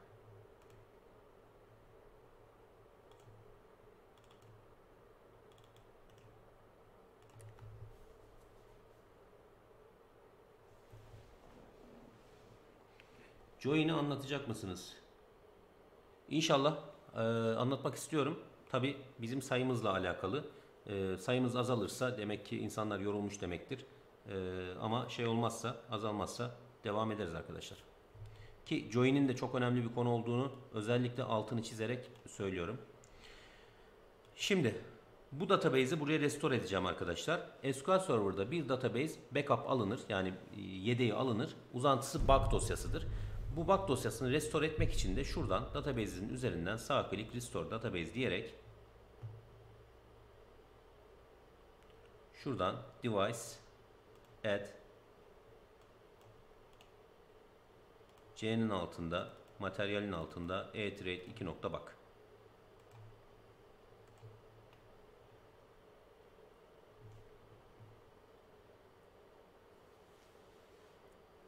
Bunun içerisinde biraz daha böyle hatlı sayılır veri var arkadaşlar. Yanlış hatırlamıyorsam 100 bin satırın üzerinde şey vardı, veri vardı.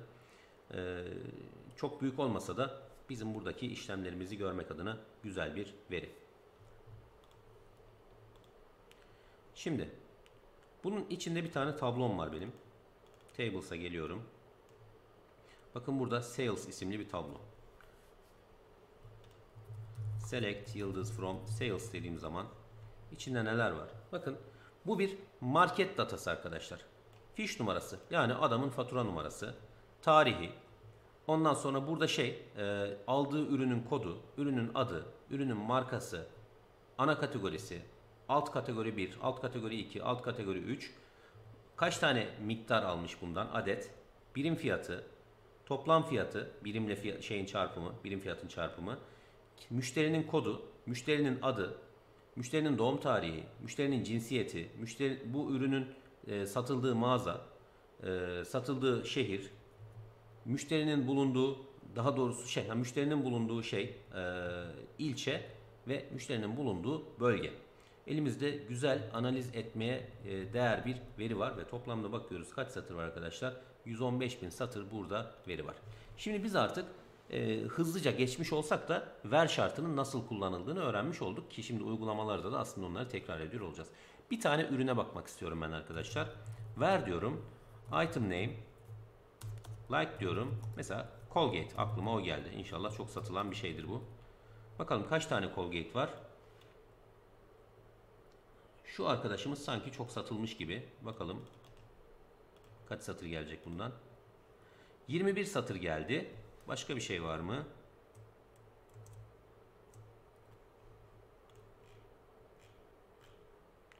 Şöyle gözle görülür. 48 olanı var bir tane onun. Yok bu daha az satılmış. Şu deminki 12 olan iyiydi. Oradan gidelim. Şimdi arkadaşlar buradaki tablomda ha 136 tane olan bir tane bulduk. Süper.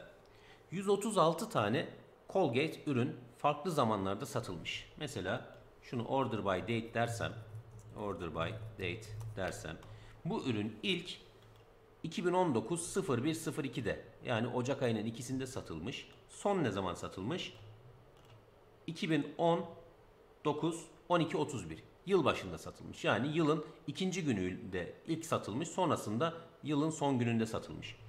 Şimdi ben şunu görmek isteyebilirim. Bu ürünün işte ilk ne zaman satılmış, son ne zaman satılmış? Bu birinci soru. İki, bu ürün bu yıl bu yıl boyunca toplamda ne kadar satılmış? Bakın şurada amount alanı var. Adet olarak bunları toplattırırsam bunu da görebilirim. Şunu bir Excel'e alayım. Şurada copy with headers dersem şurada başlıklarıyla birlikte alırım. Şimdi şuraya Excel'e geldim. Yeni bir sayfa açıyorum buraya. Yapıştırdım. Bakın şimdi bu üründen ben toplamda ne kadar satın almışım? Amount 730 satmışım pardon. 736 tane satmışım. Peki bu adet toplam bunun bedeli ne kadar? Cirosal bedeli ne kadar? 24.214 TL'lik satış yapmışım bu üründen. Şimdi ben bir ürünü analiz etmek istediğim zaman bunları görmek isterim aslında. Ürünü ne kadardan satmışım? E, ortaki fiyatlarına baktığımız zaman bu datada bütün fiyatlar aynı satılmış. Yani bir yıl boyunca fiyatı hiç değişmemiş olduğunu düşünelim. E, ürünü ortalama ne kadar fiyattan satmışım? En yüksek ne kadar fiyattan satmışım? En düşük ne kadar fiyattan satmışım? Toplam ne kadar adet satmışım? Toplam ne kadar tutar satmışım? Şimdi bütün bunları SQL sorgusuyla nasıl gördüğümüze bir bakalım arkadaşlar. Geliyorum buraya. İşte burada aggregate function'lar devreye giriyor. Mesela ben bu ürünü ilk ne zaman sattım? İlk dediğime göre tarih alanının içerisinde en küçük tarihi bulmam gerekiyor. Yani kullanacağım komut min. Minimumun mimi. Mini. Min diyorum. Date. Bu arada SQL komutlarında arkadaşlar biz bir şey yazdığımız zaman, kolon yazdığımız zaman o kolona illa kolon ismiyle gelsin dememize gerek yok. Ona bir alias vererek kendi istediğimiz şekilde çağırabiliriz. Mesela şunu şu şekilde çağırdığım zaman min date diye çağırdığımda pardon şu order by olmayacak artık. Ben buna bir isim vermediğim için bu aggregate function'ın içerisinde burası no column name olarak geldi. Oysa ben buna as ilk satış tarihi dersem Türkçe karakter kullanmadan, arada boşluk kullanmadan Türkçeleştiriyorum. Execute dedim. Bakınız ilk satış tarihini getirdi. Sonra bu da bunun son satış tarihini getireceğim. Onun için de max diyorum arkadaşlar şuraya. Virgül max. Buraya da ne diyorum? Son satış tarihi. Çalıştır. Bakın o da geldi. Peki ben bu üründen kaç satış yaptım? Adet değil arkadaşlar bakın. Kaç kere fişte geçti bu. Yani o 136 satır bulmuştuk ya. O 136 satırı bulmak istiyorum. Bunun için kullanacağım aggregate function'ın ismi de count arkadaşlar. Saydırma. Count her şeyi saydırabilirim. Yıldız diyebilirim ya da buradaki işte fish no diyebilirim. Hiç önemli değil. Hadi biz yıldız diyelim. As satır sayısı diyelim mesela buna da. Bakalım 136'yı bulacak mıyız? Bakın 136'yı da buldu. Peki ben bu üründen toplam kaç adet sattım? Amount alanlarının toplamını aldırmam lazım. Sum amount as toplam adet. Bakın 736 onu da buldum. Peki ben bundan TL olarak ne kadarlık satış yaptım? O alanım neydi? Hemen şuradan bakalım.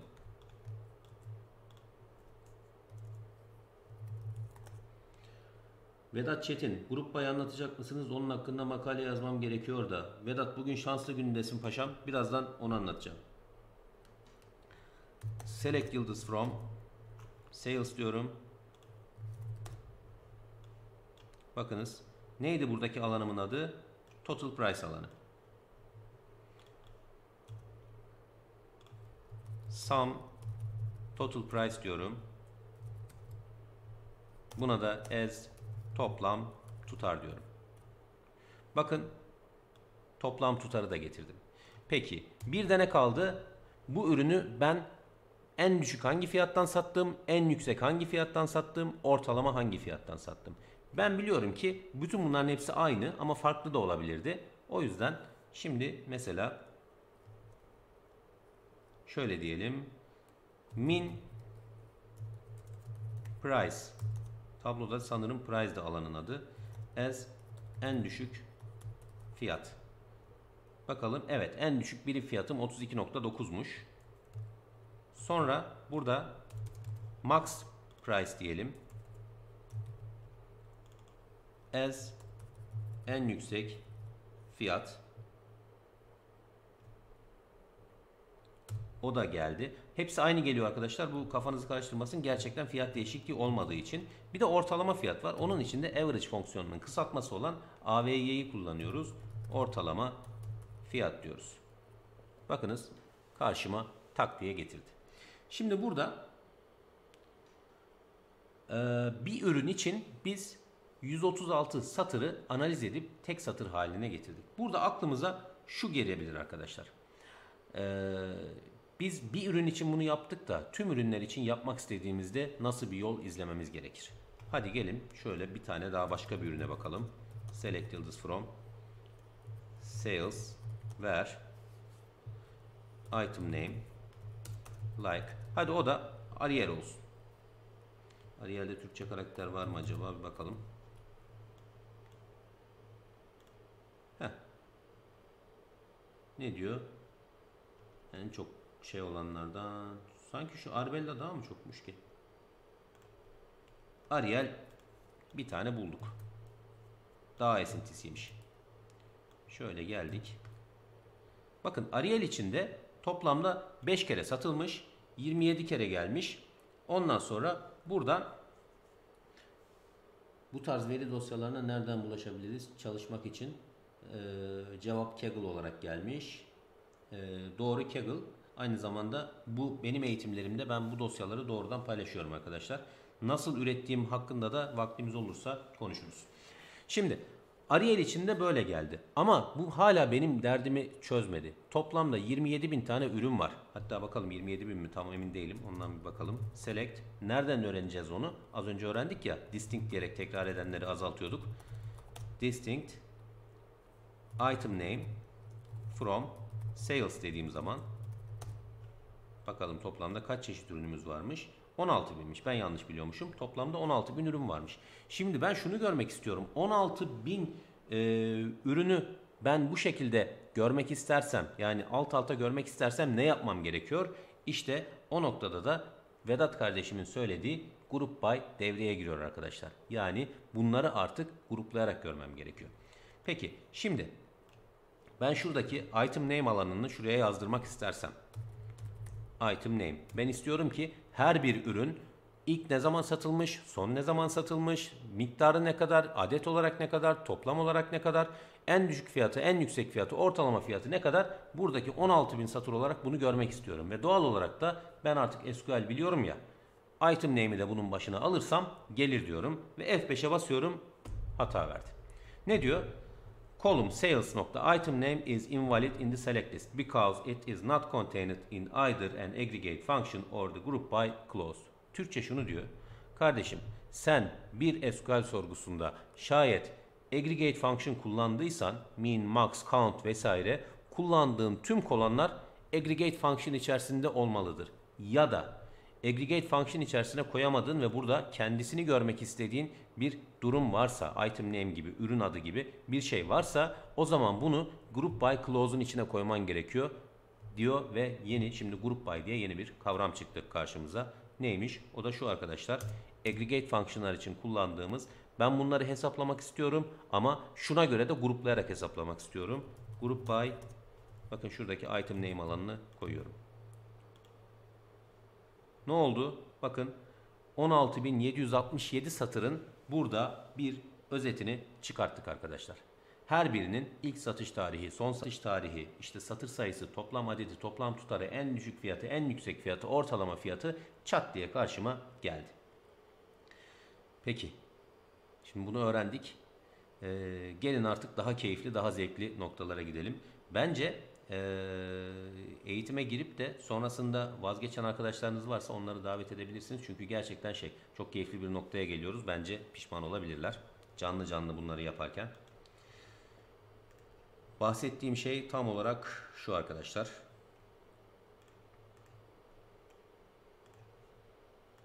Ne diyor? Bir mağazanın gün bazlı satışlarını getirme. Önümüzdeki yaklaşık 5-6 tane 10 tane falan bu şekilde örnek yapacağız. Sözel olarak sorulmuş bir soruyu canlı canlı çekeceğiz arkadaşlar. Bir mağazanın gün bazlı satış rakamını getirme. Şimdi burada ne var? Select yıldız from sales. Şimdi bir tane mağaza seçeceğiz burada. Mağaza dediğim yer nereydi? Burada branch dediğim alan. Mesela İstanbul mağazasına bakalım. Ver branch eşittir İstanbul. Kaç satır var? 33.780 satır var. Benden ne istiyor? Gün bazlı satışlarını getirme. Gün bazlı satışlarını getirmek demek ne demek? Burada bir yıllık data varsa 365 satır gelmesini beklerim. Ve nasıl bir formatta data gelmesini beklerim? Tarih yazacak, toplam satış yazacak. Yani toplamda 365 satırlı iki sütunlu bir veri seti gelmesini beklerim. Ben buradan aggregate function kullanmak suretiyle. Pekala. Öğrendik biz şimdi aggregate function'ı. Ne yapıyoruz? Buraya gelirim. Date tarihi tutuyordu. Günü tutuyordu yani bakın burada. Sonra yanına da toplam ciroyu tuttuğum alan nerede burada benim? Total price alanı. Bunu da samla aldım mıydı? Hadi şunu da Türkçeleştirelim. Şöyle havalı olsun.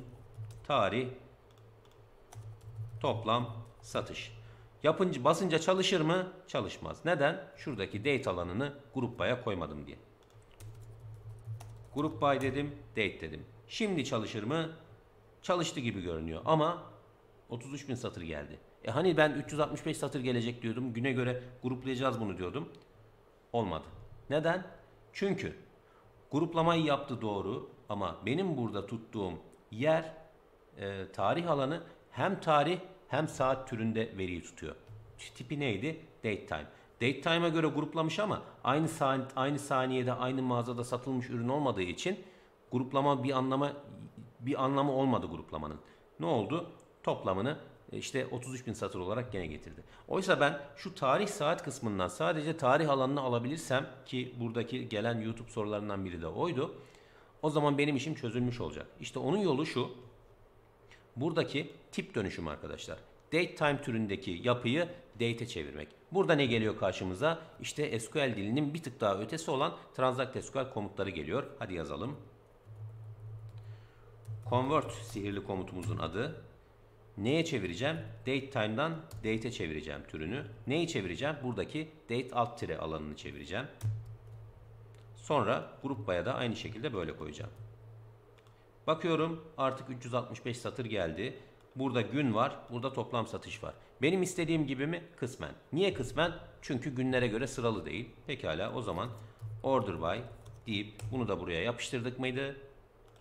İşte İstanbul mağazasının bir yıl boyunca gün bazlı toplam yapmış olduğu satır e, satış 33 bin satır ne oldu? Kuşa döndü. 365 satıra döndü.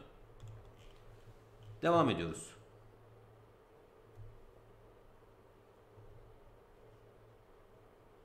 Hakan Türeyen e, date'de saat ve saniye kısmını görmek istemiyorsak işte böyle yapıyoruz. Convert date diyerek. Devam ediyoruz. Bir günün mağaza bazlı satışlarını getirme. Bir günün mağaza bazlı satışları. Şimdi tam tersi. Bu sefer gün seçeceğiz arkadaşlar. Gelelim. Select yıldız from sales. Hadi bir tane gün seçelim. Ver.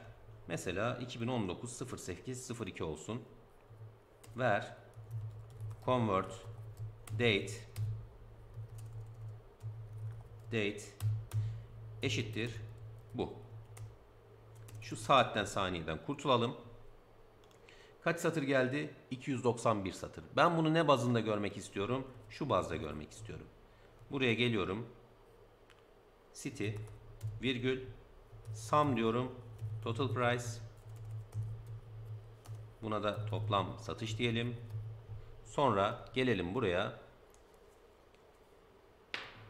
Group by City. F5 dedik çalıştırdık. Bakınız bu tarihteki mağazaların satışları bu tarihte 47 tane mağazanın satışı olmuş. Geriye kalan yaklaşık işte 30 küsür mağazanın 37 34 tane mağazanın satışı olmamış arkadaşlar. Buradan çıkartacağımız sonuç bu. Bir sonraki senaryo. Mağazaların aylara göre satışlarını getirme. Her bir mağazanın her bir ay için yaptığı toplam satışı getirme. Bu sefer 3 tane kolon olacak. Mağaza, ay ve toplam satış. Hemen yazalım. Select yıldız from sales. Mağaza ismini getirelim. City virgül. Toplam satışı e, ay ismini getireceğim. Bir tarihin içerisinden sadece ay kısmını almak istiyorsak evet küçük bir transact SQL fonksiyonumuz orada da devreye giriyor. Select date part month virgül mesela get date dersem bakın şimdi bu neyi getirecek? Get date şimdiki tarihi getiriyordu. Date part month komutu da şimdiki tarihinin ayını getirecek. Bakın biz şu anda 12. aydayız. Pekala bunu böyle yakalayabiliyorsam City'den sonra buraya gelip get date yerine bu tablodaki tarih alanım ne? Date alanı. Tarih, saat, saniyesine kadar tutan bir yerin alanın sadece ay bilgisini getirmek istiyorum ben. Ay diyelim buna.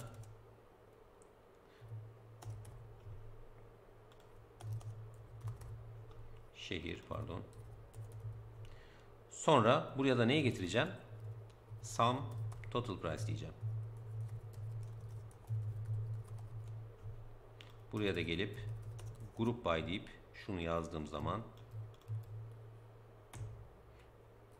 ne yap kızdın? Ha şuna kızdı.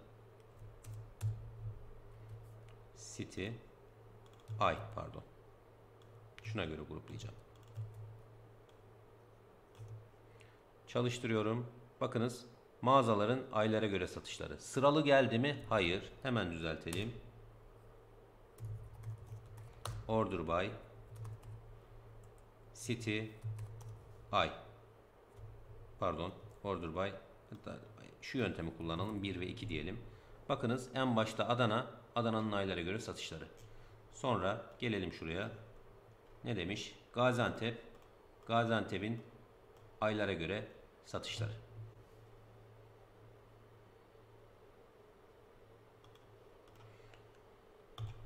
Ürün kategorilerine göre satışları getirme. Bakın burada ne var? Select yıldız from sales. Bir sürü satış var burada. Şurada ne var? Kategori 1'e göre mesela getireyim ana kategoriye göre. Çok kolay. Kategori 1 virgül sum total price from sales group by kategori 1. Bakın çalıştırdım. Gel, geldi. Şimdi soru şu. Ee, en çok satana göre sıralattır bunu. Order by 2 desk dedim. ikinci sütuna göre tersten sıralattır. 24 satır geldi. Peki soru şu. En çok satan 5 kategoriyi getir. Başına bir tane top 5 koymam. Yeterli ve budur.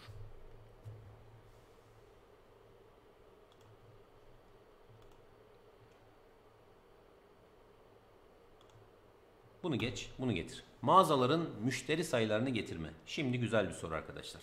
Mağazaların müşteri sayılarını getirme. Bir müşteri bir mağazaya birden fazla gittiyse o müşteri iki mi sayılacak? Mesela iki kere gittiyse o müşteri iki mi sayılacak, bir mi sayılacak? Deminki örnek.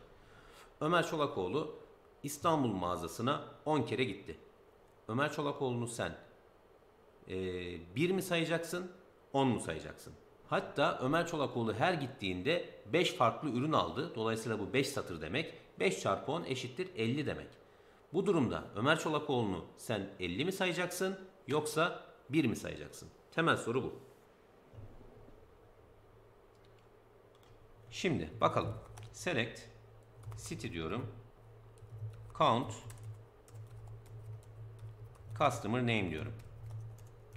From sales Group by City. Bakın İstanbul mağazaya baktığım zaman İstanbul mağazada 33.780 dedi. Ben bu 33.780 sayısını hatırlıyorum. Neydi bu? İstanbul mağazadaki toplam satır sayısı. Bakalım. Select yıldız from Sales where city eşittir İstanbul. Bakınız 33.780 bir tane müşteri bulalım buradan. Mesela Aras yani kimi seçeyim? Şuradan. Nazlıcan Hançerkıran. And customer name eşittir Nazlıcan Hançerkıran. Çağır. Bakın 3 geldi. Peki şuna bir bakalım. Şu ver şartını şu grup ile birlikte çağırayım. Bakın Nazlıcan Hançerkıran için 3 geldi. Yani bu kadın mağazaya bir kere gitmiş fakat 3 kere ürün almış. Birden fazla da gidebilirdi. Sonuç itibariyle bunun bir gelmesi lazım arkadaşlar. Burada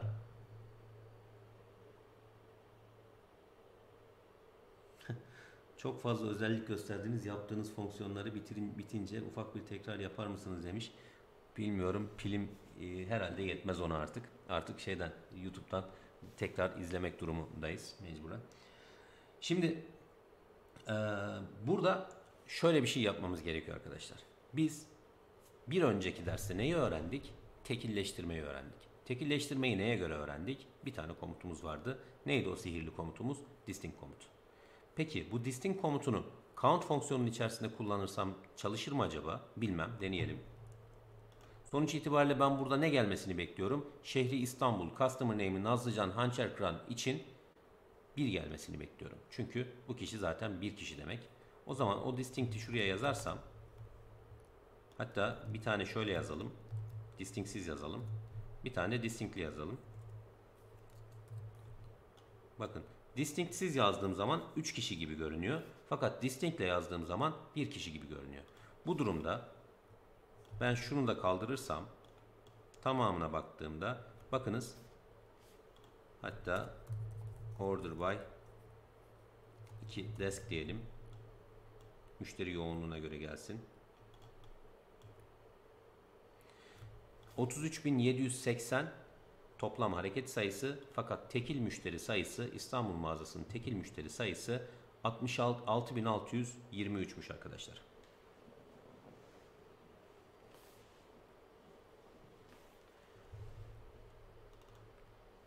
Şimdi bir soru daha. Kesilen fatura sayısını görmek istiyorum ben. Bir kişi mağazaya birden fazla gitmiş olabilir. Fakat sonuç itibariyle e, artık iki kere gittiyse iki fatura kesilmiş demektir. Onu iki saymak gerekir. Her bir faturanın içerisinde belki 5 satır var. O bizi ilgilendirmiyor. Onun için de arkadaşlar şurada faturanın numarası var bir tane. Fishno diye. Count distinct Fishno. Buna da fatura sayısı diyelim. Şunları Türkçeleştireyim. Ee, satır sayısı diyelim buna.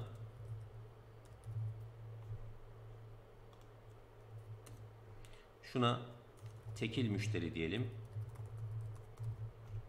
Şuna da fatura sayısı diyelim.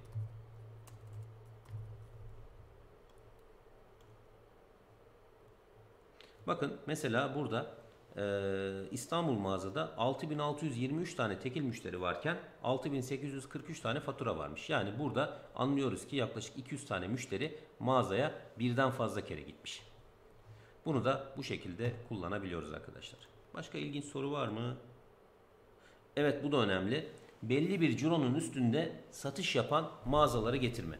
Genelde SQL'de en çok karıştırılan konu bu aggregate function'lar group by konusu arkadaşlar. Ee, filtre verirken nereye filtre verdiğimizi tam olarak bilemiyoruz. Nerede ne kullanmamız gerektiğini tam olarak bilemiyoruz. Soru şu. Belli bir cironun üstünde satış yapan mağazaları getir. Hepsini değil de benim verdiğim filtreye uyanları getir. Şimdi select city virgül sum total price from sales group by city diyorum mesela. Hatta order by 2 desk diyorum. Şimdi burada neye baktık? Mağazalarımızın toplam satışı. Mesela bakın şurada 100 bin liranın üzerinde toplam satış yapan mağazaları getir dersen. Yani şurada ilk 15 mağazanın gelmesini bekliyorum. Peki neyi öğren yapabiliriz burada? Biz neyi öğrendik? Hocam ver şartını öğrendik. Ver şartına bu filtreyi koyduk muydu? Tamam. Deneyelim. Ver sum total price büyüktür 100 bin. Çalıştır. Patladı. Diyor ki an aggregate may not appear in where clause. Bak sen bir aggregate function kullanmışsın. Bunu ver şartında kullanmışsın. Ver şartında aggregate function kullanamazsın diyor. Tamam ben de o zaman kolonun kendisini kullanırım şöyle. Çalıştırdım. Sıfır kayıt geldi. Neden? Ver şartında total price eşittir 100 bin desem bu şu anlama geliyor. Tek seferde 100 bin TL'nin üzerinde yapılan hareketi getirmektir bu an. Getirmek anlamına geliyor. O zaman böyle bir satışımız yok ki zaten bizim. En fazla sattığımız işte Çokonat, Colgate vesaire diyorsun. En fazla hani 200-300 liralık bir satış durumu söz konusu. 100 bin liralık bir satış değil. Bu da benim işimi çözmedi. Tekrar geri dönüyorum. Şurada çalıştırdığım zaman verdiği hataya dönüyorum.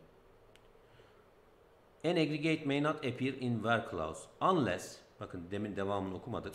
Unless it is in a subquery contained in a having clause or select list devam edip gidiyor. Diyor ki aslında burada kardeşim sen eğer aggregate function'ı yani toplam üzerinden hesaplanmış bir alanı filtre olarak kullanmak istiyorsan bunu ver şartında kullanamazsın. Fakat bunu kullanmak istiyorsan having komutunu kullanman gerekiyor. Yani bunu buraya değil şuradan al Şuradan da al.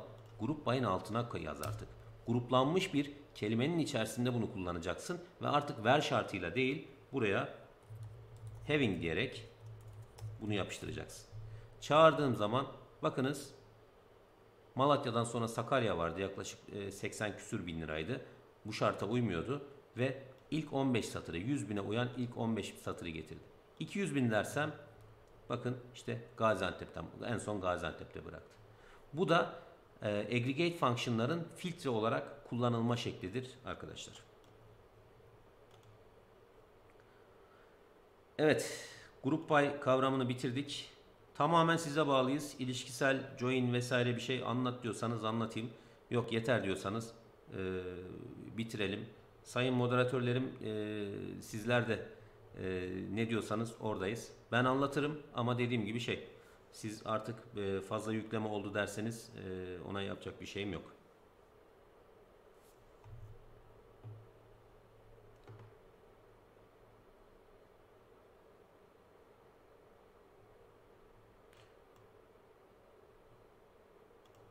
Join anlatsanız son kez devam edebiliriz bence. İç içe sorgu. Katılım hala çok iyi. Valla arkadaşlar şimdi şöyle yapalım. Ee, saat 22.51. 23'e kadar bir ara verelim. Ee, bence bitirelim. Temel düzey adına verdikleriniz yeterli olabilir.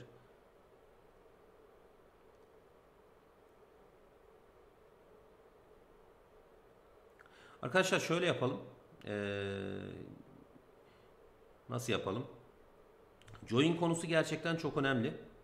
Ee, bilinmesi gereken bir şey. Ama bir daha böyle bir etkinlik olur mu, şey yapar mı onu bilemiyorum. Ee, bir aslında bir şöyle bir yarım saat 40 dakika daha üstünde durup anlatalım derim ben.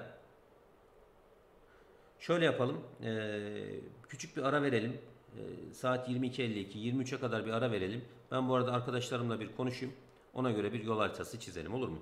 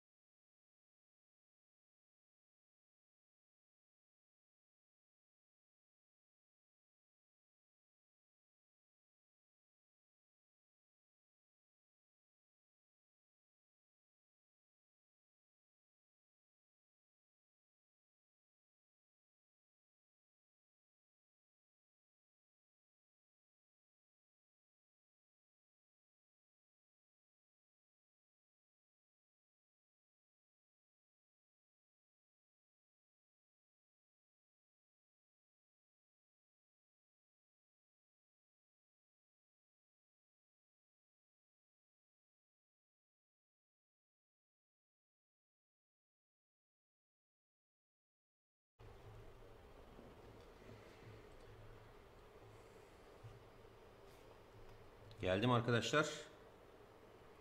Burada mıyız? Nasıl durumlar?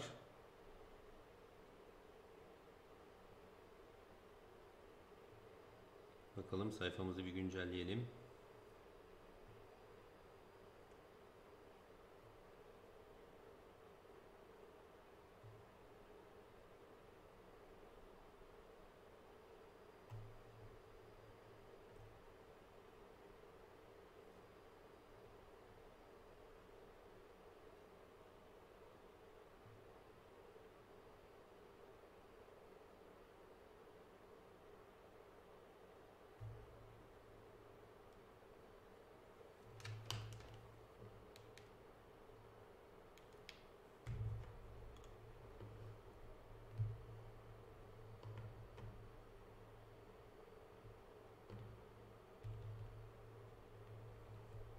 YouTube yayını geliyor mu? Ben telefonda göremedim ama şunu bir kapatıp yeniden açayım.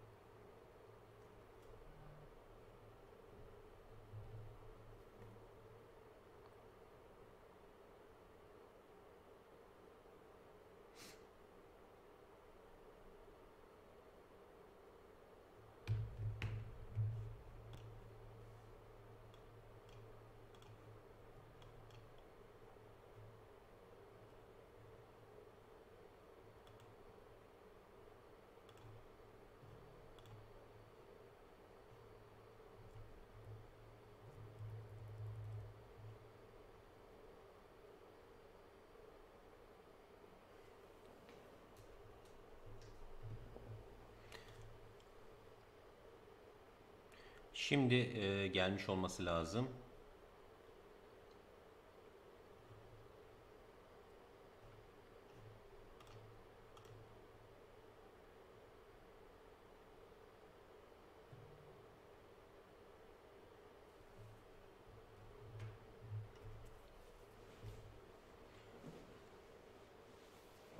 YouTube'da bir kendimi teyit ediyorum arkadaşlar şu anda. Tamam geldi diyorsunuz tamamdır. Kapatayım. Devam edelim. Arkadaşlar genelde SQL'de bizim e, kafamızı karıştıran, anlamakta zorlandığımız, e, çözmekte zorlandığımız iki tane konu var. Bir tanesi join konusu, ilişkisel veri tabanının konusu. Bir tanesi de bir önceki derste anlatmış olduğum aggregate function'lar ve group by uygulamaları. Bu genelde having'ler, where clause'lar vesaireler karıştırılıyor birbiriyle.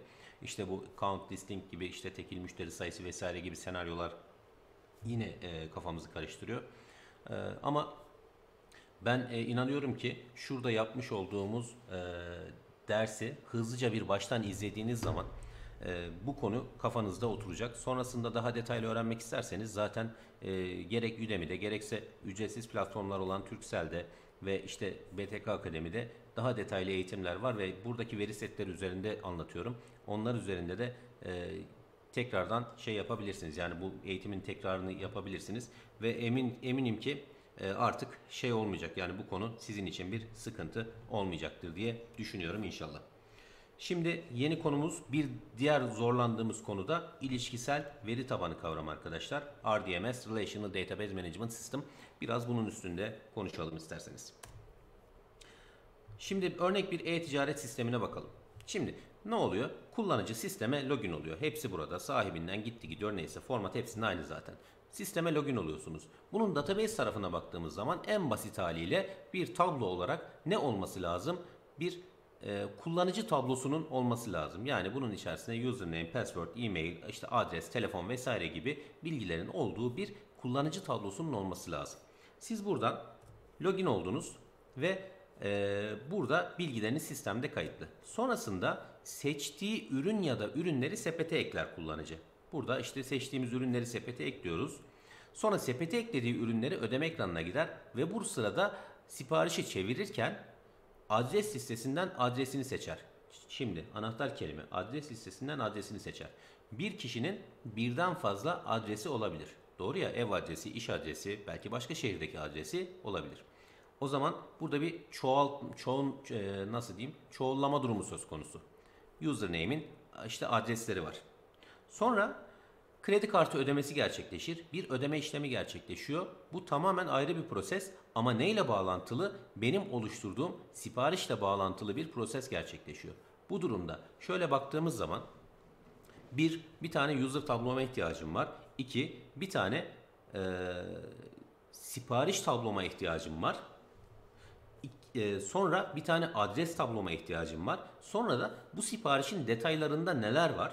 İşte hangi üründen ne kadar almış, fiyatı ne kadar buna ihtiyacım var. Bunların hepsinin arasında bir bağlantı da var. Bir de bunun kredi kartı ödemesini gerçekleştiriyorum. Kredi kartı ödemesi ne ile gerçekleşiyor? Kredi kartı ödemesi aslında bizim siparişle bağlantılı şekilde gerçekleşiyor. O zaman ödeme ile siparişin arasında da bir bağlantı var. Sonrasında ürünü sevk ediyoruz. Ürünü sevk ederken de bu sefer ürünün faturasını kesiyoruz. Faturasını kestiğimiz zaman da bu faturanın da bir tane kendisi var. Bir tane de alt satırları var, detayları var. Yani bizim biraz önce sales tablosunda tek parça olarak gördüğümüz her şey aslında geri tarafta o ilk derste anlattığım tekrar etmelerin önüne geçmek adına dedim ya hani işte Ömer Çolakoğlu 10 kere geldi ben adını yanlış yazdım vesaire bilmem ne her seferinde aynı bilgileri girdim. İşte bunları yapmamak adına tabloları birbirinden ayırt ettirip referans noktalarıyla birbirlerine bağlama işine biz ilişkisel veri tabanı kavramı diyoruz arkadaşlar. Şimdi bu ilişkisel veri tabanı kavramında bunu bu şekilde oluşturduktan sonra da sonra en nihayetinde sales tablosundakine benzer şekilde de benim rapor çekmem gerekiyor. O zaman bu ayırt ettiğim tabloları tekrardan birleştirme durumu söz konusu. Bakalım nasıl bir şey.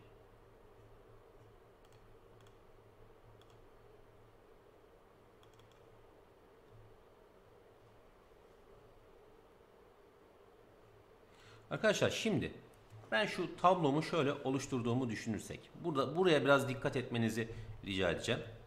Şimdi bir tane benim users tablom var değil mi? Users tablomda nelerim var benim? Username'im var. Bak ID var. ID her tablonun e, belirleyen primary key birincil anahtarı arkadaşlar. Ve her tablomda o satırı unique olarak, tekil olarak belirleyen şey. O satırın TC kimlik numarası. O yüzden her tablomda benim ne var? ID alanım var.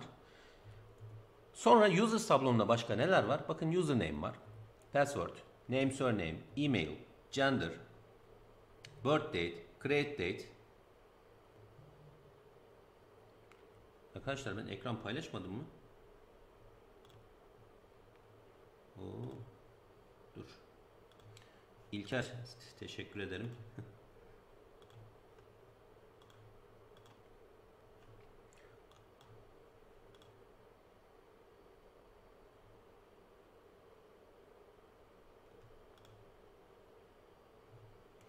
Demin e, ekran paylaşmamışım arkadaşlar. Çok pardon. Orayı hemen hızlıca bir bir daha bir tekrar edeyim. Şimdi bir e, şeyi düşünelim tekrardan hızlıca. Örnek e-ticaret sistemini düşünelim. Bir kullanıcı sisteme login olur. Ben hala mı ekran paylaşamadım? Şunu YouTube'dan bir kontrol edeyim.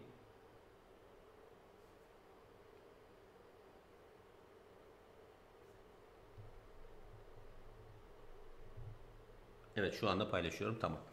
Ee, bir kullanıcı sisteme login olur. Demek ki benim elimde bir users isimli bir tabloya ihtiyacım var. İki, adres, telefon, e-mail gibi bilgiler sisteme kayıtlıdır burada.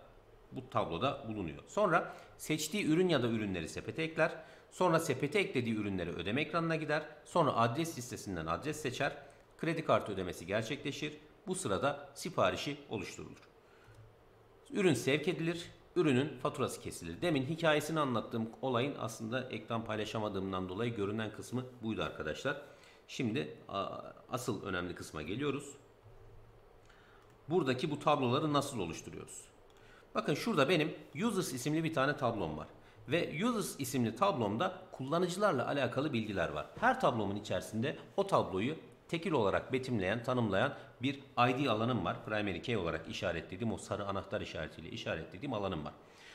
Ee, username, kullanıcı adı, password, şifre, name, surname, ad soyad, email, email adresi, gender, cinsiyet, birthday, doğum tarihi, create date, bu user'ın oluşturulma tarihi, telnr1 ve telnr2 bu adamın birinci ve ikinci telefon numaraları arkadaşlar. Şimdi burada kullanıcı tablomla alakalı ben neyim var dedim. Bir kişinin birden fazla adresi olabilir. Yani burada bir ilişki var. Kullanıcı tablom var, adres tablom var. 1'e n bir ilişki var. Bir tane user'ım var, birden fazla ne var? Adres var. Onun içinde bir tane adres tablom var. Bakın burada da neyle bağlamış?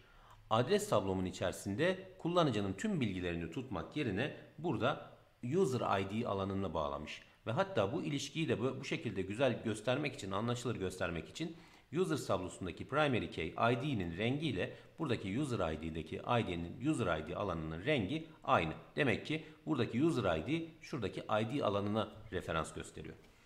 Sonra tabi bunun da kendi ID alanı var. Bir de bu adresi tanımlarken de burada ne var? Bir adresi neye göre tanımlarsınız siz? İl, ilçe, ülke, işte semt, ondan sonra posta kodu ve işte açık adres bilgilerine göre tanımlarsınız. Fakat siz bir sisteme adres girerken ne yapıyorsunuz? Önce ülkeler listesinden ülke seçiyorsunuz. Sonra oradan şehir seçiyorsunuz. Sonra oradan ilçe, oradan da semt seçiyorsunuz. Aynı mantıkta buraları string olarak içinde tutmak yerine sistem neyi tutuyor burada? Onların ID'sini tutuyor. Peki country ID diye bir şey tutmuş. O zaman country diye bir tane tablo var burada. Bakın burada da ne var? Kendisinin ID alanı var. Sonra country diye başka bir text alan var. Sonra ne var burada? City ID demiş. O zaman cities diye de bir tane tablonun olması lazım ve onun da başka bir tabloyla bağlı oluyor olması lazım. İşte bakınız burada country ID buradaki city'nin kendi ID'si ID nereye bağlı bu? Hangi ülkenin şehri? Burada country ID ile bağlamış. Bir de ne var? Town ID yani ilçe. İlçe de o zaman şehirlerin altında gelen bir şey. Bakın burada da City ID alanıyla birlikte buraya bağlanmış durumda. Bir de ne var? District ID. District ise neye bağlı? Bakınız burada şurada Town ID ile Town'a bağlanmış durumda.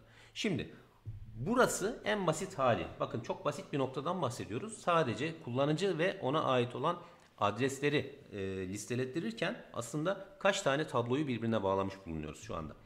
User, adres, countries, cities, towns, districts. Olayı çok karmaşıklaştırmadan, alt taraftaki senaryolara gitmeden isterseniz bu tablolar nasıl oluşturuluyor ona bir bakalım. Bunun içinde yine örnek bir veri tabanım var. O da şurada e-trade 4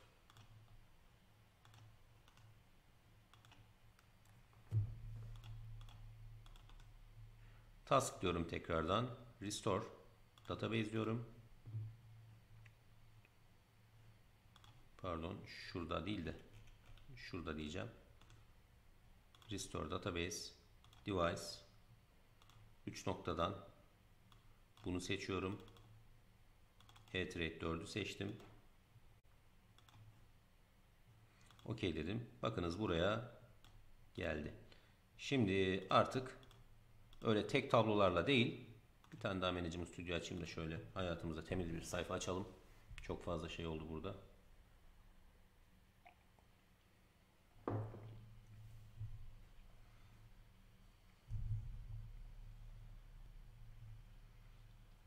SQL'e bağlanıyorum. Windows Authentication'la bağlanalım. Şurada geldim. Databases, E-Trade 4, Tables. Bakınız burada bir sürü tablo var. Beni şu anda ilgilendiren neler var? Adres, user, cities vesaire diye devam ediyor. Şimdi bakın bir tane kullanıcı üstünden neler geliyor bir bakalım arkadaşlar. Select yıldız from users. Kim gelsin? Mesela en baştaki kullanıcıyı alalım. Nazlıcan Özsimitçi. User ID yani ID eşittir 1. Ver diyeceğiz tabii ki. Artık veri vesaireyi kullanmayı bildiğimiz için tekrardan onların açıklamasını yapmayı gereği duymuyorum. Sonra bu kişiye ait olan adresleri bulmam lazım. Select yıldız from adres adres ver user id eşittir 1 diyorum. Bakın bu kullanıcıya ait olan 4 tane adres varmış burada. Biri Kocaeli'de, biri Kırıkkale'de, biri Tekirdağ'da, biri de Burdur'da. Peki hadi buradan da şu 2 numaralı adrese bakalım. Ent diyelim mesela id eşittir 2. Bu 2 numaralı adrese baktığım zaman burada ne var? City ID var. City ID 71'miş. Bakalım 71 kime ait? Select yıldız from cities ver. Country ID'yi özellikle bakmıyorum arkadaşlar. Bendeki database'de şu anda sadece Türkiye olduğu için onu çok bakma gereği hissetmiyorum. Ver. Ee, ID eşittir. Bakın 71. Kırıkkale'yi buradan yakaladım. Başka neler var? Town ID 363. Select yıldız from towns ver id eşittir 363. Bakalım kimmiş? Kırıkkale merkez. Kırıkkale'nin merkez ilçesiymiş burası da. Sonra ne var?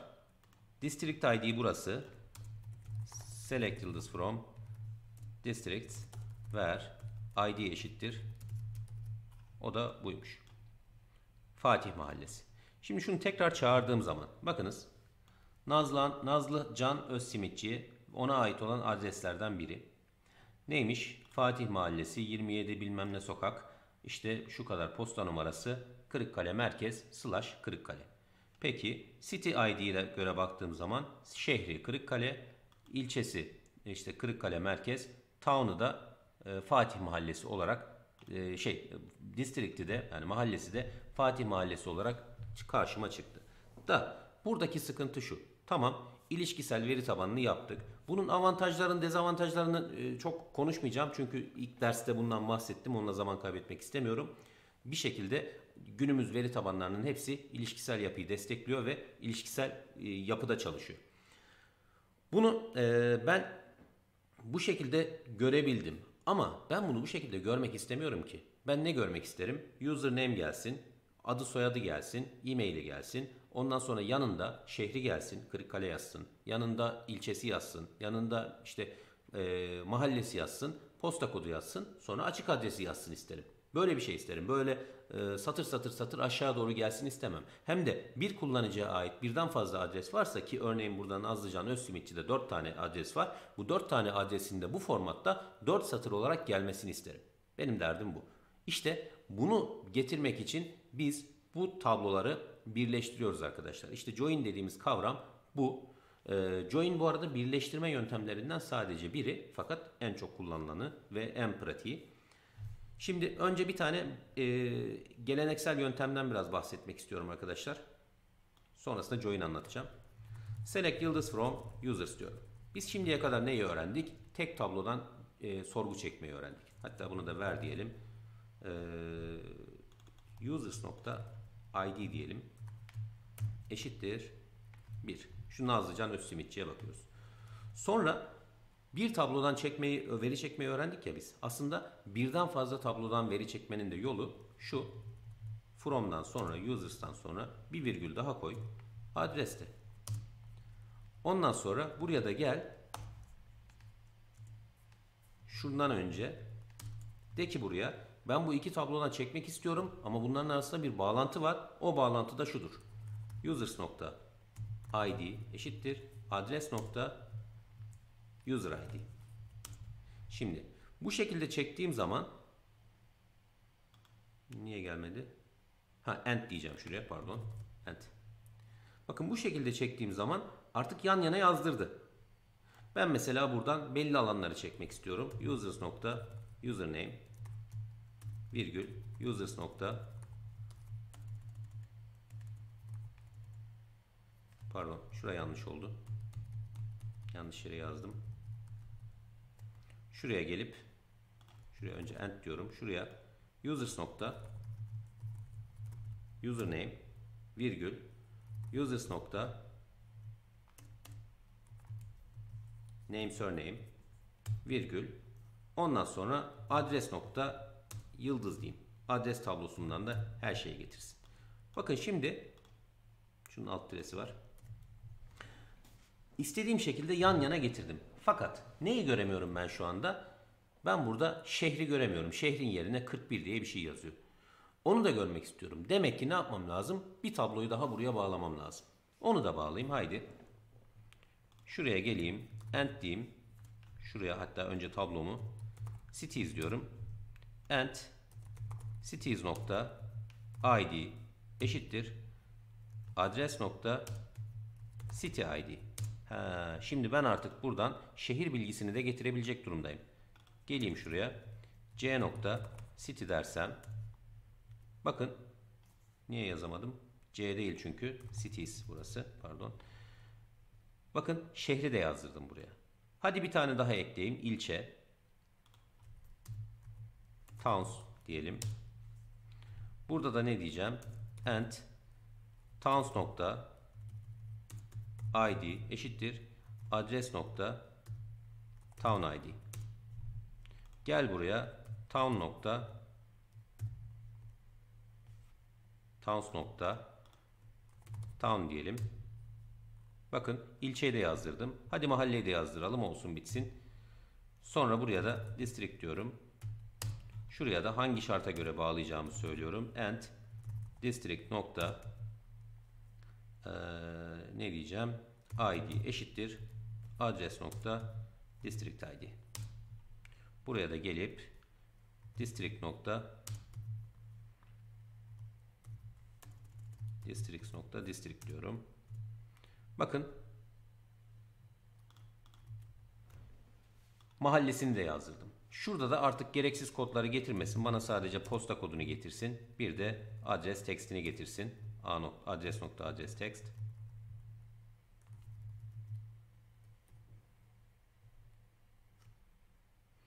Bakın istediğim formatta getirebildim ben. Şu anda kaç tane tabloya bağladım? User, adres, city, town, district. 5 tane tabloyu birbirine bağlayarak istediğim formatta verileri yan yana getirdim arkadaşlar.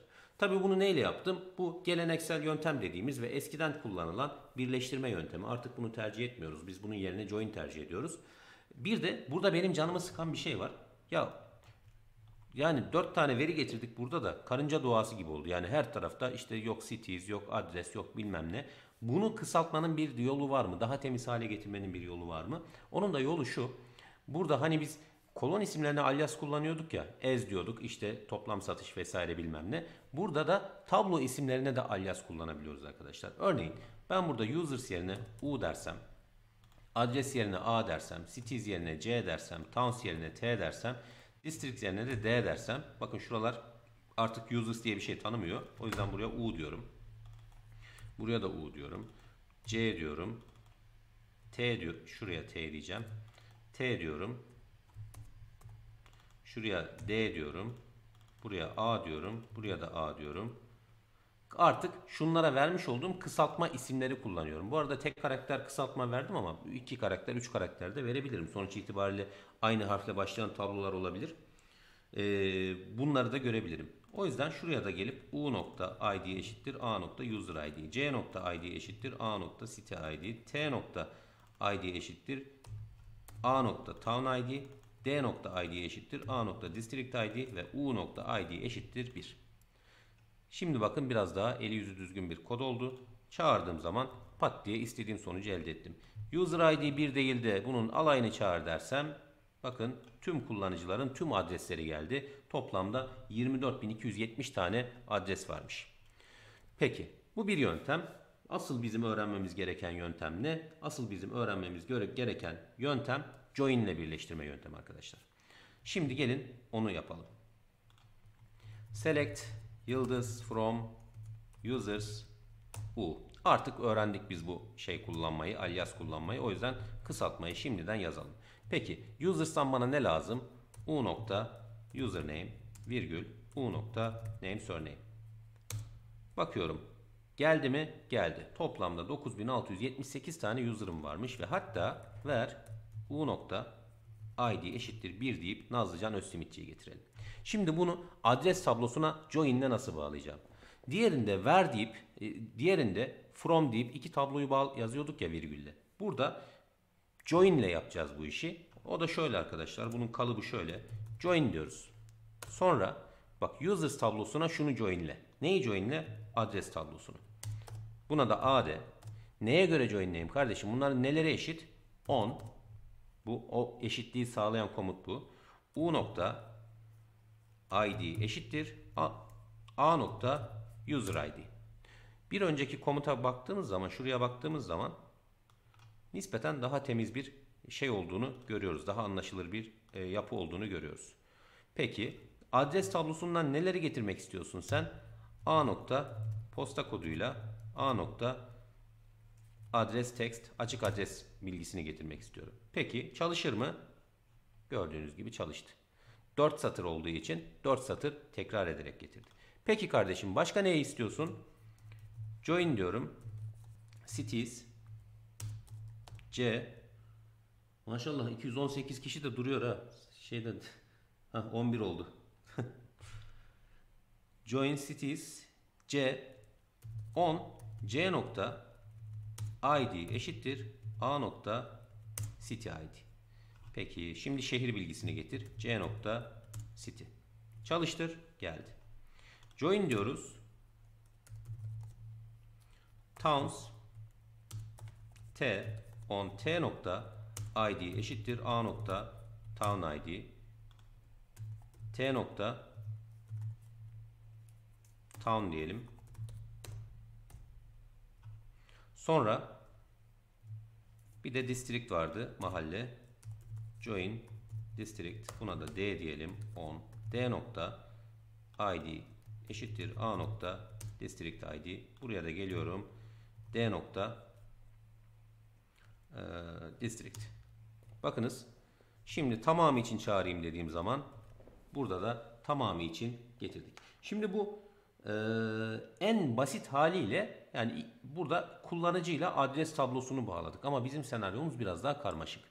Orada web sayfasında adam login oluyordu, işte sipariş veriyordu falan ya. Şimdi biraz onun veri tabanına bakalım. O da şu. Bakınız.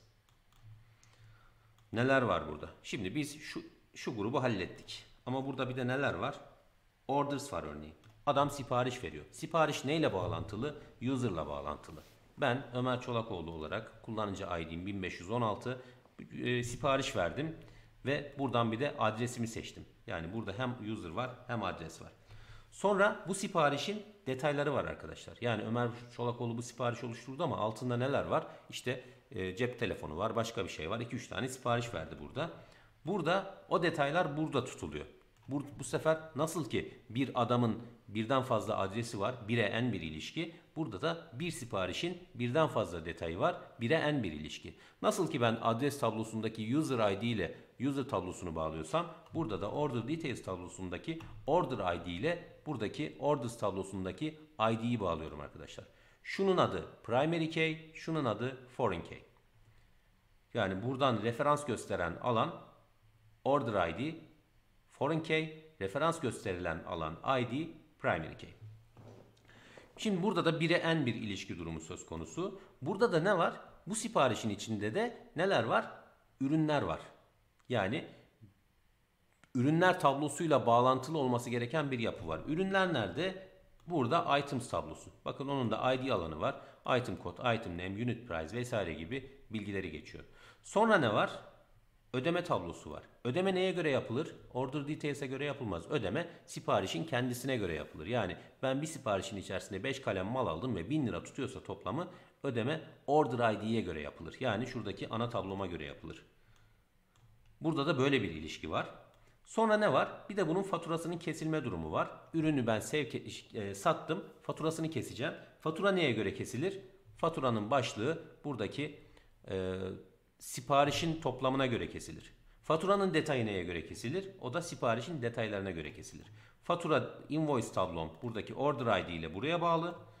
Şuradaki invoice detail tablomda buradaki order detail ID ile buraya bağlı. Şimdi artık aşağı yukarı kaba taslak biz buradaki veri tabanı yapısını öğrenmiş bulunuyoruz. E join'i de öğrendik. O zaman hadi buradan biraz şöyle e, senaryolar üzerinden sorgu çekelim de bizim e, konumuz anlaşılsın. Önce şu şeyimizi detaylı şekilde çekelim arkadaşlar. Select yıldız from orders diyorum. Mesela buna O diyelim. Bakın içinde neler var? User ID, date, total price, e, siparişin toplamı, üst toplamı. Statüse çok takılmayın. Adres ID. Şimdi bunu önce bir user'la bağlamam lazım. Şurada user ID var. Join diyorum. Users u on u nokta id eşittir o nokta user id. Bana şimdi ne lazım buradan?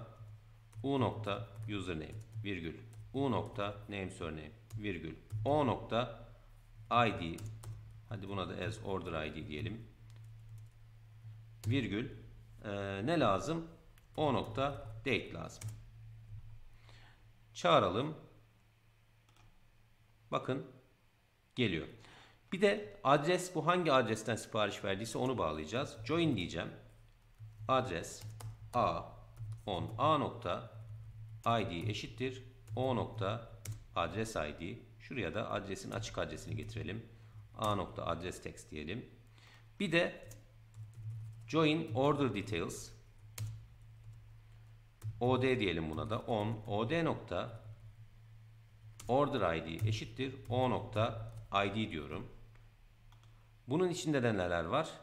Bu da ürünler tablosuyla bağlı yani items'la join diyorum.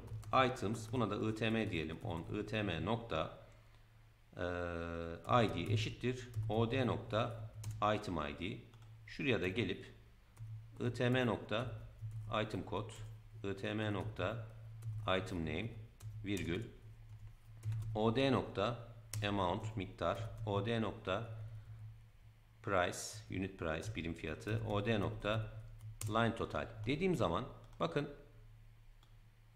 burada bütün sipariş detaylarını rapor olarak çekebilecek durumdayım. Ben hatta burada bir tane şu bir numaralı order'a bakacak olursam ver o.id eşittir 1 dediğimde bakın bu bir numaralı sipariş Oğuzhan, Oğuz Çankırılı tarafından verilmiş. Şu tarihte verilmiş. Şu adrese verilmiş. Kastamonu adresine. Neler almış içinde? İşte dökme kimyon, sıla turuva bilmem ne, oba makarna almış. Burada miktarları var. Burada birim fiyatları var. Şurada da toplam tutarı var arkadaşlar. Bu şekilde bir join ile ben tüm tablolarımı birleştirmiş oldum. Şimdi bir iki tane senaryo e, anlatıp ondan sonra da join çeşitlerini anlatıp konuyu bitireceğim arkadaşlar.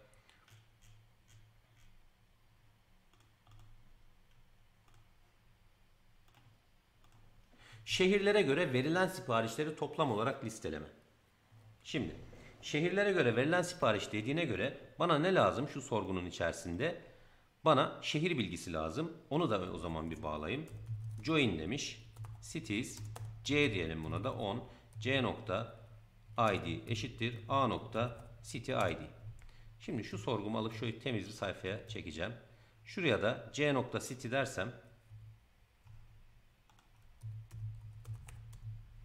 Bakın artık şehir bilgisini de getiriyorum ben. Şimdi burada şöyle yaparsam c nokta city virgül sum od nokta line total. Line total evet. Grup by şurayı kaldırıyorum artık. Grup by c nokta city dediğim zaman bakınız ilişkisel bir veri tabanı üzerinde örnek bir e-ticaret sistemi üzerinde biz bir rapor çekeceğiz şu anda. Neye göre? Şehirlere göre toplam verilen siparişleri. Bakın getirdi. Bir tane daha örnek yapalım. Bu da ürün kategorilerine göre sipariş dağılımı. Ürün kategorilerine göre sipariş dağılımını getirmek için şuraya tek yapmam gereken şey itm nokta kategori 1 demek arkadaşlar. Grup baya da bakın bunu koyuyorum. Bakın burada da ürün kategorilerine göre geldi. Hadi bir de bunun alt kategorisini getirelim. ITM nokta kategori 2 diyelim buraya da. Group by kısmına gelip buraya da kategori 2 diyelim. Hatta order by 1 2 dediğimiz zaman da niye patladı? Ha şu sum gitmiş. Bakın şurası kategori 2 olacak pardon. Bakın balık grubunun içerisindeki dağılım geldi. Deterjan grubunun içerisindeki dağılım geldi. Bu şekilde görebiliyoruz. Örneklerimiz çok fazla ee, ama ben şu anda onları anlatmak istemiyorum size arkadaşlar. Ee, asıl bilmemiz gereken önemli bir konu var. Bu join çeşitleri. Onu anlatıp konuyu bitirmek istiyorum artık. Şöyle. Yine en çok karıştırılan nokta bu join türleri. Hani inner join, outer join, left join vesaire bunlar ne anlama geliyor? Hani biz işte her tarafta inner join kullanıyoruz da işte kimi yerde işte left join kullanıldığı karşıma çıkıyor. Bunlar ne anlama geliyor gibi sorular oluyor. Onlara bakalım. Arkadaşlar join dediğimiz şey iki tane tablonun birleştirilmesi. Bunu işte bu e, ilkokulda gördüğümüz şu Venn şamasındaki kümelere benzetebiliriz. Mesela bir tane users tablom var. Bizdeki örneğe benzer bu, bu arada biraz önceki yaptığımızda. Bir tane de basit bir adres tablom var. Şimdi users tabloma baktığım zaman burada işte bir takım kayıtlar var. Adres tablosuna baktığım zaman burada bir takım kayıtlar var. Ben şimdi bunu join ile birleştirdiğim zaman benim karşıma nasıl bir şey çıkacak ona bakalım. Join türlerinden baktığımız zaman inner join ya da sadece join. Bu ikisi aynı anlama gelir arkadaşlar. Bir yerde gördüğünüzde ya bu inner neydi, join neydi diye kafanız karışmasın. İkisi de aynı anlama gelir. Ve bakın nasıl çalışıyor. Şimdi burada ne var? Bakın burada Ömer var. Ömer'in adresleri nere? Bakın user ID 1 olan İstanbul ve Ankara. O zaman bu iki kayıt buraya gelecek. Mehmet var. Mehmet'inki Bursa ve İstanbul o da gelecek. Zeynep var. Zeynep'inki İzmir gelecek. Ayşe var. Ayşe'ninki İzmir gelecek. Deniz var. Deniz'inki Eskişehir gelecek. Kadir var. Bakın Kadir'in 6 numaralı kullanıcı, 6 numaralı kullanıcı adres tablosunda yok. O zaman sonuç itibariyle join dediğimiz ya da inner join dediğimiz yapı bu iki kümenin kesişimi. Yani her iki tarafta birden bu şartı, bu birleşmeyi sağlayan kayıtların gelmesi lazım. O zaman Kadir gelir mi? Gelmez. Esra'ya bakıyorum. Esra'nın numarası 7. Burada 7 numaralı kullanıcıya ait adres var mı? Yok. O zaman bu da gelmez. Diğer tarafa geçtik. Burada 8 numaralı kullanıcıya ait Konya adresi var. Fakat users tablosunda 8 numaralı kullanıcı yok. O zaman bu da gelmez. Adana aynı şekilde 10 numaralı kullanıcı da yok. O da gelmez. Inner join iki kümenin kesişimidir. İki tablodaki şartların karşılandığı, tamamen karşılandığı noktada gelir arkadaşlar. Şimdi şeye bakıyoruz. Ee, join türlerinden diğer left join ya da left outer join. Onun da ikisi aynı arkadaşlar. Bu da nedir biliyor musunuz? Burada sol taraftaki kümeyi referans alır. Sağ taraftakinden sol taraftakinden e, tamamını getirir. Sağ taraftakinden kısmen yani e, iki tarafta birden olanları getirir. Ömer'e bakıyoruz. Ömer'in adresi var. Mehmet'e bakıyoruz. Mehmet'in adresi var. Zeynep var. Ayşe var. Deniz var. Kadir var mı? Kadir burada var ama burada adresi yok. Olsun. Left join yazdıysam gelir buraya. Esra'ya bakıyorum. Esra burada var. Burada adresi yok. Gelir. Konya ve Adana bu tarafta olduğu için onlar gelmez arkadaşlar. Bakıyoruz right join ya da right outer join. İkisi de aynı. Orada da yine buraya kadar bakıyoruz. Hepsi geliyor. Kadir'in adresi olmadığı için ve sol tarafta olduğu için gelmiyor. Ama Konya geliyor burada. Esra yine bu tarafta olduğu için gelmiyor ama işte Adana bu tarafta geliyor arkadaşlar. Bir de full join var. Full join de bu iki tablonun birleşimi arkadaşlar. Bakın önce bu taraftaki kayıtların hepsi geliyor. Kadir'in adresi yok ama geliyor. Esra'nın adresi yok ama geliyor. Konya'nın user'ı yok ama geliyor. Adana'nın user'ı yok ama geliyor. Şimdi teorik olarak bunlar böyle. Ne demek istediğimi şimdi de kod üzerinde gerçekleştireceğim arkadaşlar. Şuradaki dataları olduğu gibi şöyle e, Excel'e kopyalıyorum. Attım buraya. Sonra şunu geliyorum. Bunu da Excel'e kopyalıyorum. Bunu da buraya attım. Şu arkadaşımızı kopyalıyorum. Ve SQL'e gelip bir tane tablo oluşturacağım. Aynı oradaki formatta. Şu test veri tabanını oluşturabilirim bunu. Şuraya gelip new table diyorum. ID diyorum integer. Ondan sonra user diye ne user diyorum. varchar. Bunu şöyle users diye e, kaydediyorum. Sonra buraya gelip şu users'ın içine edit deyip bunu Excel'den olduğu gibi yapıştırıyorum arkadaşlar. Şimdi aynısını bir tane daha tablo oluşturuyorum. New table id integer user id integer adres varchar. Bunu da adres diye kaydediyorum.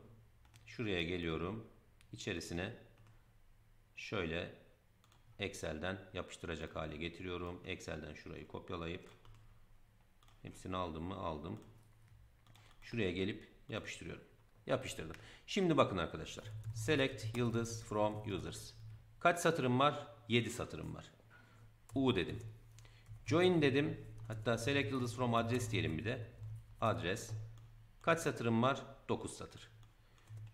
Join dedim. Adres. Buna da A dedim. 10. A nokta user ID eşittir U nokta ID. Şimdi U nokta user diyelim. A nokta adres diyelim. Bakın çağırdım. Aynı burada olduğu gibi benim şuradaki e, Kadir ve Esra gelmedi. Şuradaki Konya ve Adana gelmedi. İkisini birleştirip join ile birleştirip çağırdığım için. Inner join yazsaydım ne olurdu? İkisinin aynı olduğunu söylemiştim. Hiçbir şey fark etmedi. Peki left ile çağıralım bakalım ne olacak? Bakın left dediğim zaman bu sefer Kadir ve Esra geldi. Bura gelmedi. Hocam iyi diyorsun da bunun left'i ne right'i ne? Yani left right dediğin olay ne? Left right dediğim olay da şu arkadaşlar bakın. From'dan sonra yazdığım şu tablo adı var ya. Join ile birleştirdiğim noktada join'in sol tarafındaki kalan tablo soldaki left e, sağ tarafındaki kalan tablo da right arkadaşlar. Left join dediğim zaman soldaki tabloyu öncelik alır. Right join dediğim zaman sağdaki tabloyu öncelik alır. E, dolayısıyla ben buraya left join dediğim için burada soldakilerin hepsini getirdi. Sağdakilerden ise sadece buraya uyanları getirdi. Left outer join deseydim ne olurdu? İkisinin aynı şey olduğunu söylemiştim. Gördüğünüz gibi hiçbir şey olmaz. Hiçbir fark olmaz. Bir de bunun nesi var? Right'ı var. Right'ı da çağırdık. Bu sefer ne oldu? Sağdakilerin hepsini getirdi. Soldakilerden sadece e, kesişenleri getirdi. Right outer diyelim. O da aynısını getirdi. Bir de ne demiştik? Full join demiştik. Full join'de de her iki tabloda da olan olmayan hepsini yan yana getirdi arkadaşlar. Saat 23.44. 12'ye çeyrek var. Ve neredeyse yaklaşık 4 saattir e, konuşuyorum. E, umarım faydalı bir etkinlik olmuştur arkadaşlar. Şu anda e, biraz şu YouTube yorumlarından takip edeyim. Muhtemelen siz oradan cevap vereceksiniz bana. Şu ekranı şöyle yapayım. Heh. Yorulduk ama değdi. Bitirelim artık. Teşekkür ederim emekleriniz için. Ce- Join'i ben anlamadım. Join'i anlamakta zorlanabilirsiniz. Çünkü biraz gerçekten hızlı anlattım. Ee, tekrarını izlersen mutlaka anlarsın. Ee, join birden fazla sakin kafayla yoğunlaşmak lazım. Doğru. Şurada sorulara, şeylere bir bakayım. Atladığım bir şey var mı? Epey bir soru birikmiş arkadaşlar. Yani eğer şey yaparsanız e, atladığım soru varsa e, acil şimdi sorabilirsiniz.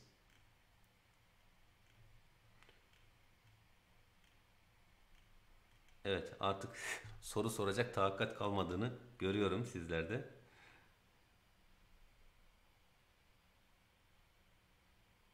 Evet Se- Serhat Şermet güzel bir örnek vermiş. Ee, eşittir ile birleştirme ile join ile birleştirme aynı sonucu veriyor diyor. Çok doğru aynı sonucu veriyor.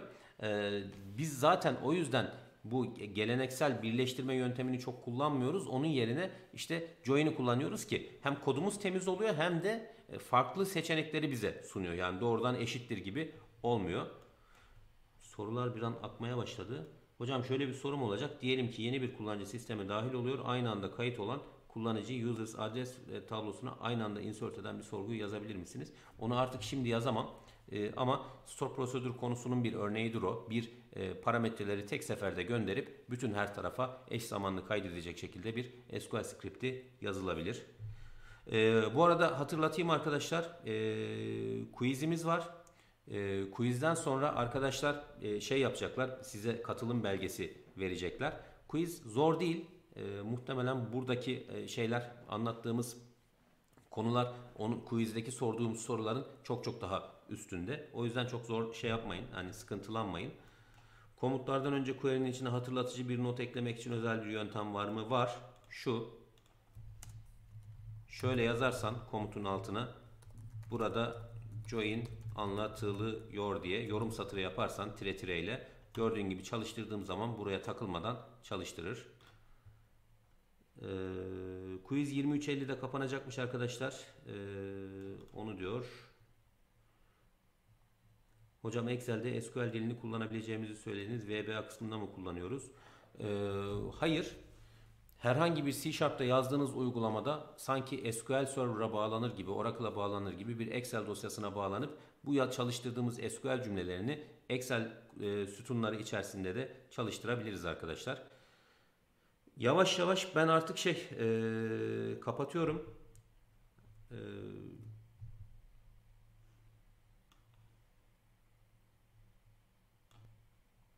Sedef bir şey yazmış.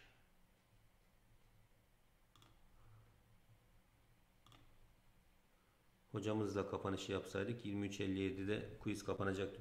Arkadaşlar quiz'i biraz daha uzatalım isterseniz ya. Yani şey e, 20 soru var. Arkadaşlar da epeyce bir 3-4 saattir de şey yapıyorlar. E, kafaları da dağıldı. Bence onlara bir ek süre verelim. Biz kapanışı yaptıktan sonra onlar e, quizlerini doldurup e, bir şekilde zaten size dönüyor olacaklar inşallah.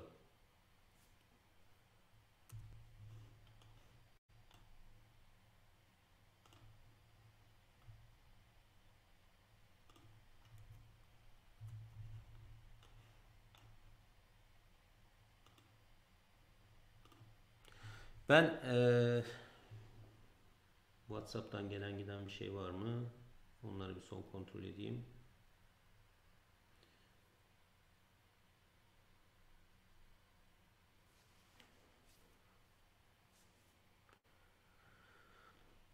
Arkadaşlar artık yavaş yavaş kapanışı yapıyoruz. Beni can kulağıyla dinlediniz. Teşekkür ederim saat 8'den bu, saate kadar.